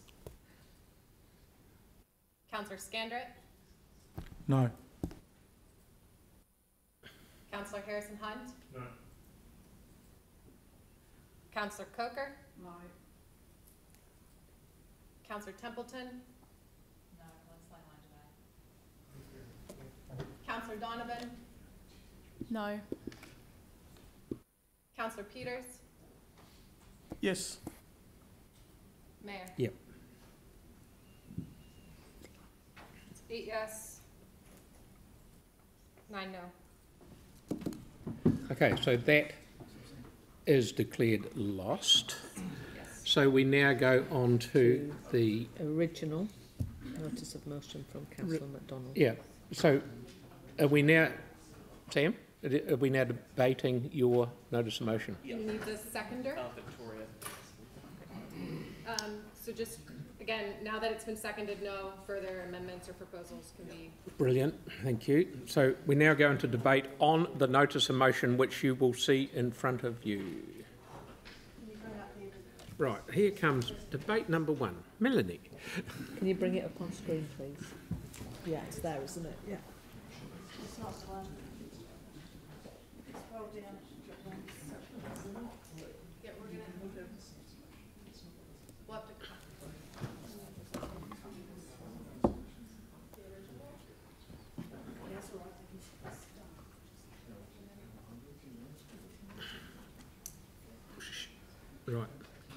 Melanie? Dad, I have to do a project for school about the city council and what ratepayers think of it. Are you a ratepayer? Oh, yes, son, unfortunately I am, replies Dad. A lot of wasted money in my view. So much bureaucratic nonsense. They take forever to get anything done and our rates just keep going up. That doesn't sound good, Dad, says his son thoughtfully. We have to do some research too. I was reading in an article in the paper that the new mayor is making progress on cutting bureaucracy. The article says the mayor that the mayor said the council has one less meeting per month and meetings have less business than they used to. A lot of other stuff is getting sorted out in the background. Oh, I hadn't heard that, said Dad. That's great to hear. I definitely want my hard earned money to be spent efficiently. But what I don't get, Dad, is that there's this big fuss about council staff being able to do some trial traffic management projects for a cheap price. They sound like the kind of thing ratepayers would like. And I also read the mayor doesn't like them. That doesn't make sense, son. I voted for the mayor and he said he was the man who got things done and he's good at spending money wisely, said Dad. My teacher said the council was thinking of spending more money to remove these trials. Bloody typical. Oh, sorry for searing, son. I've had enough. Dad, that's okay. I know you're upset. My teacher also said that the residents have a declining trust in council, like it sounds like you do too. Well, son, it's not surprising when apparently even the elected councillors have no trust in council either. I agree, Dad. I heard that one of the boys in my cricket club has a parent that works in council. He's feeling bad that the mayor said something mean about his parent and refuses to apologise. Dad thought for a minute, looking surprised. That's bullying, son. That's not acceptable from leaders of our city. Make sure you're nice to that boy, son. I will, Dad. And let's hope we see some improvements with that council soon. I hear there's another rates rise coming, so I want to see some value for my money. Thank you. Have we got any other debate? Timothy? Yeah, thank you. Look, I, I just don't know where it's kind of broken down because I have never had any issue with getting information on uh, traffic management plans. Is it? A, pro- a problem? No, no. So I, I- think it's a real shame that this has come up, and I do kind of reflect on the uh, speaker Harrison Mc- McAvoy, who spoke, you know, like to see councillors and uh, just waste, seemingly wasting time. And I'm sure that we could have sorted this out in one of our um, briefings, and I think that's that's where it should have been, rather than wasting time around this table and wasting a lot of people's time. Um, I'm just really disappointed how we've got to this point and um, where we're going with it. So I can totally understand the sentiment, but I think there's a breakdown here, and not just with between us and council staff. It's right across the board with us as well. So um, I'm not going to support this. Okay, Sarah, and then Mark. Thanks. Um, I'll just start briefly by addressing Andre's issue because I get it. Like I have residents who um, come to me and I didn't know ahead of time. Um, there is a process and it's broken. We need to work out how to fix it rather than coming up with something new. But I don't think that um, adding it in here was the way to do it because I'm voting against the other thing, you know? Um, and otherwise I'd just be voting against it. So I'd rather try and work on it separately. However, this notice of motion implies that staff delegations are ambiguous, yet I have not seen anything to support this. And I think we need to be clear that just because someone who is not a subject matter expert doesn't understand the scope of something doesn't mean the thing itself is, un- is ambiguous, just that that the person doesn't have the background knowledge and training to understand it. Sure, let's have a briefing so that councillors can learn more about the TMP delegations and ask some questions. But I'm certainly not going to vote for a motion that implies that staff have taken advantage of ambiguity. Our staff are already stretched past capacity, and I'd much rather they were focused on getting stuff done the surf and the craft projects, the roving footpath crew, and other projects than spending precious time on paperwork. If councillors are upset about traffic management plans being used for trial pedestrian and cycle safety projects in our communities, then the notice of motion should have limited it to changing that and being clear that they disagreed with the current delegations, not implied that they were ambiguous. But let's just have a regular briefing first to understand the issue and then look at what to do. And remember that uh, ahead of the election, there was a meeting where mutual expectations were discussed that looked at lowering the number of meetings that we had, getting fewer consultations out. Thank you. Mark. Thank you. Um, I can see the sense in taking a look at delegations and making sure that they're fit for purpose. Um, as a temperature management trainer in my past, I know a little bit about temperature management and how it works and where it can be used. Um, so I'm more than happy to see us go through a process and just make sure that the delegations we have delegated from the council to the staff are actually fit for purpose and that there's not any ambiguity that could cause any problems like we've had recently. So um, happy to support this and um, let's have a know, joyous track forward and try and get back on an even keel. Okie dokie. So, Kelly? Vic? Um, yeah, thanks. Uh, I'm in two minds here. I mean, on the face of it, um, I support uh, council staff doing their job and doing it well. But there have been times in my lived experience as chair of the White Waitai Coastal Community Board where things didn't uh, go to plan. For instance, I got a phone call from a chap who um, wanted to know why there were newly painted yellow lines outside his dairy. And um, I said to him, look, you know, this, this must have been the previous community board because I don't recall this coming before us. And then six months later, it did come before us. Um, and we voted it down, and those yellow lines were painted out. Now, something is seriously wrong with the delegations when uh, an action happens six months before it comes to the due process. So that wasn't the only occasion. There are an, another couple, but I'm not going to uh, embarrass our council by bringing those up as well. I just think that there is a um, there is definitely something at play here that we need to look at, um, and so I will be supporting this. Victoria? Uh, thank you. I think this motion is really about good governance. It's about uh, our processes, it's about scrutiny, and it's about accountability. As councillors, it's our job to ask questions. And it's also our job to support and enable our CE to run a really good ship. And I think that this question, this motion, is raising a legitimate question about the appropriateness or otherwise of those current delegations. As a councillor, I expect accountability of decision making by our staff. And I also expect that we have appropriate checks and balances in place to ensure that staff are providing us with sound advice and are making good decisions when they're exercising their delegations. Now, the controversy created by these works would suggest that the checks and balances that are currently in place are not working and therefore it is entirely appropriate that we ask our CE to review these delegations.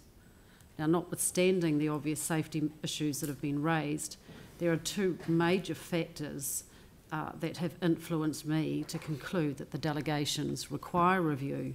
And the first is that these have created significant and material change. We've heard people talk about that today and the second is that they were purportedly undertaken to improve safety for pedestrians and cyclists while the museum was being redeveloped. Well, that's a five-year period, and five years is, is hardly temporary in my books. And furthermore, Park Terrace is some distance from the museum, and the built environment around the Park Terrace end of it is quite different to Rolleston Ave. So this just doesn't wash with me. And it concerns me greatly that our staff didn't turn their minds to the likely controversy and the public backlash that these works have caused. So that's why I think it is entirely timely and it's appropriate that we ask our CE to review the delegations. Thank you, Victoria. Anyone else with the, uh, James and then Andre? I totally agree with what Victoria said, and it's kind of hard to um, to add to that. The only thing that I, I would address, and it is probably the elephant in the room here because this is why I think that it's important we take these steps. And I don't get any pleasure out of the situation uh, that we've been through, nor do staff, uh, when we go through things like Gloucester Street, Park Terrace, and ultimately that's why we're sitting here today dealing with this notice of motion and the one that's coming after that.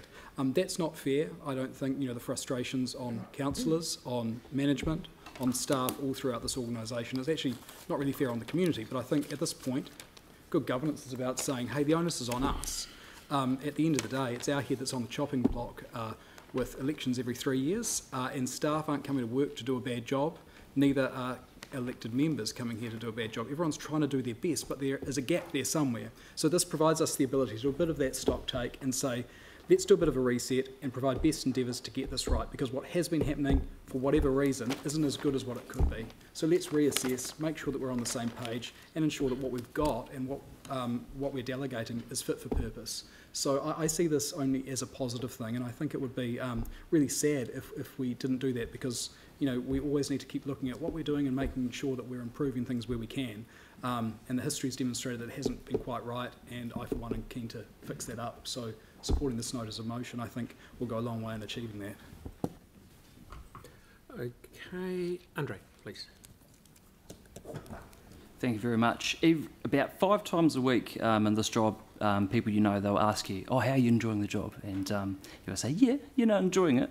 But everything in local government is a very long, drawn out, tricky, bureaucratic process. And um, yellow lines is a good example because if ever you're talking to someone, they might need yellow lines in their street, and we go, cool, well, we'll make the request. And the resident will say, how long will it take? Maybe, you know, a couple of weeks. It's like, oh. Uh, actually, so actually, mate, as per the Local Government Act, um, we have to then consult the affected neighbours. A report has to be generated. It's quite a long, extensive process. So currently, um, currently our staff are stretched. We've we're putting a, we put a huge amount of work with them. There's only so many staff. So I actually have to say to someone right now, you're probably looking potentially 12, 18 months for yellow lines. So we do need to find efficiencies for staff. Um, we need to find a way to make things easier for staff, which is something that um, Mayor Mauger, I think, said very well in the campaign, is things take a long time. We need to find ways to make things easier for staff. Um, obviously, we have to find a sensible balance between efficiencies um, and consultation, making sure we're not um, going to have to come back to things later, absolutely. and I have got no real desire to want to make things more difficult for staff. However, um, I am quite comfortable with receiving this review um, and report with the facts that are in front of us. It is a conversation that we do need to have and should have. Um, we're a new council. We, we should look at these things, get briefed on them, find out what our options are. I, I don't see any harm in having that conversation myself. Um, in terms of uh, my amendment, uh, I spoke with Sam yesterday um, to ask him, and he was all too willing to look at changes to be made to this to, to come up with something to make it work. Uh, so I hope that's what we do if indeed it does pass. Um, I will be voting for it. Thank you very much. Thank you. So, Tim. So, yeah, um, just to wrap it up, look, thank you. These, oh, well, you go. For, yeah, if Aaron Yep. wants to go on the nom. Yeah, he's wrapping. You're into it. Yeah, uh, I'll just, there's not a lot to add. It's kind of all been said from, from both sides. Um, the bit that surprises me around this is this is only a, a request. This isn't an action. This is a request for this to be looked at. It's not saying that it changes as of today. And that's the bit that surprises me at this table from the number of people that often ask for uh, request information and request things to be looked at. Um, most of the people around the table, you can normally pick how they're going to vote, uh, whether that's a good thing or a bad thing. I pretty much, you can draw it down a political line and the votes will go certain ways. This is no different to that. That was proven just before with the addition of Andre's point. Uh, the one person in the room that did shock me though was Yani. Um, and I will call you out this time, mate, because normally you are the one requesting information, you are the one asking for things to be looked at, and you didn't support that going in. That shocked me everyone else at the table on either side, I'm not shocked by because they always tend to vote that way. But your one did disappoint me, so I'm just going to say that publicly. The rest of you, I know how you're going to vote, so I won't be surprised at the result in a couple of minutes' time. Okay, Yani. Um, yeah, thank you. Uh, I just wanted to reflect on the fact that it seems very uh, inefficient to me that legitimate concerns that councillors have raised through multiple channels, community board, informal briefings, probably office of the CE, I suspect, I know I have around the notification, that we have to get a notice of motion amended to add something um, to do that. Like, it, there must be better ways of doing it. I've heard what people have said this morning, and I just think this is uh, not a good use of our time to, to have to go through a formal resolution uh, to, to do this when we actually know, um, you know, I think for all of us that were in the room when we voted on that um, could reflect on uh, lessons learnt from uh, either approving work or not asking the right question or having the right resolution. But when I've reflected on my own understanding of it, I, I recognise that I've got improvements to make as an individual because of what I didn't pick up in that report. And I'll take that on myself. And next time a report like that comes in front of me, I will certainly be asking different questions of staff to get an understanding of what's being agreed uh, or what's not, or if required, putting resolutions to ensure that um, what I expect should be a, a, decision would be a decision that, that we would make. So, you know, I just don't think that we need formal resolutions uh, through this process um, to review delegations that already exist um, around the ambiguity, when I actually think the delegations are actually really clear. It's just how we make decisions around those that, that is the issue. Now, um, it also shouldn't take a notice of motion um, to get people notified of works happening in their area. I would hope staff would simply go away and just do that without requiring a notice of motion to effectively tell people when a road's shut and is impacting on, on them. And, you know, I think um, the irony is, or the thing that I'm struggling to understand is why both of these notice of motions were accepted, but the other notice of motion to get notification to residents was excluded and rejected. And to me, that makes no sense. But I think we have internal processes where we should raise these issues together. We should try and work together constructively as a council to address concerns. Um, but I don't think these notice of motions today really help us do that, which is why I'm not supporting them. Okie dokie. So everyone's. Oh, Sam, sorry. Yes, yes. Okay, we'll just wrap it up. Um, ir- uh, Yani, the irony's not lost on me about wasting time when I've counted on my phone that you've taken two hours today on unprompted amendments and had to get staff to. Or sorry, you used AI to do your one. I was very creative. No, look, I, I think the um, the irony isn't lost in that though, and, and I think Victoria and James uh, put it really well, which is this is actually about good governance. You know, you, people have talked about the just being able to do things and go and talk to staff about it, but actually when something's not working, you bring it to the council table. We're an elected council. This is in the public domain where people can have a say. So I'm just sort of surprised that uh, what seems like a majority of people don't want to have a look at a system. You know, I would have thought that, like Aaron said, there's actually no decisions being made. We're having a review into delegations that, in my view, are not working. Uh, I would have thought if you can't do it here, you know, for people that talk about being transparent, I'm unclear as to why you'd want to do it behind closed doors. So, you know, actually, voting on this now gets public advice, and we can put it in a line in the sand once and for all. You know, the staff have talked about the delegations that exist already. Uh, Mary sat at the end of the table and said, you know, there potentially are issues within it that people might not understand. If we can't do that here, then why are we here? So good governance, in my view, is when something's not working, getting a review, and I would just be astounded if people wouldn't support that. Um, but again, maybe it is one of those political divides where, you know, um, ultimately ideology wins the day and not good governance. Okie dokie. So with that, I will put the notice of motion. All- Okay, all right, yep. Thank you, Katie.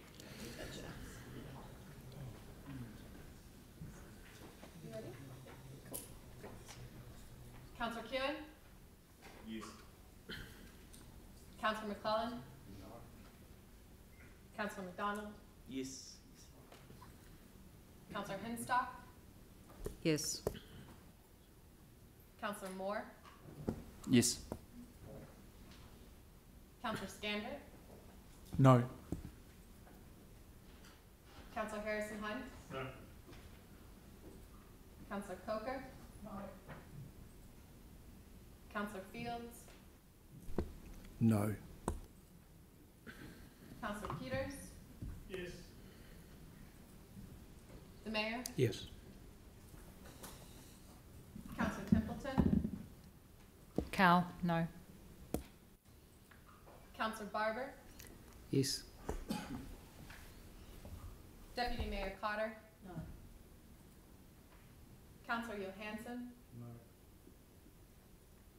Councillor Donovan? No. Councillor Goff? Yes. Eight aye. Nine no. Okay, so that is Mr lost. Mayor, Mr Mayor, could I just make a comment, if that's okay? Um, Feel- feel free. I, I uh, just want to say that I do respect council's uh, right to debate processes and systems around the council tab- table, that that's what you're here for. I think it is most unfortunate when you criticise staff in the public forum when they do not have a right of reply.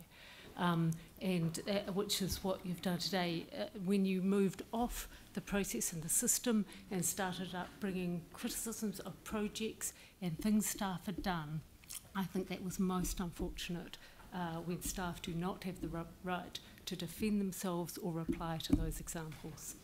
So thank you. Thank you.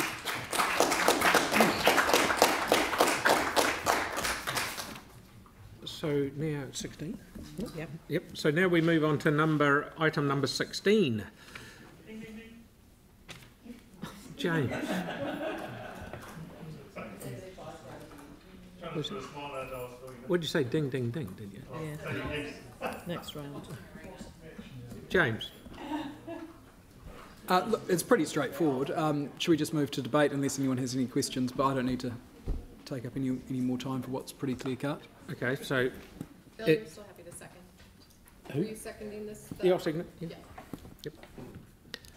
So we'll move straight to debate. Here we go, righto. So we've got Melanie, who will have another wee story for us. Do you mind if um, And then Tyrone. as the mover, Phil, I'll, I'll signal that I'd, I'd speak on it. I'm happy to. Sp- Bill, yeah, he's got questions. You're all talking too fast for me at the moment, sorry. Can I just ask two questions? One, why was this notice of motion accepted when we're currently doing a trial? And two, why was it also accepted when it's a community board decision? Just based on what we heard this morning. Uh, so there are aspects of it that are a community board decision and there are aspects of it that are a council decision is, is uh, my understanding is that so cycleways is a council decision, the parking aspects uh, which are not covered by this part here are a board decision. Okay. Is it accepted when we've currently got a trial underway? Uh, because this notice of motion is suggesting uh, ending the trial early. Okay. So we're, we're in we're we're in debate, obviously. So Melanie was first, and then I think Sara had a Tim. Jake. Do you mind if I int- introduce it as the mover, Mr. Mayor, and then um, just because I think the standing orders have got the times a bit different from like a mover and a right of reply and all that sort of stuff. Mhm. If you'll indulge me. Yeah. Is that cool? Yeah. Okay, so I'll, I'll signal that I'll go as long as you've got everyone else. You're talking too quick. Just saying, I, I, be happy to exercise my right as the mover to, to open debate. That's what I was saying. Okay, so we're opening debate. Melanie.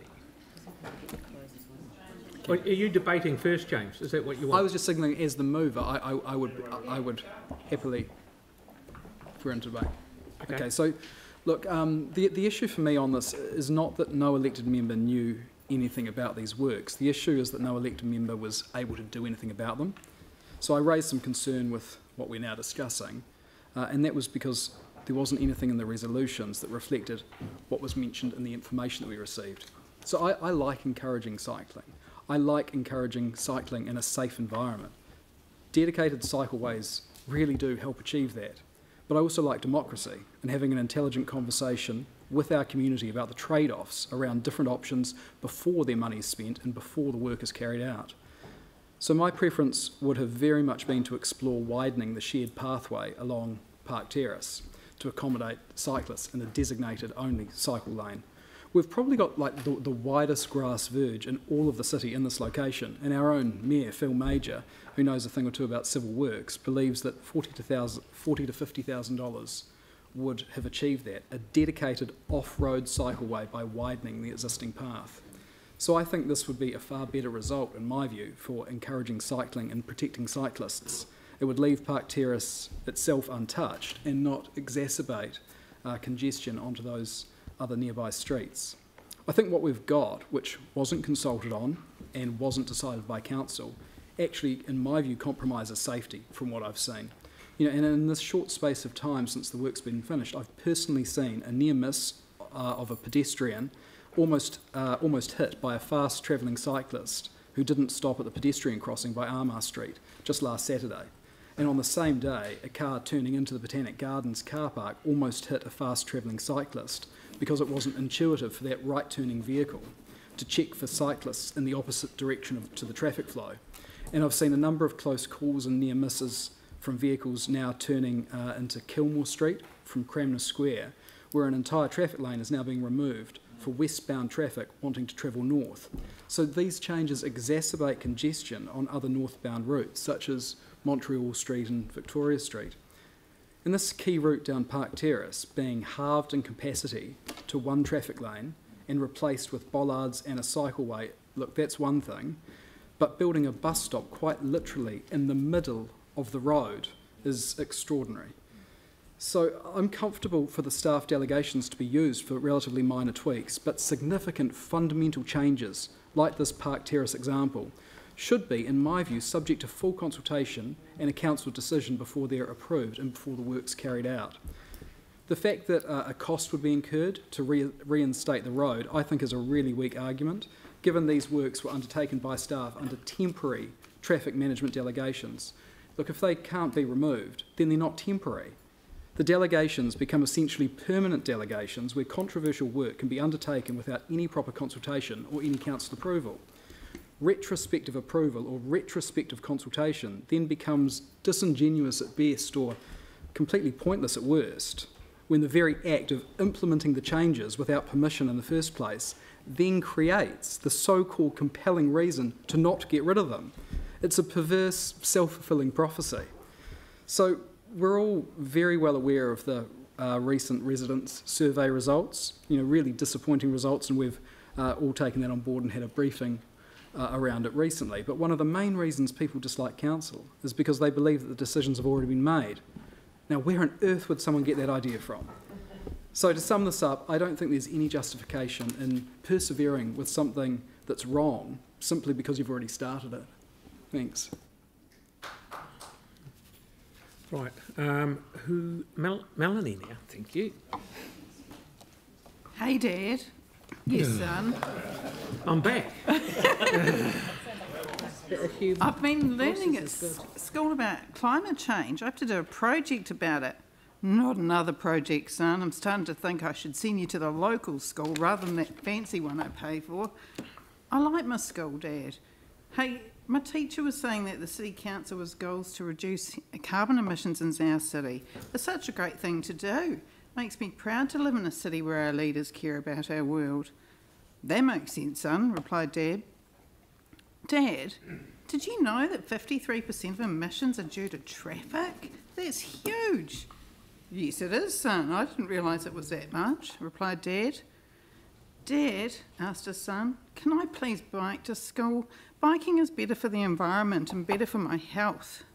But, son, cycling isn't very safe. There are so many cars around, especially around schools. I feel much better knowing you got to school in one piece. That's why I like to drive you there. Don't you enjoy the Mercedes? I do, Dad. And I understand your fears, Dad. But the council is putting in lots of cycleways. There's a new temporary one close to school. I want to try it out. The other boys say it's great, implored his son. My friends say that they don't have to weave around the people like they used to on the paths through the park. That does sound good. But I don't know, son, said Dad, worried. Let me think about it. Thanks, Dad, replied his son.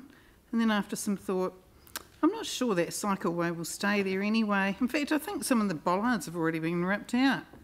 That's not good, son. Another waste of my precious hard earned money. Yeah, I think some people are angry about it as they want the road for cars and don't want to be frustrated by having fewer lanes to choose from and taking longer to get to wherever they're going. Surely not, son. I would have thought people would care about others, especially those trying to do the right thing. Thinking some more. Time's up. Son, No, it's not. yes, I'll let you to bike to school. I remember biking to school when I was young and it was great. Thanks, Dad. I'm proud of you. Thank you, Melanie. Tim. Okay, Jake. Um, I just have to, yeah. Um, look, normally when notices of motion are debated and received around this table, there's a lot of thanking. Um, sometimes it's genuine thanks, and sometimes it's a passive aggressive way to say, um, thanks, um, thanks for bringing it, but here's all the here's all the reasons I'm not going to vote for it. Um, but I won't thank the mover of, of this motion. I think the idea, uh, I think it's rather incredulous to go out and talk to people and ask for their feedback on a project and then suggest that you'll rip it out before you've even seen uh, what they had to say. I actually think it's the notion is a little a little bit petulant, really, um, and I think I think that um, you know people like Ray made a really good point. He made a couple of really good points in terms of working on this as as we as it progresses and as it goes on, and I think we absolutely should do that. Um, yeah, yeah, that's that's it. Okay. Right. My turn. Oh, Victoria, where you go.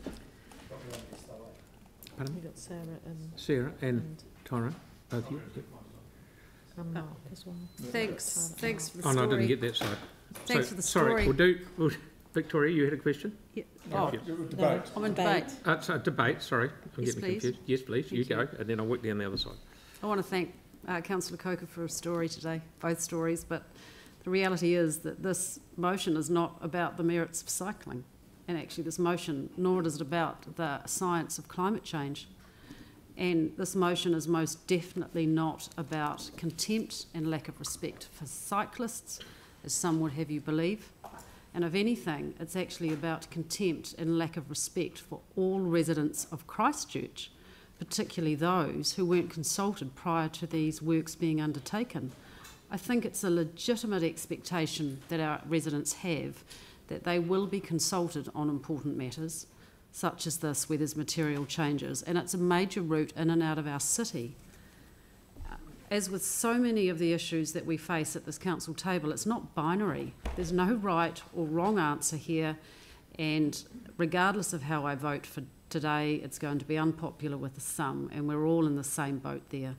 So for me, voting on this, I'm going back to basic principles, and I urge you all to do the same. And for me, that one basic principle is about common sense.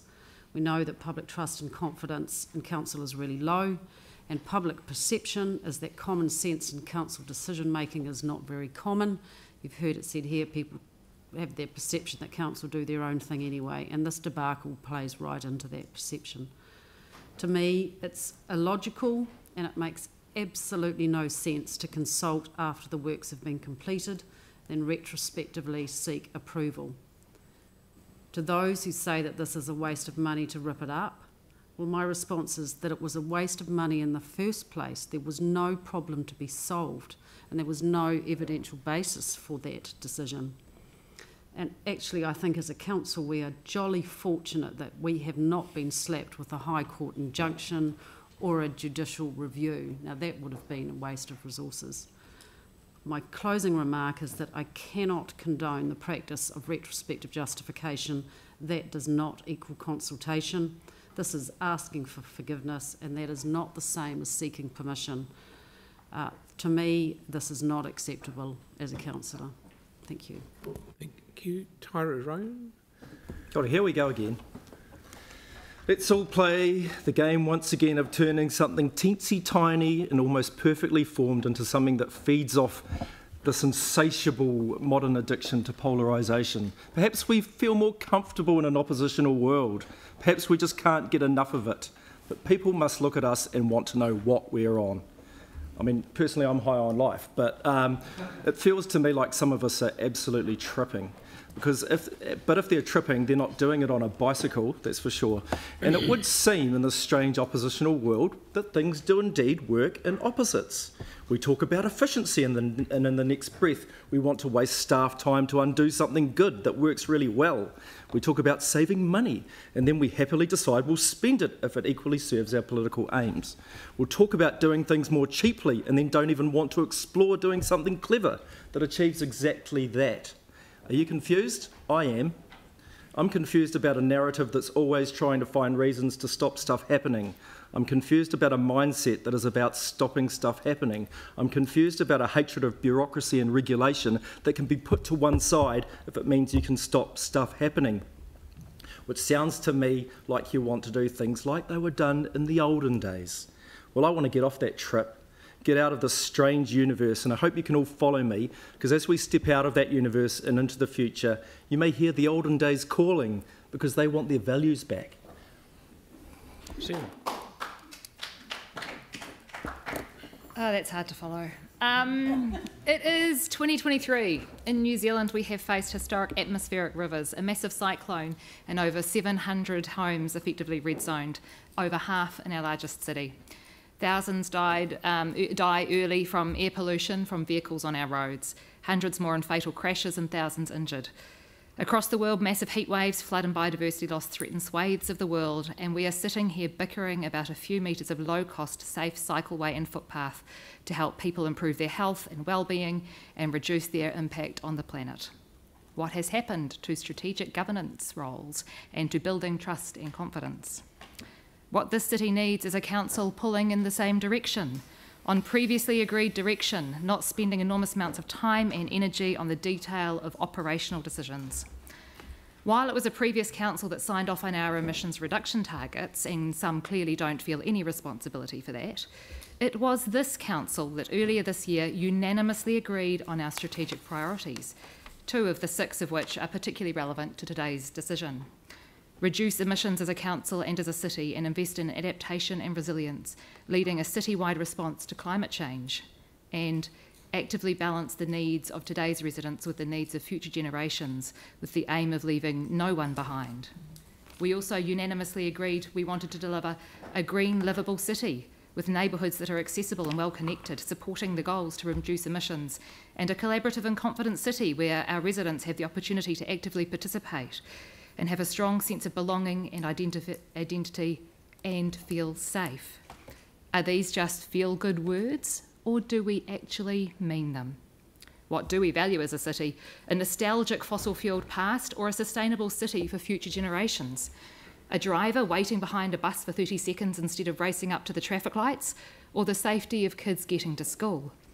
It's the latter for me in both cases, and it's not going to happen to it by itself while we sit and bicker. A couple of years ago, Waka Kotahi changed the rules, not only to allow, but also funded to encourage this specific type of cheap and fast experiential consultation. So many people, because many people find it hard to visualise a design on paper. And it was always then the intent, as we saw in the report, to bring a report. We can't make progress without change, and it takes courage courage and vision for a better future. And courage should be found in this council, not in the kids just trying to cross the road. Uh, Tyla? Tēnā tātou katoa. Uh, I didn't actually write anything down. Um, I actually wanted to just talk from the heart for a little bit, actually. This notice of motion was quite a surprise to me, um, seeing as that last line, I didn't necessarily agree with it, seeing as we got quite a few things over, over, over our line in January and March. But regardless of that, there are a few things that I wanted to note. And one of them is I actually quite ironically was biking with my daughter down the South Express and going onto the Island cycleway, going all the way through Hagley Park. And I saw Jamie and his beautiful family playing um, at Hagley Park on the way to Park Terrace and Rolleston Ave. And I used that to get safely from one place to the other, from Riccarton all the way through to my mum and dad's house, um, going down Peterborough Street and then going all the way to the, to the river. Um, that was something that I actually really enjoyed. And my daughter loves it. She tells me which way to go. We see so many things um, within that that made me feel really, really good. So I really appreciate the, or temporarily appreciate, uh, this, this um, cycleway being put in. Because what it's done is it's actually created one, uh, a point of adventure for my daughter to choose which way to go, whether it goes down Rolleston Ave or up Peterborough. Um, but it also actually um, shows the connection that we can have through these cycleways and me to feel safe. I actually felt quite safe with those temporary measures around those black bollards being put in. I did feel safe. Um, and moving on to talking about the onus and the onus being on us, this notice of motion doesn't necessarily reflect the onus being on us. That's why I found it quite ironic um, that the councillor was talking about that. And good governance was another highlight that a lot of people are talking about, which again is actually quite the opposite. This here is pulling up something that has been set for another couple of weeks. I'm really looking forward to seeing what the survey says, and it could go both ways. There's been quite a bit of attention on this, and I'm looking forward to seeing how it works out. So, therefore, I'm not in support of this.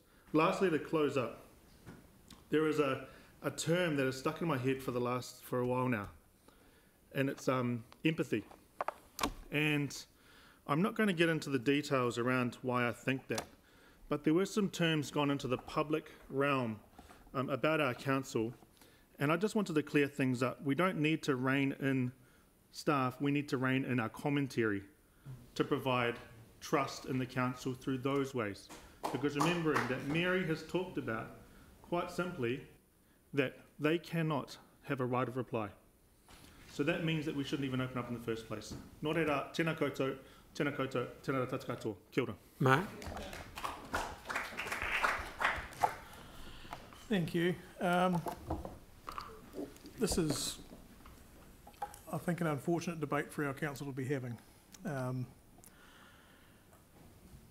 I actually quite like what I see in that temporary cycleway. I don't agree with the way we got there, but that's for another day. Um, I will not be supporting this motion for the simple reason that we're in the middle of this trial. We are going through that survey process and asking the good people of Christchurch what they think of it.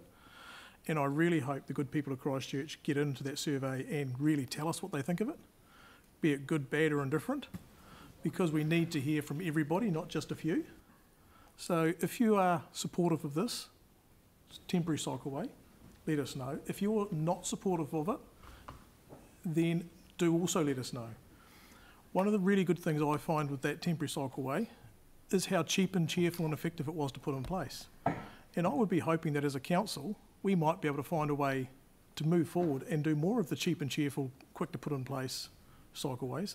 Because I actually quite like the idea of interconnected cycleways throughout our city so that people can get anywhere on a cycle route, protected from the marauding car that I drive, and that most of us around this table actually drive. So hopefully the good people of Christchurch will get into this survey and we'll get a good balanced feedback out of it so that we can make some good balanced decisions going forward. And I really do hope that we can learn some lessons on how cheap and cheerful we can do cycleways rather than um, what we have been doing, which has been cheesing a lot of our ratepayers off. And um, I really hope we can we can learn some good lessons in many ways from this, and that as a city we can move forward and get into a, a bright new future where we can all live together and um, perhaps sing a bit of kumbaya. Pauline. Thank you. I wasn't really going to speak to this, but um, I have to pull Councillor Henstock up on something that she said when she used the words that this project shows contempt and lack of respect for the ratepayers. And that is simply not true. And whether you're referring to councillors or staff or both, it is not true. You know that we all care and respect our ratepayers. We listen to them carefully when they come in. So I I don't know how you managed to deliver those words, and I'm it, it's not. It's, I want to retract those on your behalf if I could. But look, this is a trial, and we've also seen an outpouring of support already, and there's feedback underway now. This, to me, is actually about a few councillors who don't like the roading changes, and that's okay if you don't like them. But it's not okay to interrupt a legitimate process by using a notice of motion. Uh, Councillor Peters, you say you like the cheap and cheerful treatment. Well, it won't be cheap and cheerful if we interrupt what is currently a staff delegation to be able to introduce cheap and cheerful trials. They're not permanent solutions, they're trials. So today I won't be supporting the notice of motion. Thank you. Right. Um, so Lest and then Andrei. Um, tēnā koutou katoa. I just want to thank everybody that's come to speak today. And um, I just want to acknowledge that we've had a pretty impressive turnout um, in the gallery. Um, and I think what I take from that is it's not surprising that there's a le- this level of community interest um, because we know there's widespread support for improvements to council, council infrastructure. People have told us they want to be able to travel safely. They want us to combat climate emissions and create a healthier, greener city. What is surprising to me is that we're sitting here debating this issue at all. What we're talking about is a pretty straightforward, non controversial upgrade to a busy inner city, inner city road. This, like many other temporary works, was delegated to staff to include as part of a wider upgrade to the museum, and we were well informed of the intent of this upgrade. What I find interesting is that there's a coin called doublethink, which is about holding two contradictory beliefs in one mind simultaneously and accepting both of them. So I've listened to some people in this room argue against cycleways for the reasons that they're too expensive or they're over engineered. Yet here we are with a temporary solution that's fast, affordable, and it's fixing uh, safety issues in a pretty uh, innovative way. Yet here we are debating it again. We've also heard from some of these same councillors that we want more public engagement and consultation on these issues. Yet we are looking at ending this trial before we've heard feedback from the community or before it's gone to the community board in July. So if we were to do so, we'd be cutting short this without learning anything from the public feedback and wasting time and money and short circuiting democracy, both of which we're told these councillors are against. To quote a fellow councillor, MacDonald, I do hope our colleagues will support democracy in a recent editorial on this topic. Well, I happen to agree and propose we do this by letting the public and the community board have their say. Finally, we've had a lot of feedback from the community this annual plan that they want safer and more accessible transport choices. Looking to the future, this discussion is more than just about a temporary roading improvement, it's about setting the direction for the future of our city and the leaders we want to be. We declared a climate emergency in 2019, which means we should be committed to ensuring that we put climate change at the heart of every decision we make. Today's vote is about turning talk into action by taking every opportunity to reduce our emissions and to provide safe and healthy transport choices for all of our citizens. Andrei. Thank you. Just something I want to make clear is that on the 23rd of January, all councillors were emailed um, this memo, which does read that it is proposed to extend the cycleway to Salisbury Street. It is proposed to install the works initially under traffic, temporary traffic management plan in March. This was the time for us to begin to raise concerns if we had them. However, uh, I do recall the meeting and Councillor Goff had asked questions and if you watch it back you can see how there was a, they were simply at a crossroads. So look, these things happen. Um, trust we've all learned from it, but we have to deal with what's here in front of us now and the decision we have today and the report that was due to come back to us next month. Just in terms of trust in council, just something I think also needs to be made clear is I think everyone who came today, whether for or against, I don't think anyone has come in and gone home having more trust in council as a result of this here today and this notice of motion. I really don't think that at all. Um, right now, we've got potentially rates rises as high as 14% out in the eastern suburbs, and we're here talking about removing month-old infrastructure uh, before we even get the costs back to us, before we even get the survey results back to us. Um, I don't think we have got our priorities right in the big debate we are having today. I honestly don't. But for the record, I probably would, and actually do favour widening the footpath uh, in Hagley Park. However, we don't know how much that will cost, we don't know how long it will take, uh, and what we were told quite recently is there could be consenting issues. You can't just pave over Hagley Park very easily, as we will learn very soon. Um, so I'm keen on a wider footpath, but I actually need the facts before I know if it's something I would support as a result of removing this. Uh, but the good news is that report is coming back to us next month. Uh, it is on its way. Uh, we also, in my view, we can't criticise staff for a rushed process where we didn't consult properly if we're about to do the same thing ourselves, uh, which is what voting for this would do. We have an active survey currently running, and the even more good news is the report is coming back to us next month with the results of that survey. So next month we're going to have costings of what we might want to do. Remove the cycleway, we'll have costings for it. We want to widen the footpath, we'll have costings for it we want to truly know what the public think, we'll have survey results.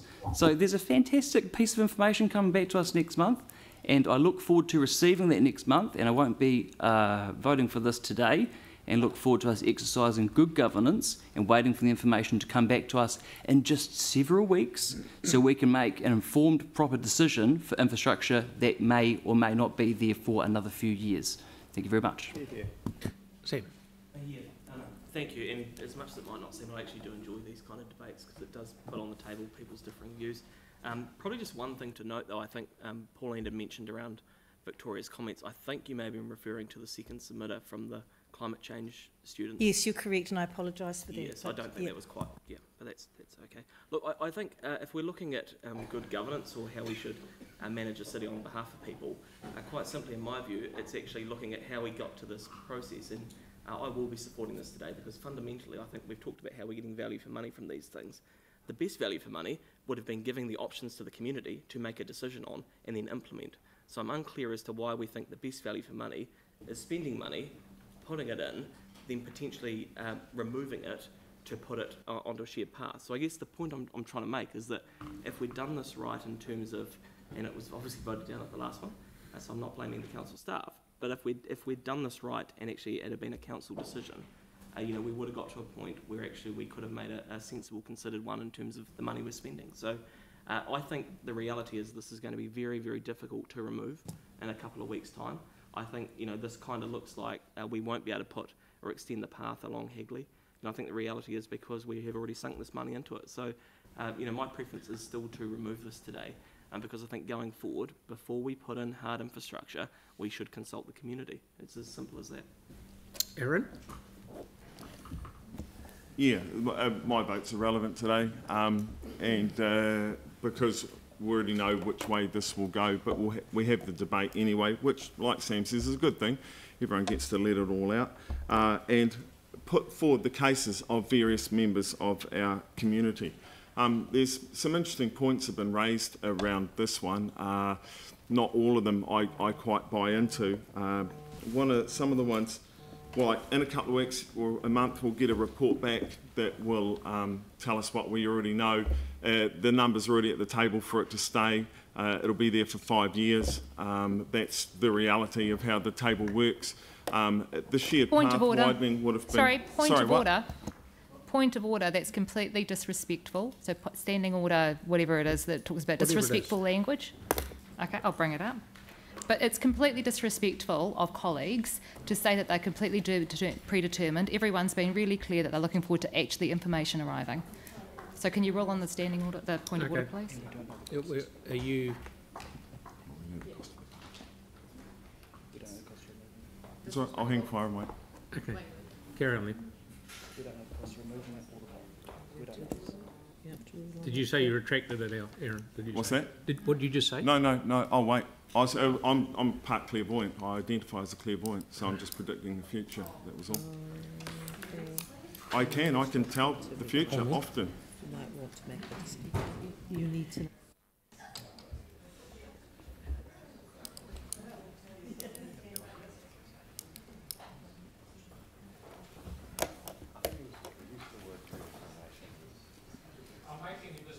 Sorry, I'm making a decision that was a bit disrespectful, so could you just please rein it in a little bit, please? Okay. Um, I will keep my views to myself on how I think people will vote in the future. Thank you, Um, so, uh, getting back to uh, the debate, um, one of the interesting points raised, and it was in the newspaper this morning, was around the uh, emissions that you uh, get off the roads and how many people they kill a year, which is really interesting because it kills uh, more people than might have killed cycling.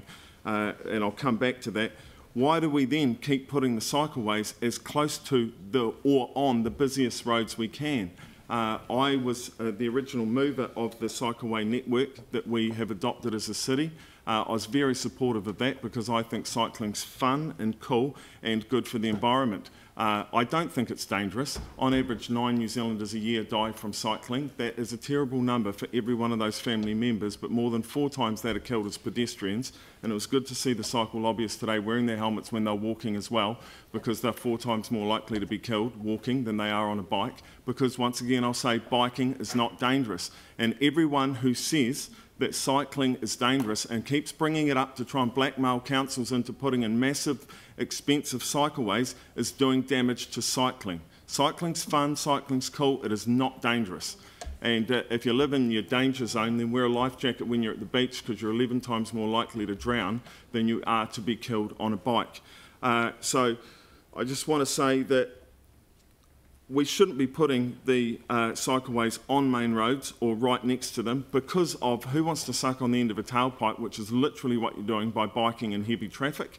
The separated cycleways off road makes a lot of sense, and I've always supported those. And the whole thing about the shared path down there, um, everyone for, that has been living under a rock. We're about to open the shared path, the coastal pathway, in the coming uh, months or years, depending on when it finishes. That will be the most popular cycleway uh, walkway in this country. It is going to be a stunning addition to the city, and it's a shared path. Oh my God, it's going to be so dangerous. Uh, it's not dangerous. Shared paths work and they work really well. Next time you're overseas, go and use one that's actually busy, and you'll see that people being courteous to each other can actually cycle and be pedestrians in the same environment. Thank you, Kelly. Thank you, Phil. Um, look, I'm a cyclist. I love cycling. I've cycled all my life. I've cycled all, all over the city. I've cycled in big cities like Paris and London, New York. Uh, members of my family cycle. We used to take our kids cycling 20 years ago when they were young, uh, all over the city, to Hagley Park from Burwood, where we live. Um, and, you know, my wife cycles to work a few days a week, so uh, I like her uh, journeys to be as safe as possible.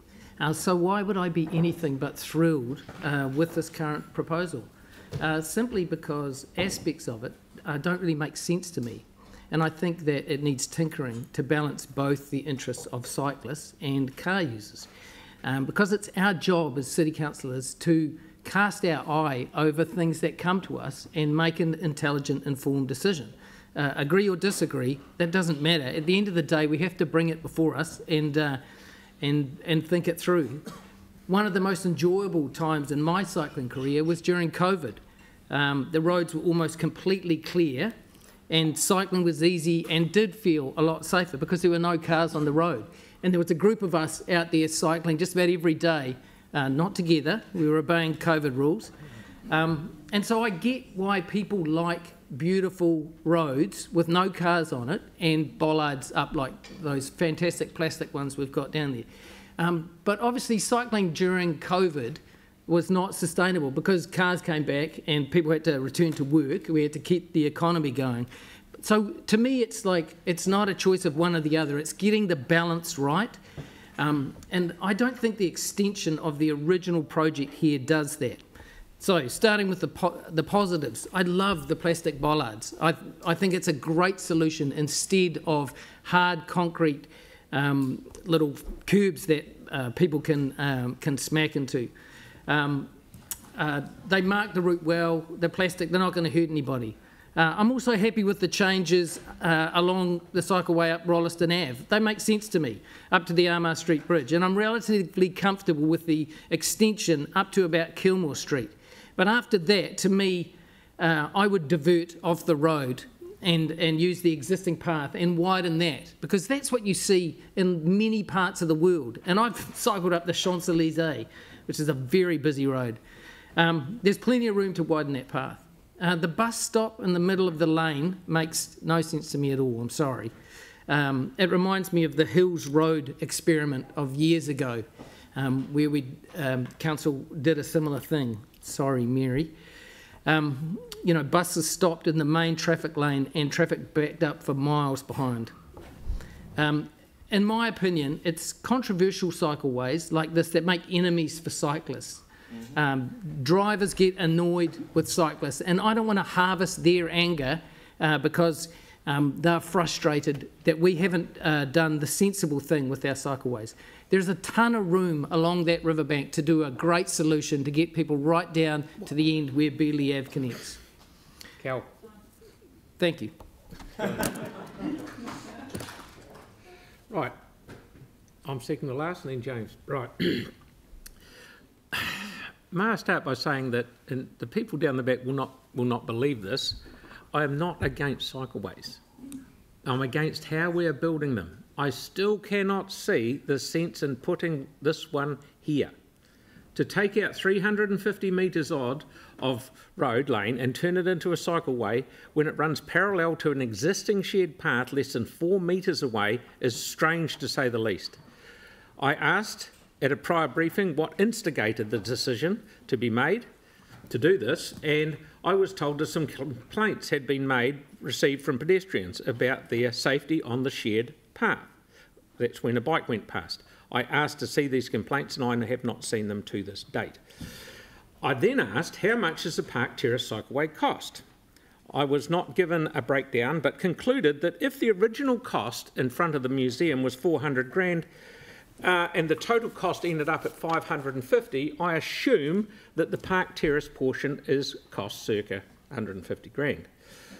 I asked, did, did anyone think to widen the existing shed path by a metre and was told it was too expensive? I then explained that to widen a 350 metre long path by a metre is around about, for argument's sake, close to $50,000.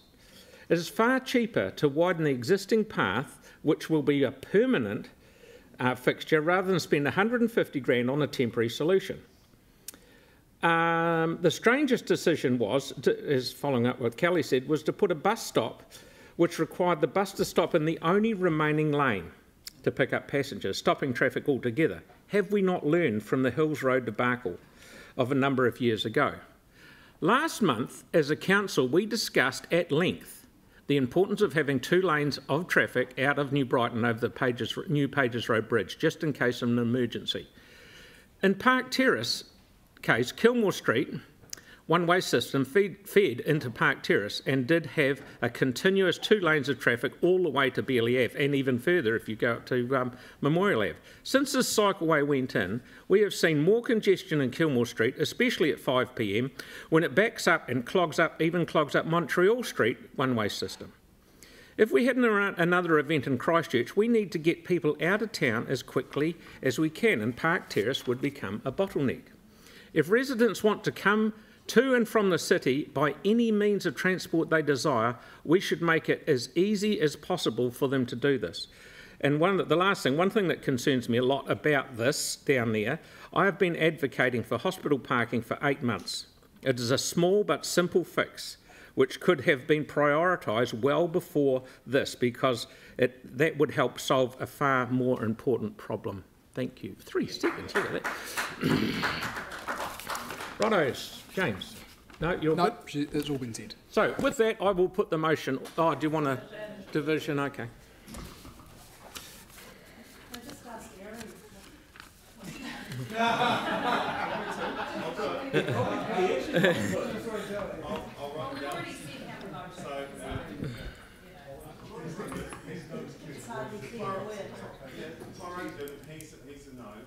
Are we all ready? Right, let's get Hey, going. I didn't say. It gets dark at nine o'clock.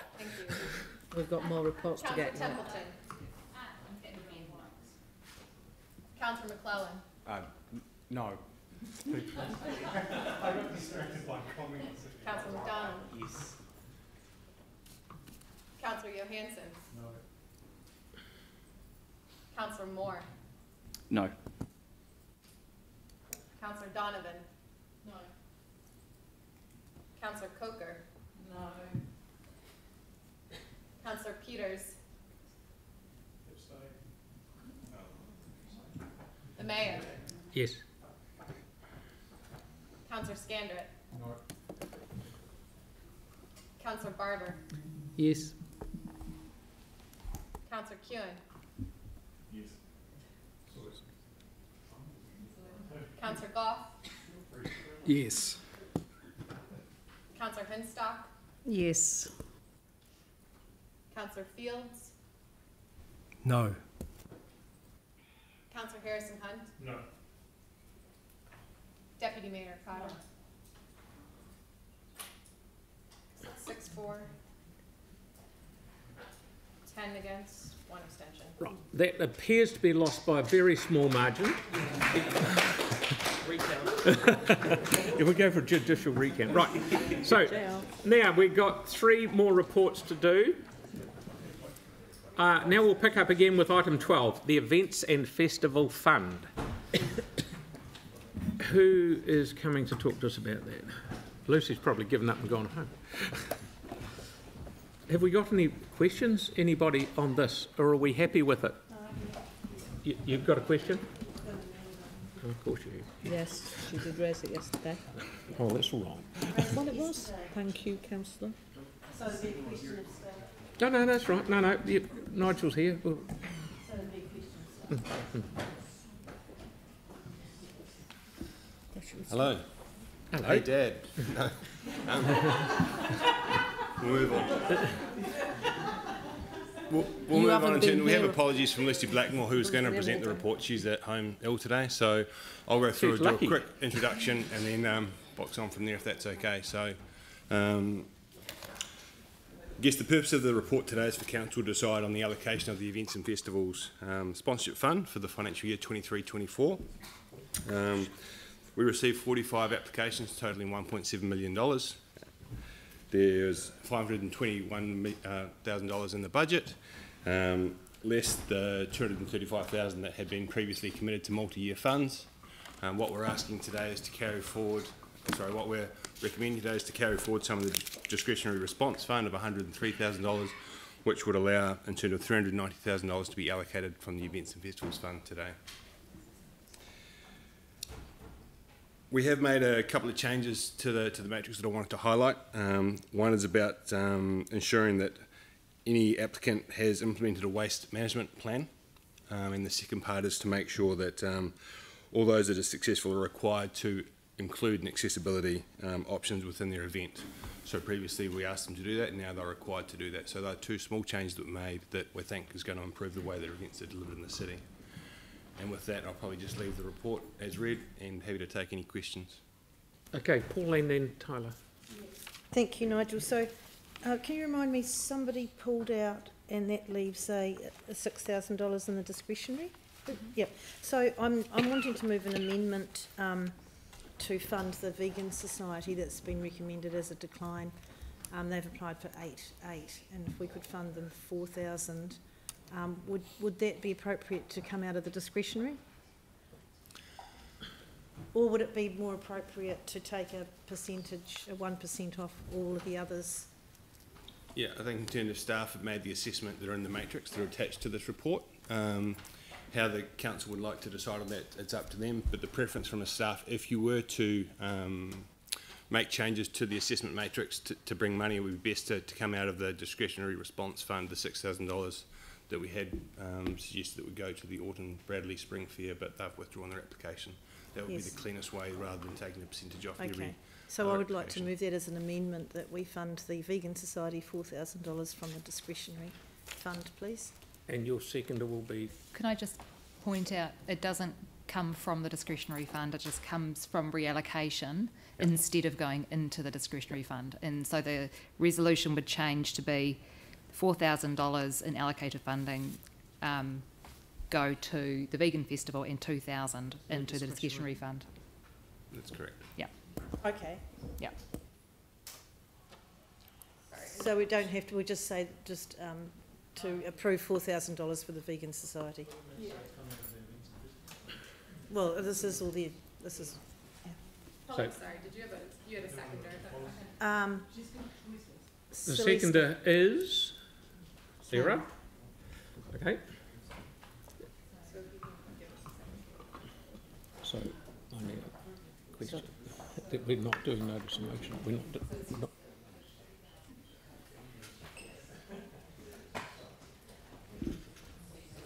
But that won't work within policy, will it?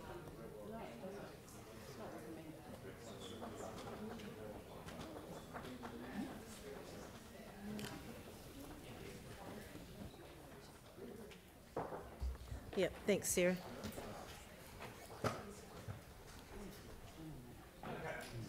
So you should clarify something with me, Kyra? We'll just with start. With staff, Through you. Through me, yes. Questions? Sorry, Nigel, just to clarify with the Orton Bradley. Wait, Can, wait, can- wait, wait. can we actually focus on the, what's happening, thanks? Okay, Thanks, Whip. So just on the on the Orton just on the Orton Bradley Spring Fair, so that has had been withdrawn previously, right? So so if they do need additional funding, they can apply for it through, say, the community board or whatever. That's still up for They receive funding through a different funding council. Great. So they don't need your funding. easy. Cheers. Yeah. Thank you. That was Okay. easy. Just Tyla? T's and C's question. That four thousand dollars, is that going to be coming out of the discretionary if we're doing that? So No, it just comes out of the fund now. if it comes out of the events and festivals fund, it can't though, because it's outside policy, right? We'll have to go to discretionary and discretionary goes into the vegan expo. No, it's just a policy. We can, we can decide that. So to answer the question, Tim, we have the matrix that's based on what we've made our recommendations on. If council decides that you'd like to spend money in terms of out of the events and festivals fund on that, then you can make that decision. So there is an unallocated six thousand sum. Staff have made a recommendation that this particular thing is not supported. It's absolutely within your, your rights as councillors to have a different view, as long as the money is available. And it is in this and it is, and it's in now the substantive. So if we vote on it and it passes, it's gone. Or you Okay. can choose to do We it We can in- choose not, yeah. But generally, the money's there, might as well use it. Has anyone got any more questions of staff? The, the amen- Pauline's amendment is now part of the substantive, so we'd have to do it sep- put it separately. You're happy to put it, because she got it in before Yeah, that's she right, was she the did it mover and before, I was seconder. too slow off the mark. Yeah, yeah, yeah, yeah. You got, got to get up early to beat this one. Okay, Can I say the staff will be walking out? right. So, Joking me. so, Mark, Thank you. Um, just a quick question. I was really in, interested to hear you mention accessibility um, planning, and I'm just wondering, is that going to potentially alleviate some of the concerns that came out of the sparks in the park, um, accessibility issues that where the parking for accessibility was not really suitable? Yes. Thank you.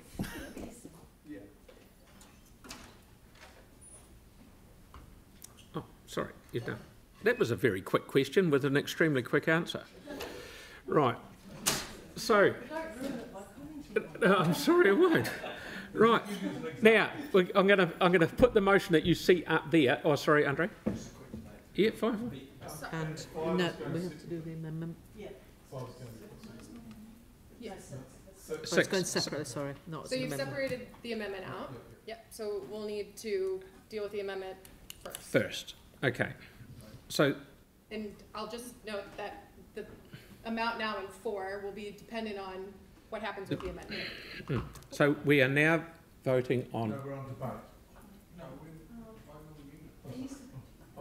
We're doing Can we're I doing just say, the can I, amendment. can I make it clear that um, that's been put in as part of the substantive rather than an amendment? That's Because it's, yeah, yeah, so it's not an amendment.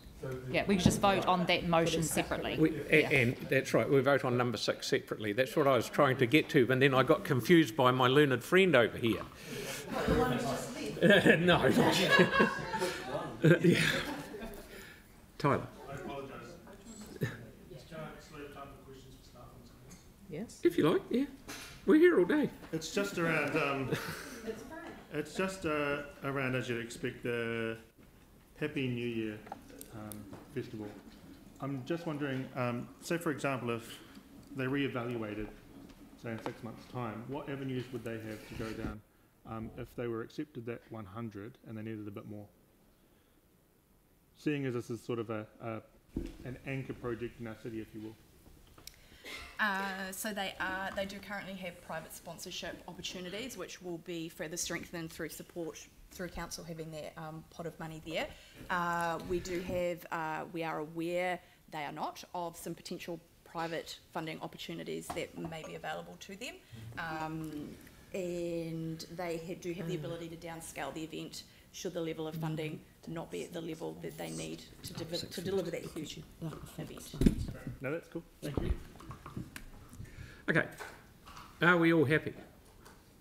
Can I actually go and put this there? Debate. Oh, that's right, he did too. Right. Good. Um, look, just just very quickly, um, when asked about this in the briefing a few weeks ago, the Events and Festivals Fund, as I understand it, the funding amount has been frozen for a number of years. If I recall correctly, it was six, which is an effective cut with inflation and so on. But the cost of putting events and festivals on since several years ago has as good as almost doubled. Um, so when we come to the long-term plan, I'm just very mindful of the need to look at funds like these because we need to continue getting the city rocking, rolling, and thriving. So thank you very much. Okay, Tim? Yeah, thank you. Look, um, I'm not picking on the vegan um, festival, but I thought that the staff's comments on it were actually really good because sometimes if you. Excuse me, guys. Sam. Excuse me. Yeah, actually, our behaviour has to really step up. You know, we've got this is public, so you know, thank you. Um, the the staff's comments on it were really, really good, and I think that the um, to sometimes push events to look after themselves a bit more is actually gives them strength for the future. And I think that the comments with regards to looking um, harder for sponsorship, and I know how hard it is to find. I've been spent 30 years doing sponsorship, so I know it's an easy thing to say. And I have, when I actually worked for council, I had people around this table telling me what I could do because they knew that it would happen, and it didn't. And we knew it wasn't going to happen. But I do think we do, there are opportunities and we do have to push these organisations, not just this one, but many others, to get out there and, and hunt and get more professional what they do. So I can't support six because um, I think we should start pushing some of these organisations a wee bit harder because uh, at times I think they just see the council as a bit of an easy push and um, I don't think that's fair on staff, especially when we're not supporting them. Thank you. Okay, any more debate? Sara?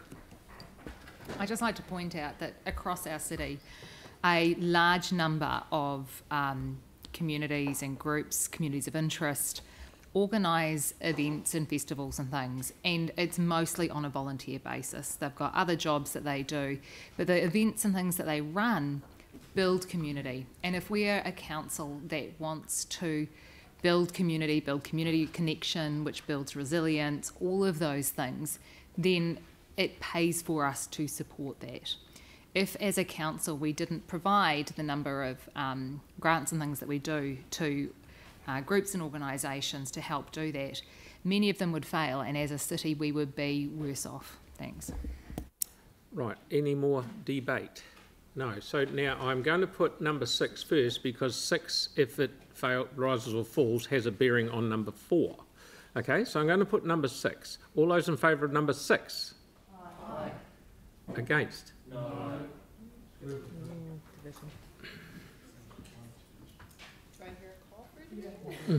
Yeah, it's very close.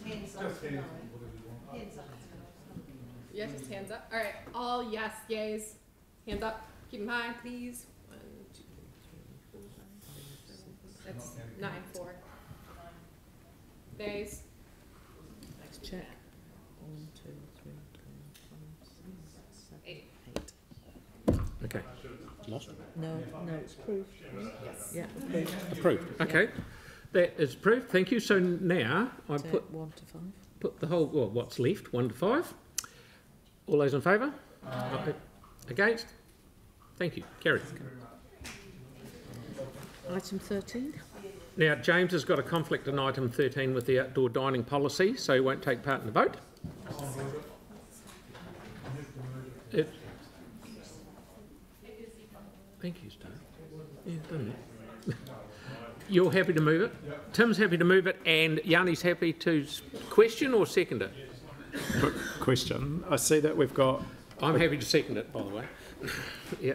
I just see that we've got a clause in there that um, restricts the advertising or the signage around vaping and, and being smoke free. Is that correct? And I just wondered if if we had any other controls on on signage or advertising on the on the furniture that's in the public place.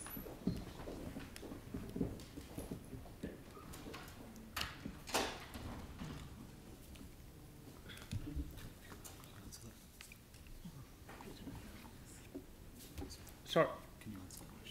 Who are we asking that question of, Jan? To the staff. Yeah. Please, please can you repeat the Yeah, question, sure. Councillor? So in the in the um, review of the bylaw, we, we've got um, there, there's reference to the fact that the furniture has to be consistent with um, our smoke-free policy.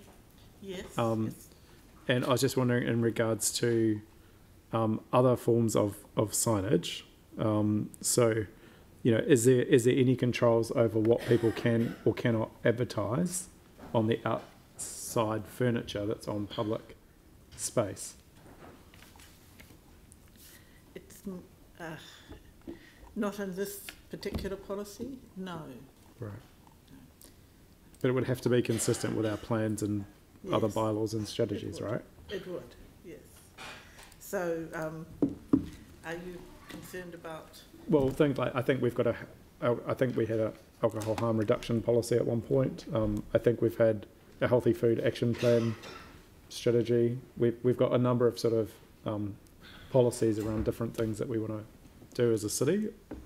Um, so I guess the concern was around um, if there was any advertising that was contrary to some of the key policies that we have going into public space, whether we have any control over that or not.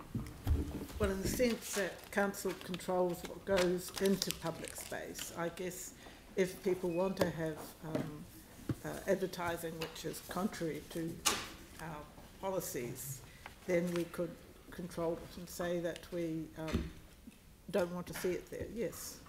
Um, we, we have the, the furniture, which um, we can, can, we say, specifically say we can control. We could say we control also the signage.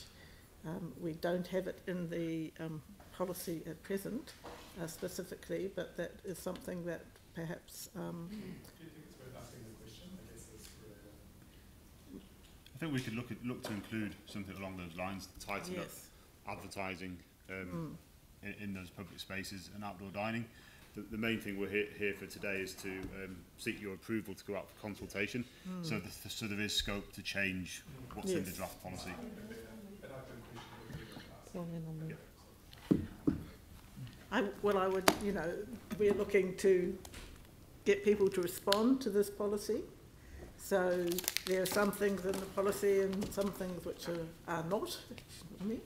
So, um, yes, So people may wish to say, well, we want to see um, to controls on advertising within, within outdoor dining.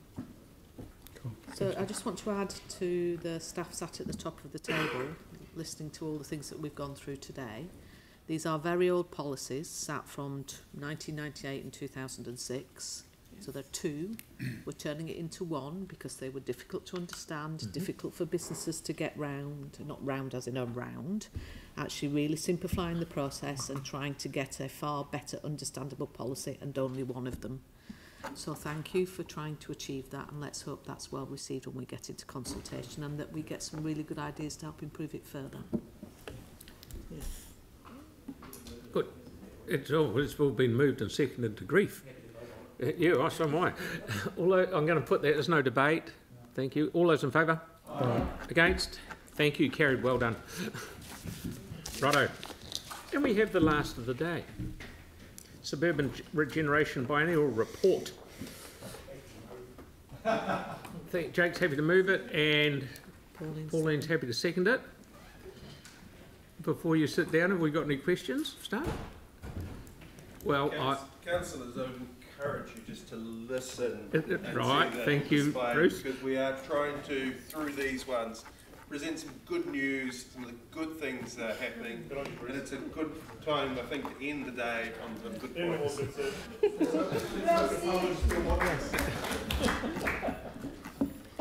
So we have a five minute or very short No, no, presentation. You'd like to proceed with that? Okay.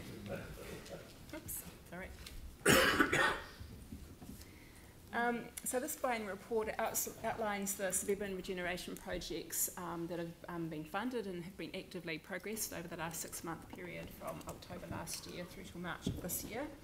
Um, many teams within council um, and outside of council have contributed to this report and the projects that uh, it canvasses. Um, includes the urban regeneration, urban design, transport parks, community governance, engagement, communications, property, community arts, project management and contract management staff, um, also Christchurch NZ and our city making partners, um, Life in Vacant Spaces and the Green Lab. So um, after this, my colleagues um, and I here are happy to answer any questions, but we may need to come back to you with answers um, from some of those other staff.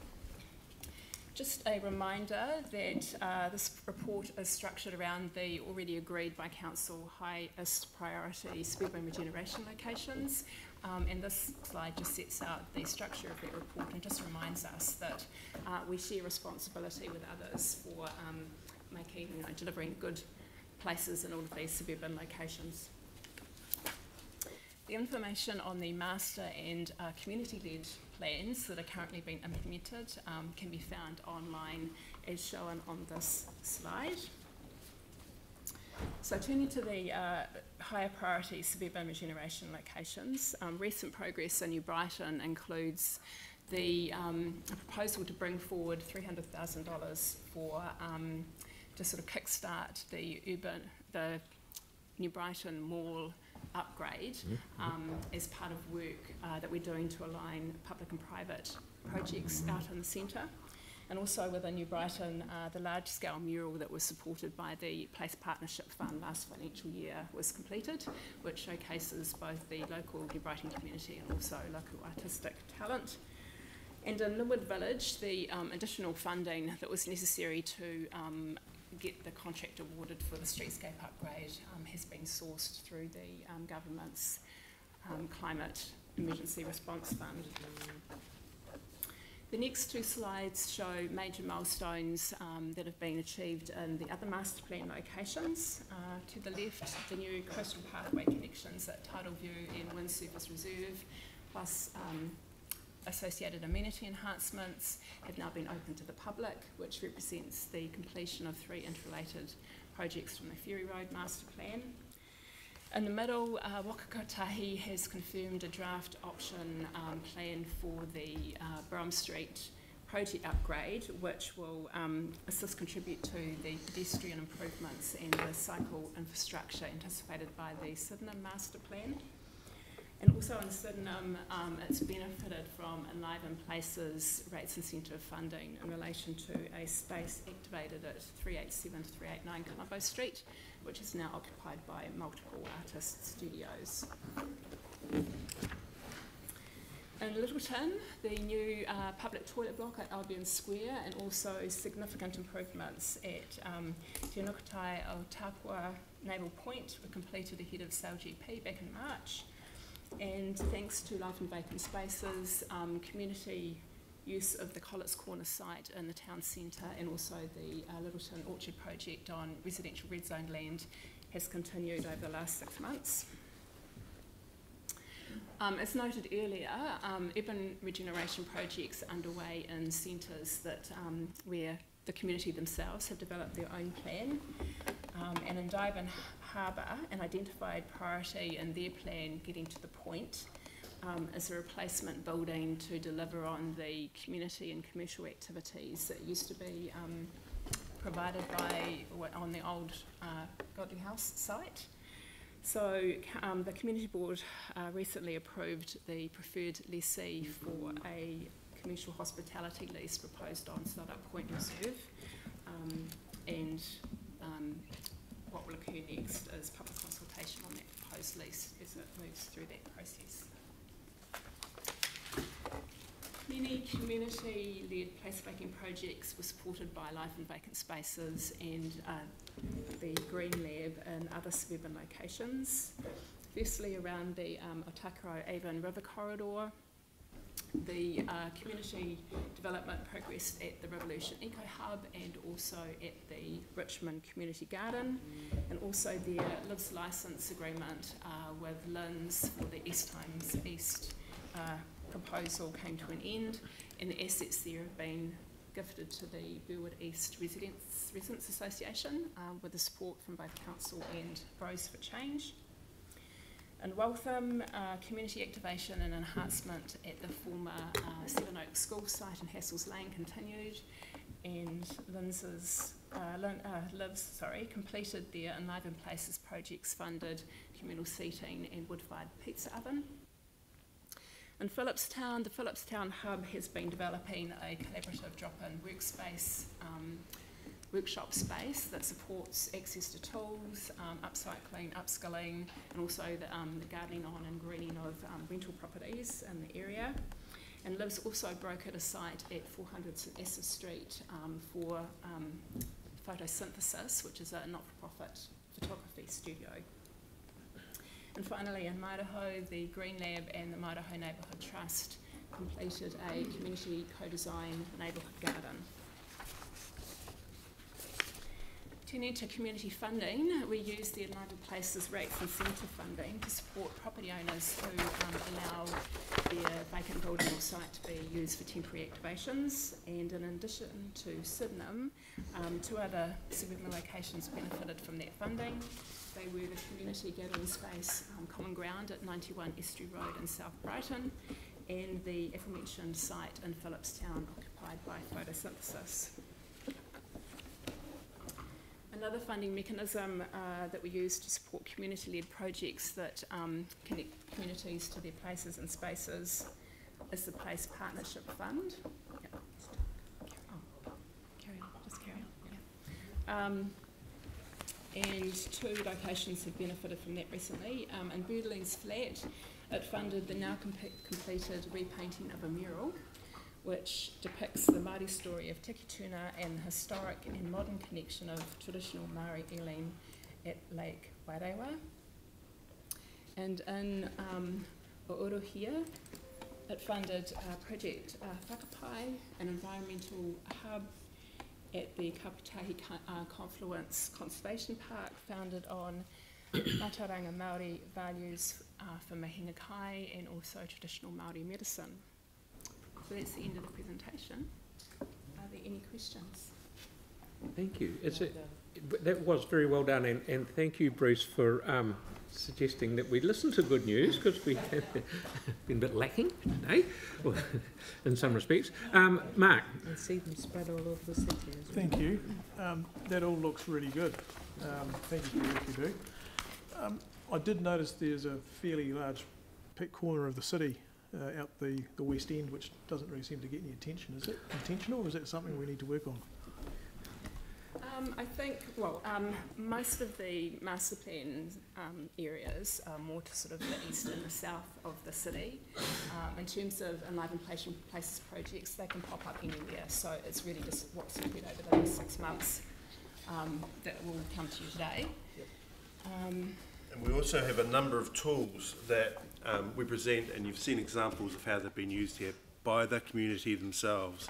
So we're very happy to uh, work with you uh, through the community governments teams in particular to introduce your communities to these tools so that they can use them as well. Very, very good answer. Okay. So, uh, Celeste. This isn't um, a question, it's just a comment. It's just to say thanks so much for your work on this. Um, I do want to sort of um, acknowledge how uh, rewarding it's been to work with staff on this particular project. So I just want to say a special thanks to Bruce and Rachel from Christchurch NZ. I think this is a really good example of where there is great co- collaboration between council, um, private sector, and community. And I'm really looking forward to seeing some really great things come through this year. So I just want to give a, a a shout out to the people that have been working behind the scenes and with us really closely on this. Um, it's been really, really great work and lots of good things coming through now. So thanks so much. Thank you. Okay. Bef- Before I'll put that, but before I do that, I'd say just say once again, thank you very much. Very well put together uh, presentation. So congratulations. So I'll put that motion. All those in favour? Aye. Aye. Against? Carried. Thank you. So we will now do a karakia. Go Kel.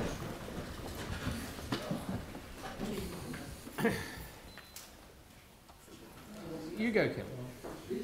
I'm so sorry, just waiting for them to put it up just in case. We've got it.